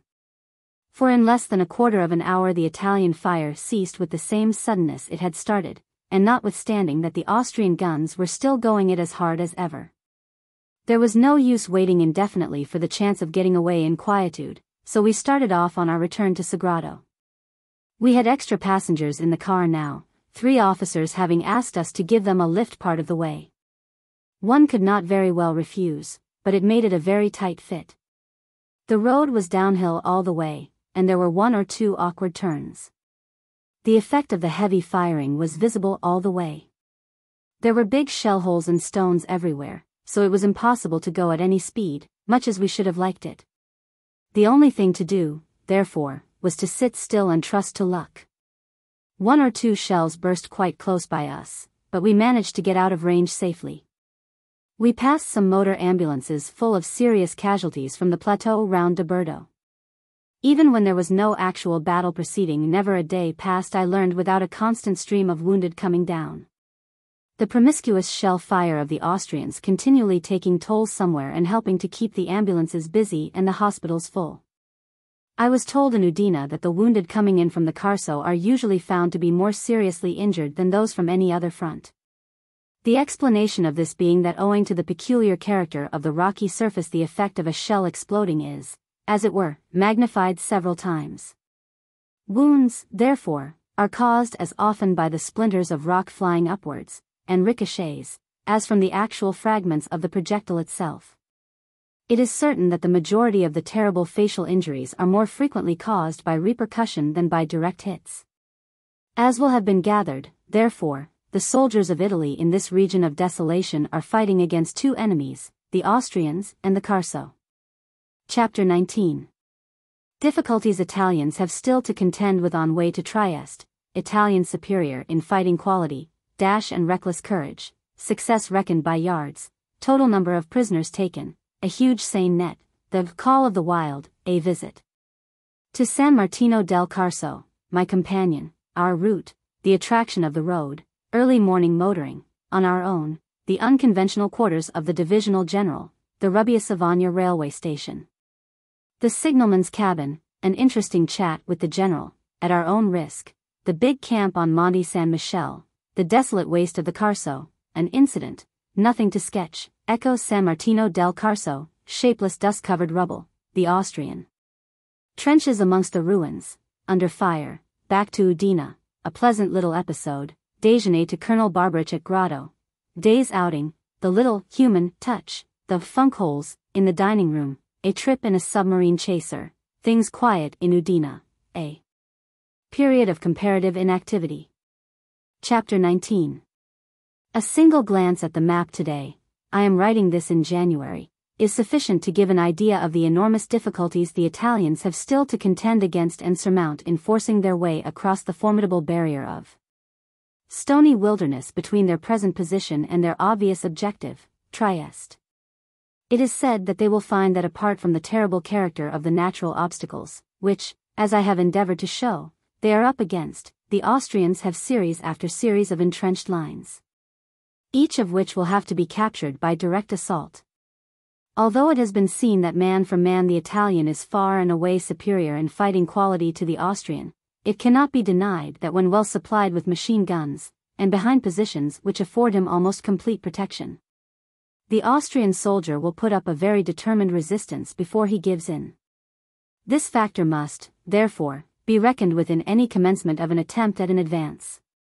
The dash and reckless courage of the Italians, whilst thoroughly to be relied upon under any circumstances however trying, must always be held, as it were, in leash. Otherwise even the smallest forward move will be only achieved at an awful sacrifice of gallant lives. The utmost caution, moreover, will have to be exercised, so as not to fall into a guet-apens, and every step forward must be fully protected. When success, therefore, can only be reckoned on, as it were, by yards, it is not surprising to find on examining the map how slow apparently has been the progress during the past four months. But it is progress nevertheless. And the most tangible proof of it is contained in the concluding lines of the brief summary issued by the Italian Supreme Command of the operations from September to December. The total of prisoners taken on the Julian front, i. e., the Isonzo and the Carso, from August to December was 42,000, and the guns numbered 60 and the machine guns 200. The gradual advance has not been confined to any one particular sector of this front, but was part of the general scheme which is operating like a huge seine net over this part of the Carso. The interest, therefore, was entirely concentrated in this zone after the fall of Gorizia, and I never missed an opportunity of going in that direction on the chance of getting some good subjects for my sketchbook. I remember some years ago when I was crossing the Gobi Desert, I discovered that the desolation of the scene around me exercised an inexplicable sort of fascination. And at times I would have a strange longing to wander away alone into the wilderness. I experienced somewhat the same sensation on the Carso. It is most probably what Jack London designated the call of the wild. In this case, however, the fascination was tempered by the knowledge that one's wandering fit might be cut short by an Austrian bullet, so one's peregrinations had perforce to be somewhat curtailed. There was, of course, much of great interest to see and sketch in the area where active operations were in progress, whilst every day almost there seemed to be something, either in the shape of a rumor, or in the official communique. That formed a good excuse for getting into a car and heading for the sound of the guns, again. They came racing across the stretch of no man's land. To face page 270. On one of these occasions I had as my companion Robert Vaucher, the correspondent of the Paris Illustration, who had just arrived at the front for a short visit. We decided to make for San Martino del Carso, the first village captured by the Italians on the Carso, as it was quite close to the fighting then going on round Oppacchiasella. Our route was via Palmanova, Romans and Sagrado a road one had got to know by heart, so to speak, but of which one never tired, for somehow, Curiously enough, everything always seemed novel although you had seen it many times before. There was also the charm of starting off in a car just after sunrise. It had a touch of adventure about it that made me feel quite youthful again. I never tired of the long drives, and in the early morning the air was like breathing champagne. One frequently had the road to oneself at this hour, and you could have imagined you were on a pleasure jaunt till you heard the booming of the guns above the noise of the engine. For it did not matter how early one was, the guns never seemed to be silent. With a sympathetic companion in the car these runs out to the lines were quite amongst the pleasantest features of one's life up at the front. On this particular occasion the fact of being with someone with whom I could converse freely made it still more agreeable. We went off quite, on our own, as Vaucher speaks Italian fluently. And as our soldier chauffeur knew the road well, there was not much fear of our getting lost. We decided that it was advisable for form's sake to call on the divisional general, and ask for his permission to pass through the lines. With some little difficulty we succeeded in discovering his headquarters. These were, we learned, on the railway, close to the Rubbia station, on the Trieste-Gorizia line. It turned out to be about the last place where one would have expected to unearth a general. The station itself was in ruins, and presented a pathetically forlorn appearance, with posters and timetables hanging in tatters from the walls. No train had passed here for very many months. We left the car on the permanent way alongside the platform, and picked our way along the track through the twisted and displaced rails to the signalman's cabin, which had been converted into the headquarters pro tem. It was as unconventional and warlike as could well be imagined, and as a subject for a picture would have delighted a military painter. The general was a well set up, good looking man of middle age, and quite the most unassuming officer of his rank I have ever met.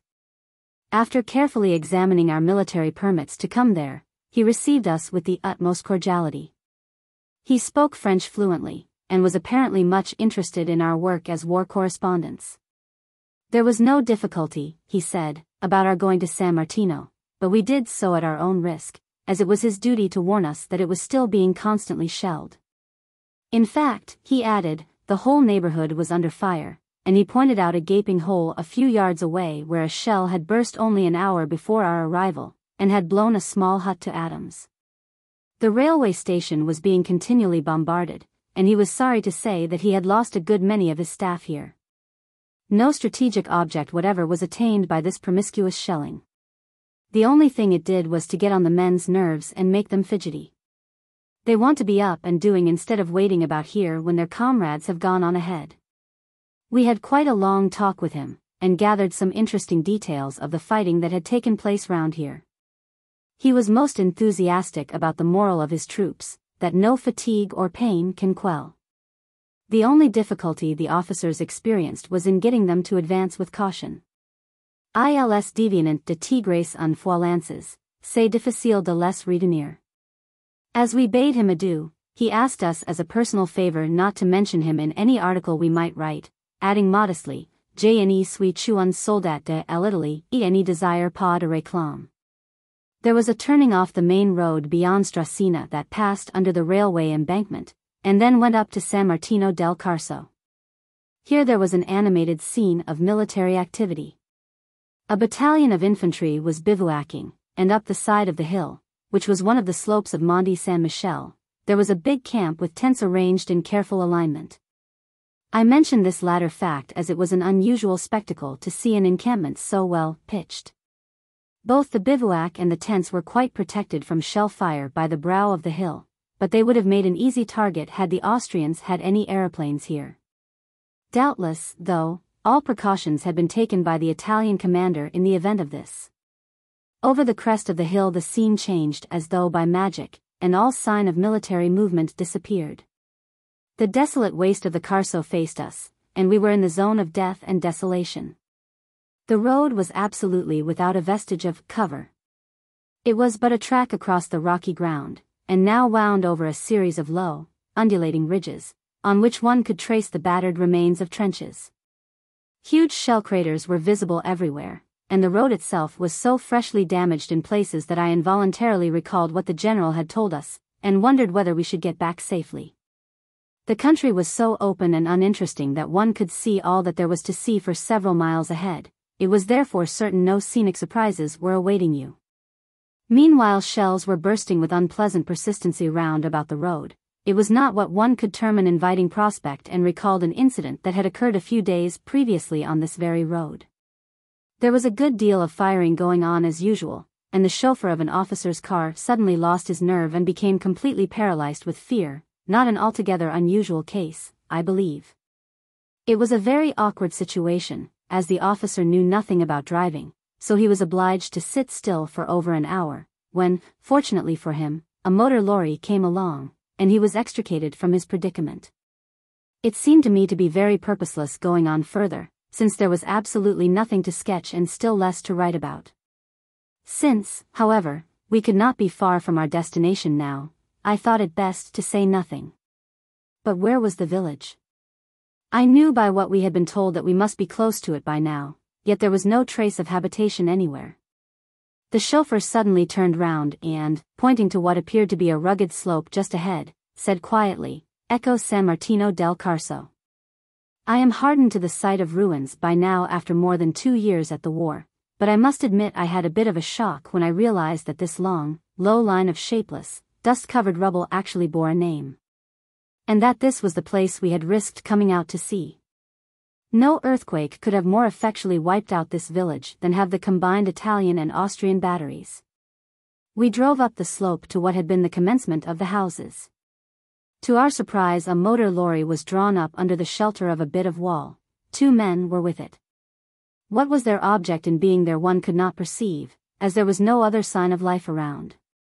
We left the car here, and I went for a stroll round with my sketchbook, whilst Vaucher took his camera and went off by himself to find a subject worth a photograph. The Austrian trenches commenced in amongst the ruins, they were typical of the Carso, only a couple of feet or so in depth, and actually hewn out of the solid rock, with a low wall of stones in front as a breastwork. So roughly were they made that it was positively tiring to walk along them even a short distance. To have passed any time in them under fire with splinters of rock flying about must have been a terrible ordeal, especially at night.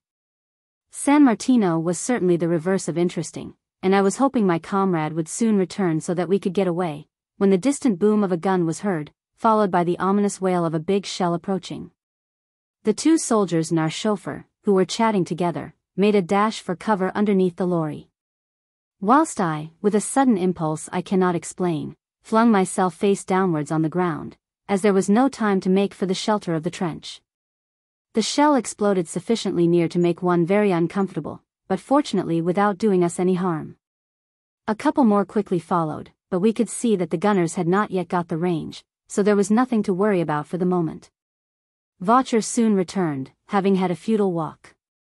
So we made up for it all by taking snapshots of ourselves under fire, a somewhat idiotic procedure. As we drove back to Udine, we were agreed that, considering how little there had been to see, le jeune valait pas la chandelle, or rather any valait pas le pétrole, to bring the saying up to date. A very pleasant little episode a few days later made a welcome interlude to our warlike energies. The director of the censorship, Colonel Barbarich, received his full colonelcy, and to celebrate the event the correspondents invited him and his brother officers to a fish déjeuner at Grado. the little quondam Austrian watering place on the Adriatic. We made a day's outing of it, several of the younger men starting off early so as to have a bathe in the sea before lunch. It was glorious weather, and we had a top hole time. It all went off without a hitch, the déjeuner was excellent. I don't think I ever tasted finer fish anywhere, the wine could not have been better, and, of course, we had several eloquent speeches to wind up with. There was just that little, human, touch about the whole thing that helped to still further accentuate the camaraderie of the censorship, and the good fellowship existing between its officers and the correspondents. Grado, though at first sight not much damaged since our visit on the previous year, had suffered very considerably from the visits of Austrian aircraft. They were still constantly coming over, in spite of the apparently adequate defenses, and many women and children had been killed and many more houses demolished. There was a curious sight in the dining room of the hotel where we gave the lunch. The proprietor had built a veritable funk hole in a corner of the room. It was constructed with solid timber, and covered in with sandbags in the most approved style. Inside were a table, chairs, large bed, lamp, food, drink, etc. In fact, everything requisite in case a lengthy occupation was necessary and there the proprietor and his wife and children would take refuge whenever the enemy was signaled. After lunch we were invited to make a trip in one of the new type of submarine chasers, which are said to be the fastest boats afloat anywhere, and went for an hour's run at terrific speed in the direction of Trieste. In fact, had it not been for a bit of a sea fog hanging about we should have actually been well in sight of it. Perhaps it was fortunate for us there was this fog on the water. Things were a bit quiet in Udine now. Stirring incidents do not occur every week, and the usual period of comparative inactivity had come round again whilst further operations were in process of development. There was but little inducement, therefore, to spend money on petrol just for the sake of verifying what one knew was happening up at the lines. But I had plenty to occupy me in my studio, working on the numerous sketches the recent doings had provided me with, till something worth going away for turned up again. In the interim, an event of historic importance occurred. Chapter 20 Declaration of war between Italy and Germany, effect of declaration at Udine, interesting incident. General Cadorna consents to give me a sitting for a sketch, the curious conditions, methodic and businesslike, punctuality and precision, a reminder of old days. I am received by the Generalissimo, his simple, unaffected manner, unconventional chat, that will please them in England, my Gorizia sketch book, the General a capital model, hard as nails, the sketch finished, rumor busy again, a visit to Monfalcone, one of the General's aides de camp, start at unearthly hour, distance to Monfalcone, Arctic conditions, in time for lunch, town life and war, Austrian hour for opening fire, Monfalcone, deserted aspect, the damage by bombardment, the guns silent for the moment, the ghost of a town, that's only one of our own guns, a walk to the shipbuilding yards, the communication trench, the bank of the canal, the pontoon bridge, the immense red structure, the deserted shipbuilding establishment, fantastic forms, vessels in course of construction, a strange blight, the hull of the 20. 000 ton liner, the gloomy interior, the view of the Carso and Trieste through a porthole, of soul-stirring interest, Hill No. 144, the daily strafe, just in time, back to Udine, in time for lunch, return to the Carso, attack on the Austrian positions at Veliki Hrbek, new difficulties, dense forest, impenetrable cover, formidable lines of trenches captured, fighting for position at Nova Vas, dramatic ending, weather breaking up, operations on a big scale perforce suspended, return London await events. Chapter 20 On the August 28, 1916, Italy declared war on Germany. The declaration had, however, been so long anticipated that, so far as one was in a position to judge, it made little or no difference in the already existing state of affairs. Since the two nations had to all intents and purposes been fighting against each other for months, and at Udine, at any rate, it scarcely aroused any comment outside the press. However, it settled any doubts that might have existed on the subject, and henceforth the Italians and the Huns were officially justified in killing each other whenever they got the chance. Curiously enough, it was through General Cadorna himself that I learned that war had been declared. It was under somewhat interesting circumstances, which I will relate. I had always desired to make a sketch of the commander-in-chief of the Italian army, and with this idea had asked Colonel Barbarich at the censorship if he would try and arrange it for me. He willingly agreed, but a few days after he told me that he had done the best he could for me, but that the general had said that for the moment he was far too occupied, but perhaps he would accede to my desire a little later. I must therefore have patience. This looked like a polite way of putting me off, and I accepted it as such. Gorizia and other subjects engaged my attention, and I had forgotten the incident when, to my surprise, one day Colonel Barbarich came up to me and said that if I still wished to make the sketch of the general, His Excellency would be pleased to receive me on the following Monday morning at 11 o'clock precisely, and would give me a sitting of exactly half an hour. But, added Colonel Barbarich, you must clearly understand it is only half an hour, and also that the general will not talk to you as he will not be interviewed. The following Monday was nearly a week ahead, so this was methodic and businesslike indeed. Of course, in spite of all the conditions attaching to the sitting, I was delighted to find that my request had not been overlooked. So I replied jocularly to the colonel that failing an earthquake or the ill-timed intervention of an Austrian shrapnel, I would certainly make it my duty to keep the appointment. Well, the auspicious day arrived in due course, and so did I in good time at the censorship to meet Colonel Barbarich, who was to take me on to the general, whose quarters were in a palace originally intended for the prefect of Udine only a short distance away. With the knowledge of the punctuality and precision of the general, at l'heure militaire, that is to say, as the clock was striking eleven, we made our way up the grand staircase to the first floor where the general resided and had his offices. In a large antechamber, with a big model of the Isonzo front occupying the whole of the center, we were received by an aide-de-camp, who evidently expected us exactly at that moment. Colonel Barbarich briefly introduced me, then to my surprise left at once. The aide-de-camp took my card into an adjoining apartment, and returning immediately, said that His Excellency General Cadorna was waiting for me and ushered me in. A gray-haired officer of medium height, whom I immediately recognized as the Generalissimo, was reading an official document. To face page 283. Up till then nothing could have been more matter-of-fact and businesslike. It reminded me of the old days when I sought journalistic interviews with city magnates. But the businesslike impression vanished as soon as I was inside the door. I found myself in a very large room, well but scantily furnished. Standing by a table, which was covered with maps, a gray-haired officer of medium height, whom I immediately recognized as the Generalissimo, was reading an official document. He came forward and cordially shook hands with me in the most informal way. I began to thank him for his courtesy in receiving me, and was apologizing for not being able to speak Italian, when he cut me short, saying with a laugh. I speak but very little English, but peut-être vous parlez français. On my telling him I did he exclaimed genially. A la bonheur, then we will speak in French. Now what do you want me to do? I am at your service. His simple and unaffected manner put me at once at my ease and made me instantly feel that this was going to be a sympathetic interview, and not a quasi-official reception.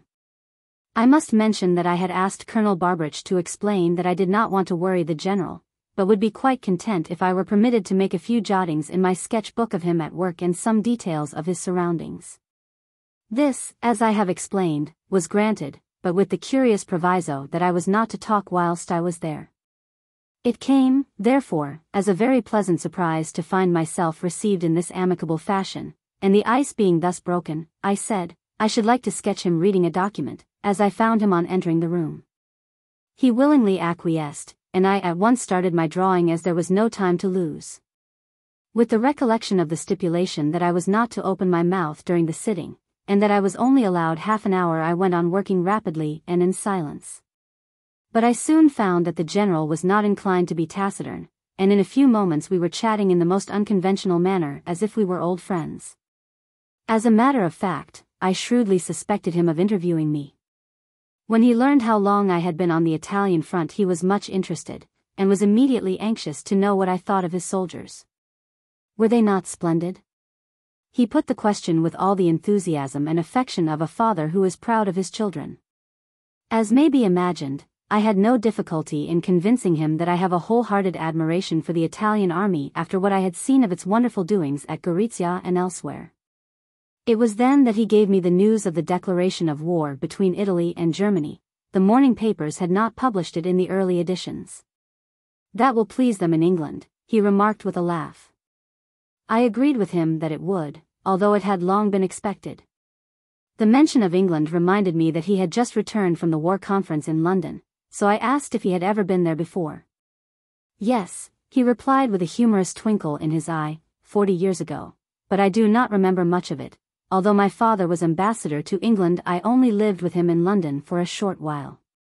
It is, of course, much changed since then. Whilst thus chatting I was working with feverish haste at my sketch. I now noticed he was getting a bit impatient at keeping the same position, so I suggested a few moments rest. He came over to see how I had got on, and asked if he might look through my sketchbook. It happened to be the one I had used at Gorizia, and the sketches I had made that day pleased him very much. You were fortunate, you were able to see something, I never see anything, he remarked quite pathetically. I felt there was no time to lose if I wanted to get finished in the half hour, so hinted at his resuming the pose for a few minutes longer. He did so at once, and I ventured to tell him in a joking way that he would make a capital model. Well, I am as active now as I ever was, he replied, taking me seriously, and I can ride and walk as well now as I could when I was a young man. This I could well believe, because he looks as hard as nails, and chock full of energy and determination, as the Austrian generals have discovered to their undoing. I had now completed my rough sketch sufficiently to be able to finish it in the studio. The general expressed his gratification at my having done it so rapidly, so I suggested another ten minutes some other day to put the finishing touches. Come whenever you like, I shall always be pleased to see you, replied His Excellency genially. Although, as I have said, there was no outward evidence of the declaration of war making any difference in the conduct of the campaign, rumors soon began to be persistently busy again. And it became pretty evident that something big was going to happen on the Carso before the weather broke up and the autumn rains set in and put a stop to active operations for some time. There had been a good deal of talk of operations pending in the vicinity of Monfalcone, so I got permission to accompany a staff officer who was going there one morning. I had always wanted to see the place and its much talked of shipbuilding yards, but curiously enough this was the first opportunity one had had of going there. My companion was one of General Cadorna's aides de camp, so we went in one of the big cars belonging to headquarters. We started at the usual unearthly hour to which one had become accustomed and which, as I have pointed out, is delightful in the summer, but is not quite so fascinating on a raw autumn morning before sunrise. I was very disappointed when I learned that we should probably be back in Udine, in time for lunch, unless something untoward occurred to force us to stay away longer. As I had been looking forward to an extended run that would last the whole day, but as I was practically a guest on this occasion I could say nothing. My companion, like so many Italian officers, spoke French fluently, and turned out to be a very interesting fellow. And as he had been stationed for some time at Monfalcone before going on the staff, he knew the district we were making for as well as it was possible to know it. The distance from Udine to Monfalcone is, roughly, the same as from London to Brighton, and we went via Palmanova, Cervignano, and Ronchi. It was a bitterly cold morning, with an unmistakable nip of frost in the air, so although I was muffled up to my ears I was gradually getting frozen, and my eyes were running like taps. It may be imagined, therefore, how I was envying my companion his big fur-lined coat. I had arrived at the front in the hottest time of the year, so had taken no precautions against Arctic conditions. Motoring in northern Italy in an open car during the winter months must be a very trying ordeal indeed, if what I experienced that morning was any criterion of it. As we sped along I asked the aide-de-camp if there was any particular reason for his starting off so early, and if it was absolutely necessary for us to be back, in time for lunch. To my mind the very thought of it took the interest off the trip and brought it down to the level of an ordinary pleasure jaunt, which was to me particularly nauseating. After all these months at the front I have not yet been able to accustom myself to the combination of everyday town life and war, and I am afraid shall never be able to. Doubtless it is a result of old-time experiences. My companion treated my query somewhat lightly. You will be able to see all there is to see in and round Monfalcone in three hours, he replied, so what is the use therefore of staying longer? Moreover, he added seriously, the Austrian batteries have made a practice of opening fire every morning at about 11 o'clock, and usually continue for some hours, so there is the risk of not being able to come away when one wants to. There was, of course, no reply possible, and the more especially as I am not exactly a glutton for high explosives, as will have been remarked. Monfalcone is a nice bright little town, typically Austrian, and before the war must have been a very busy commercial center. When I was there it was absolutely deserted, with the exception of a few soldiers stationed there. The shops were all closed, grass was growing in the streets, and it presented the usual desolate appearance of a place continually under the menace of bombardment.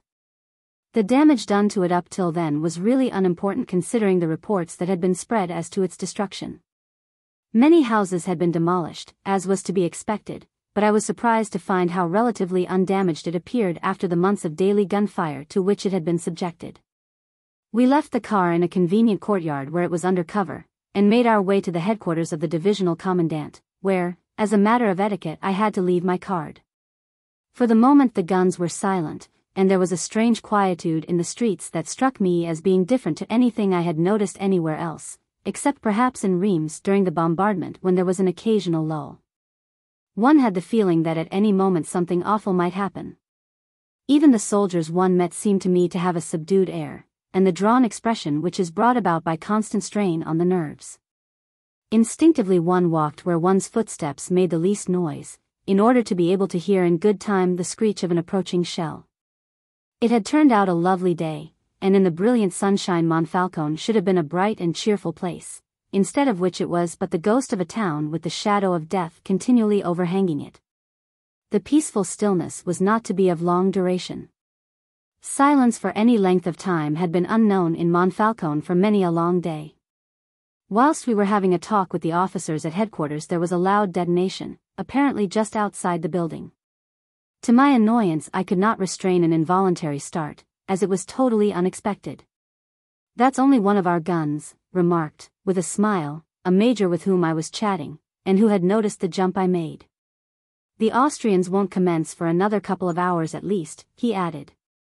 My companion and I then started off to walk down to the shipbuilding yard, about a mile and a half from the town, and which was, of course, the principal site of the place.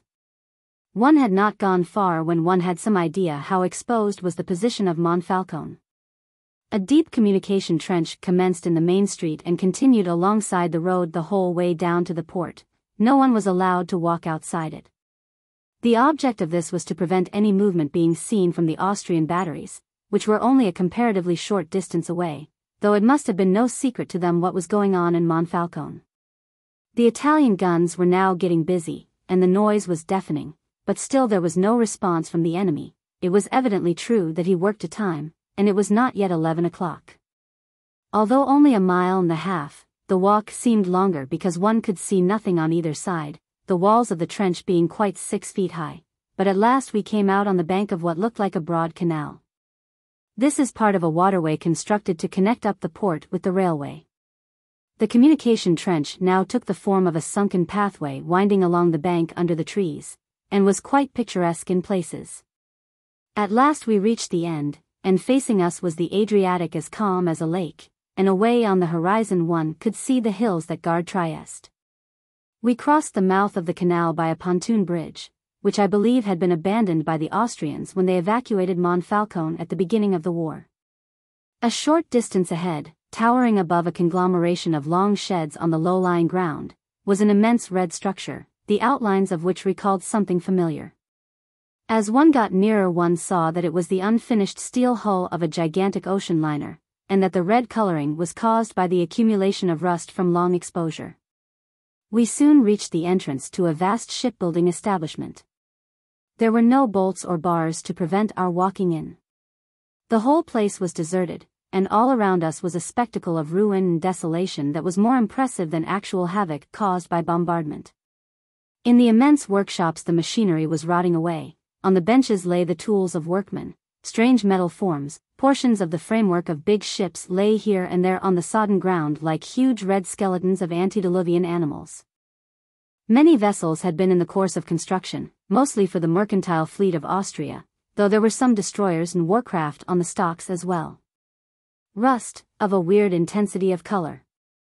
I had never seen before, was over everything like a strange blight. Alongside the sheds was the hull of the big liner one had seen in the distance. A 20,000-ton boat, I was told, which was being built for the Austrian Lloyd Line. The wooden slipway and the cradle supports had caught fire and had been destroyed, and this I was told had caused the keel to break, so that the hull was now but a derelict mass of steelwork which could never be floated. To advance through this jungle called for all the cool, disciplined courage of the Italian soldier, to face page 298. Had it not been for the satisfaction one felt in gazing on the ruins of a prospective addition to the mercantile navy of the enemy, this leviathan of wasted industry and material would have appeared quite tragic. The companionway used by the workmen was still in position, so we clambered up into the gloomy interior and had a walk round, our footsteps echoing mournfully along the cavernous emptiness of the decks. Through a porthole we got a very fine view of the Carso and the Italian and Austrian positions in between Monfalcone and Duino. Whilst in the distance, some 15 miles away, one could distinctly see with the glasses the white buildings of Trieste, so near and yet so far. There was evidently a big fight going on at that moment in the direction of a hill not far away from Monfalcone, known as No. 144, which had been frequently referred to in the communiques, and you could see the bursting shells and hear the booming of the guns. It was a panorama of soul-stirring interest, and one could have spent hours gazing on it. But time was flying and we had to be thinking of returning. I had not attached much credence to the statement that the Austrians had established a sort of precedent as to time with regard to opening fire every day, but out of curiosity I glanced at my watch as we started back. It may have been a mere coincidence, but it was just on 11 o'clock. Beyond, however, the dull booming of the guns in the direction of hill number 144, there was no sign yet of artillery activity anywhere near Monfalcone. We had crossed the pontoon bridge and were making our way along the canal bank when there was the report of a gun not very far away in the enemy's lines. And the screech of a shell passing over our heads proved beyond a doubt that the daily strafe was about to commence. The shell burst on the outskirts of the town and in the direction in which we were going. My companion, who was walking on ahead, called out jocularly that we should be just in time. From now the firing increased every minute, and it seemed to me that the sole objective of the Austrian gunners was the place where we had left our car. We met several groups of soldiers as we went along, and I noticed that if a shell happened to be coming over just then, the majority of the men always stopped and crouched down against the protecting wall of the trench. This prompted my asking my companion what he considered to be the best thing to do when under fire. Take no notice of it, was his laconic reply. In Monfalcone the streets were nearly deserted, though whether in consequence of the shelling commencing or some other cause, I could not tell, anyhow, as there was nothing further to see that day we returned to Udine, in time for lunch. A couple of days later I was back again on the Carso. A big attack on the Austrian positions at Veliki Hrbek, near Dobrdo, having suddenly developed. Difficulties had to be surmounted here which were totally different to any previously encountered, as the offensive was made through close-growing woodland. An important sector of the Carso district to the north of Trieste consists of wooded country, and directly bars the Italian advance in that region. The ground in question was artificially planted by the Austrian government some years ago under a scheme to reclaim the Carso and convert it into forest tracts. Plantations of fir trees were laid out over a large area, and these are now grown into the woods, which present a very serious obstacle to the Italians. Sheltered by the almost impenetrable cover which the dense growth of immature trees offers, the Austrians had constructed Torres Vedras-like series of fortified positions among the trees along the ridges that intersect the district. In the Veliki Hrbek stretch of woods alone no fewer than 11 formidable lines of trenches have been captured. The trees are of too young growth to stop bullets. And hidden in their trenches the Austrians could sweep the approaches at ground level, lying low behind abatis and a mass of wire entanglements. The whole aspect of the country here reminded me strangely of parts of the West Australian bush, with, of course, the exception that these are fir trees. Still, there was so much resemblance that it would have been as easy to lose oneself here in the dense growth as it is in the bush. To advance through this jungle called for all the cool disciplined courage of the Italian soldier. There was no opportunity for a wild headlong assault on the Austrian trenches, they had to be virtually stalked, as the cover afforded by the saplings was so illusory as to give practically no protection at all. The wood in which I made my sketch had been blazed beforehand by a handful of the most daring spirits among the men. Not by barking the trees, which would have taken too long, but by means of whitened stones dropped on the ground at intervals to indicate the direction the troops were to follow. The capture of the Veliki Hrbek position proved that the Italian soldier can be relied on under any circumstances, however trying. The day following the offensive developed in the direction of Nova Vas, about a mile and a half east of Dobrdo, on the heights of San Grado di Mirna, and near Lokvica, with continued success for the Italians.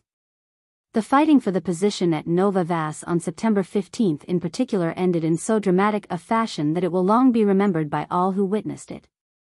After a furious preparatory bombardment for hours by the Italian heavy guns, to which the Austrians replied vigorously, there was a sudden cessation of the Italian fire.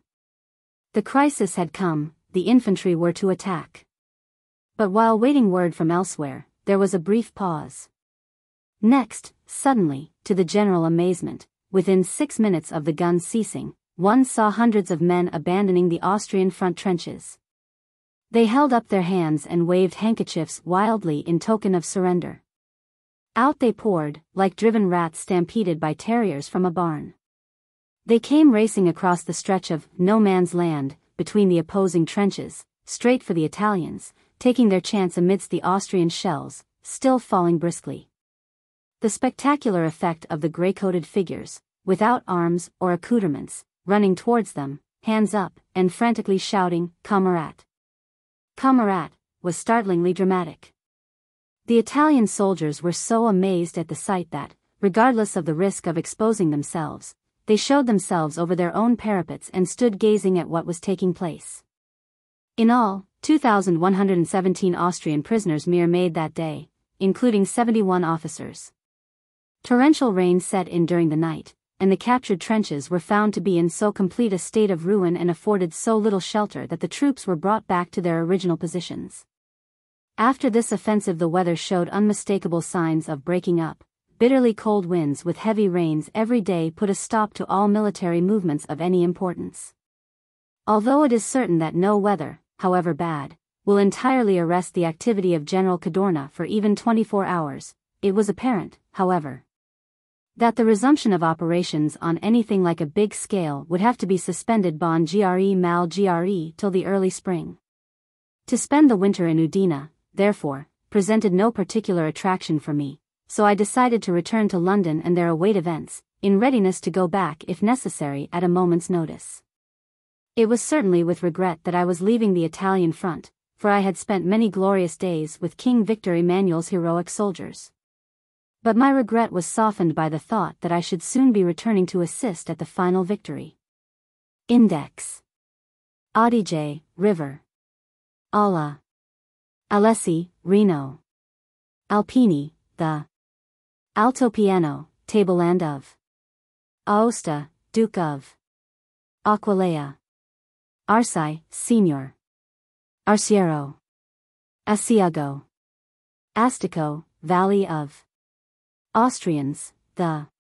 Withdraw across the Judrio. Defense at Monte Nero. Advance in the Trentino. Advance in the Asiago region. Retire from Gorizia. Characteristics of Avistanes Bacci, Baccio Baldassari, Senior Barbarich, Colonel Barzilai, Senior Barzini, Luigi Bassett, Serge Bauderesque, M. Beek, Vice Consul Beaumont, M. Bedolo, Gino Calza Belcredi, M. Belluno Belvedere. Benedetti, M. Berchtold, Count. Bersaglieri, the. Berthod, Doctor. Bissolati, Leonida. Bitetti, M. Bologna. Bormio. Boulogne. Brazzano. Brenta, River. Brescia. Brioni, Monte. Cadorna, General. Cadore. Caffarelli, General. Cantalupo Roberto. Capello. General. Caporetto. Caprilli. Carabinieri, the. Carnia. Carniola. Carrere, Jean. Carso, operations on the. Castelletto, the. Censorship, the Italian. Senzio, M. Cervignano. Chamonix. Chizzola. Simoni, Mont. Croda, Rosso. Cividale. Claricetti, Colonel. Col dei Bos. Lana. Calfredo. Cortina di Ampezzo. Cormons. Corada, Monte. Kozik, Monte. Cox, Harold 239. Cristallo, Monte. Cure, Capel. Daily Chronicle, the. Daily Mail, the. Daily News, the. Daily Telegraph, the. Desenzano. DeBerto. Dolomites, the. Donahoe, Martin. Duino. Elia, General. Falzarego Pass. Fiera di Primiero. Florence. Fogazzaro, Antonio. Fogliano. Folkestone. Forcola, the. Fracaroli, Arnaldo. Freikofel, the. Friuli, plain of. Gallio, forest of. Garda, lake of. Garibaldi, Peppino. Gemona. Germany, Italy declares war on. Gobi Desert, the. Gorizia, Italian attack on. Capture of Bridgehead. Capture of city. The city after capture. Gradisca. Grotto. Grafenberg. Judicaria, Valley of. Idaro, Lake. Illustrated London News, The. Judrio, River. Ingram, Charles. Interrotto, Monte. Isonzo, River. Operations on the Italian Army, the Impressions of crosses the Judrio. Attacks Monte Nero. Storms. Monte Cristallo. Counteroffensive in the Trentino. Begins attack on Gorizia. Captures Bridgehead. Captures city. Italy, war fever in. Declares war on Austria. Declares war on Germany. Jeffries, J. M. N. Cook, Monty. Lamb, Colonel. Livinallongo Pass. Lokvica. London, Jack. Lucinico. Macchio, Baron von. McClure, W. K. Marazzi, General. Marmolada, Monty. Massey, W. T. Medea. Maselli, Giovanni. Milan. Molinari, Aldo. Monfalcone. Montecros. Morning Post, The. Mossa. Nathan, Lieutenant. Nero, Monty. Northcliffe, Lord. Novara. Nova Vas. Apaciacella. Ojetti, Ugo. Padua. Pal Grande. Palmanova. Pal Piccolo. Paluzza. Paris. Pavia, Mayor of. Pilcante. Piva, Gino. Plava. Podgora. Porro, General. Pozzacchio, Fort. Prade, Georges. Quarin, Mont. Quirina, Mont. Rancio. Ratto, Jules. Redipuglia. Reims. Riva. Romans. Rome. Rombon, Monte. Ronchi. Rovereto. Sabotino, Monte. Sagrado. San Daniele, Monte. San Floriano. San Gabriel, Mont. San Grado di Myrna. San Michele, Mont. San Pietro. Santa Lucia. San Marco. Santa Maria. Santo, Monte. Stracina. Savogna. Schluderbach, Valley of. Smith, Ernest. Stelvio Pass, the. Stivo, Hills, the. Subida. Svinjak. Ternova. Terzo. Tamal, Monte. Times, the. Tofana. Tolmezzo. Tolmino. Trent. Trentino, the operations in. Trieste. Turin. Tyrol, Austrian, the. Gudina. Val Sugana. Valtellina, Valley of. Vacher, Robert. Veliki, Hribak. Venedoro. Venetia. Venice. Venzone. Verona. Vicenza. Victor Emmanuel, King. Vipulzano. Vitry Lefrancois. Warren, Whitney. Wells, H. G. Wildshot, Captain. Women carrying barbed wire. Zebio, Monty. Transcriber's note. Obvious typographical errors and punctuation errors have been corrected after careful comparison with other occurrences within the text and consultation of external sources. Some hyphens in words have been silently removed, some added, when a predominant preference was found in the original book. Some missing, dash, separators have been inserted in the table of contents. Except for those changes noted below, all misspellings in the text, and inconsistent or archaic usage, have been retained. Table of Contents Desenzano replaced by the Desenzano.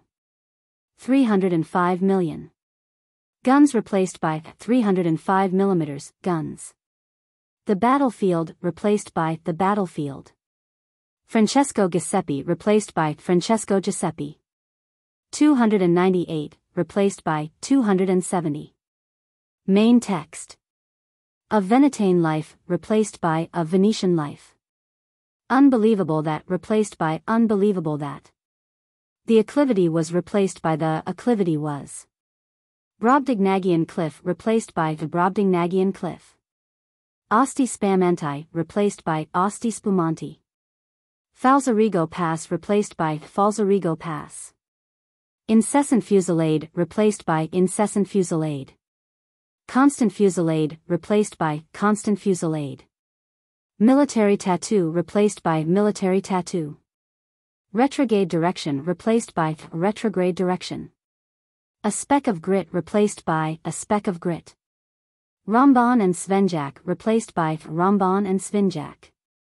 To develop it replaced by to develop it. The newspaper line replaced by the newspaper line. Of the alti piano replaced by of the alto piano. About it from replaced by about it from. The alti piano beyond replaced by the alto piano beyond. Francesco Giuseppe replaced by Francesco Giuseppe. Senior Bisolati replaced by Senior Bisolati. Advised use not replaced by advised us not. Monty Cossack replaced by Monty Kozik. Index. Alti piano, tableland replaced by alto piano, tableland. Bersagari, the replaced by Bersaglieri, the Desenzano replaced by the Desenzano. Monte Cristello replaced by Monte Cristallo. Svenjak replaced by Svenjak.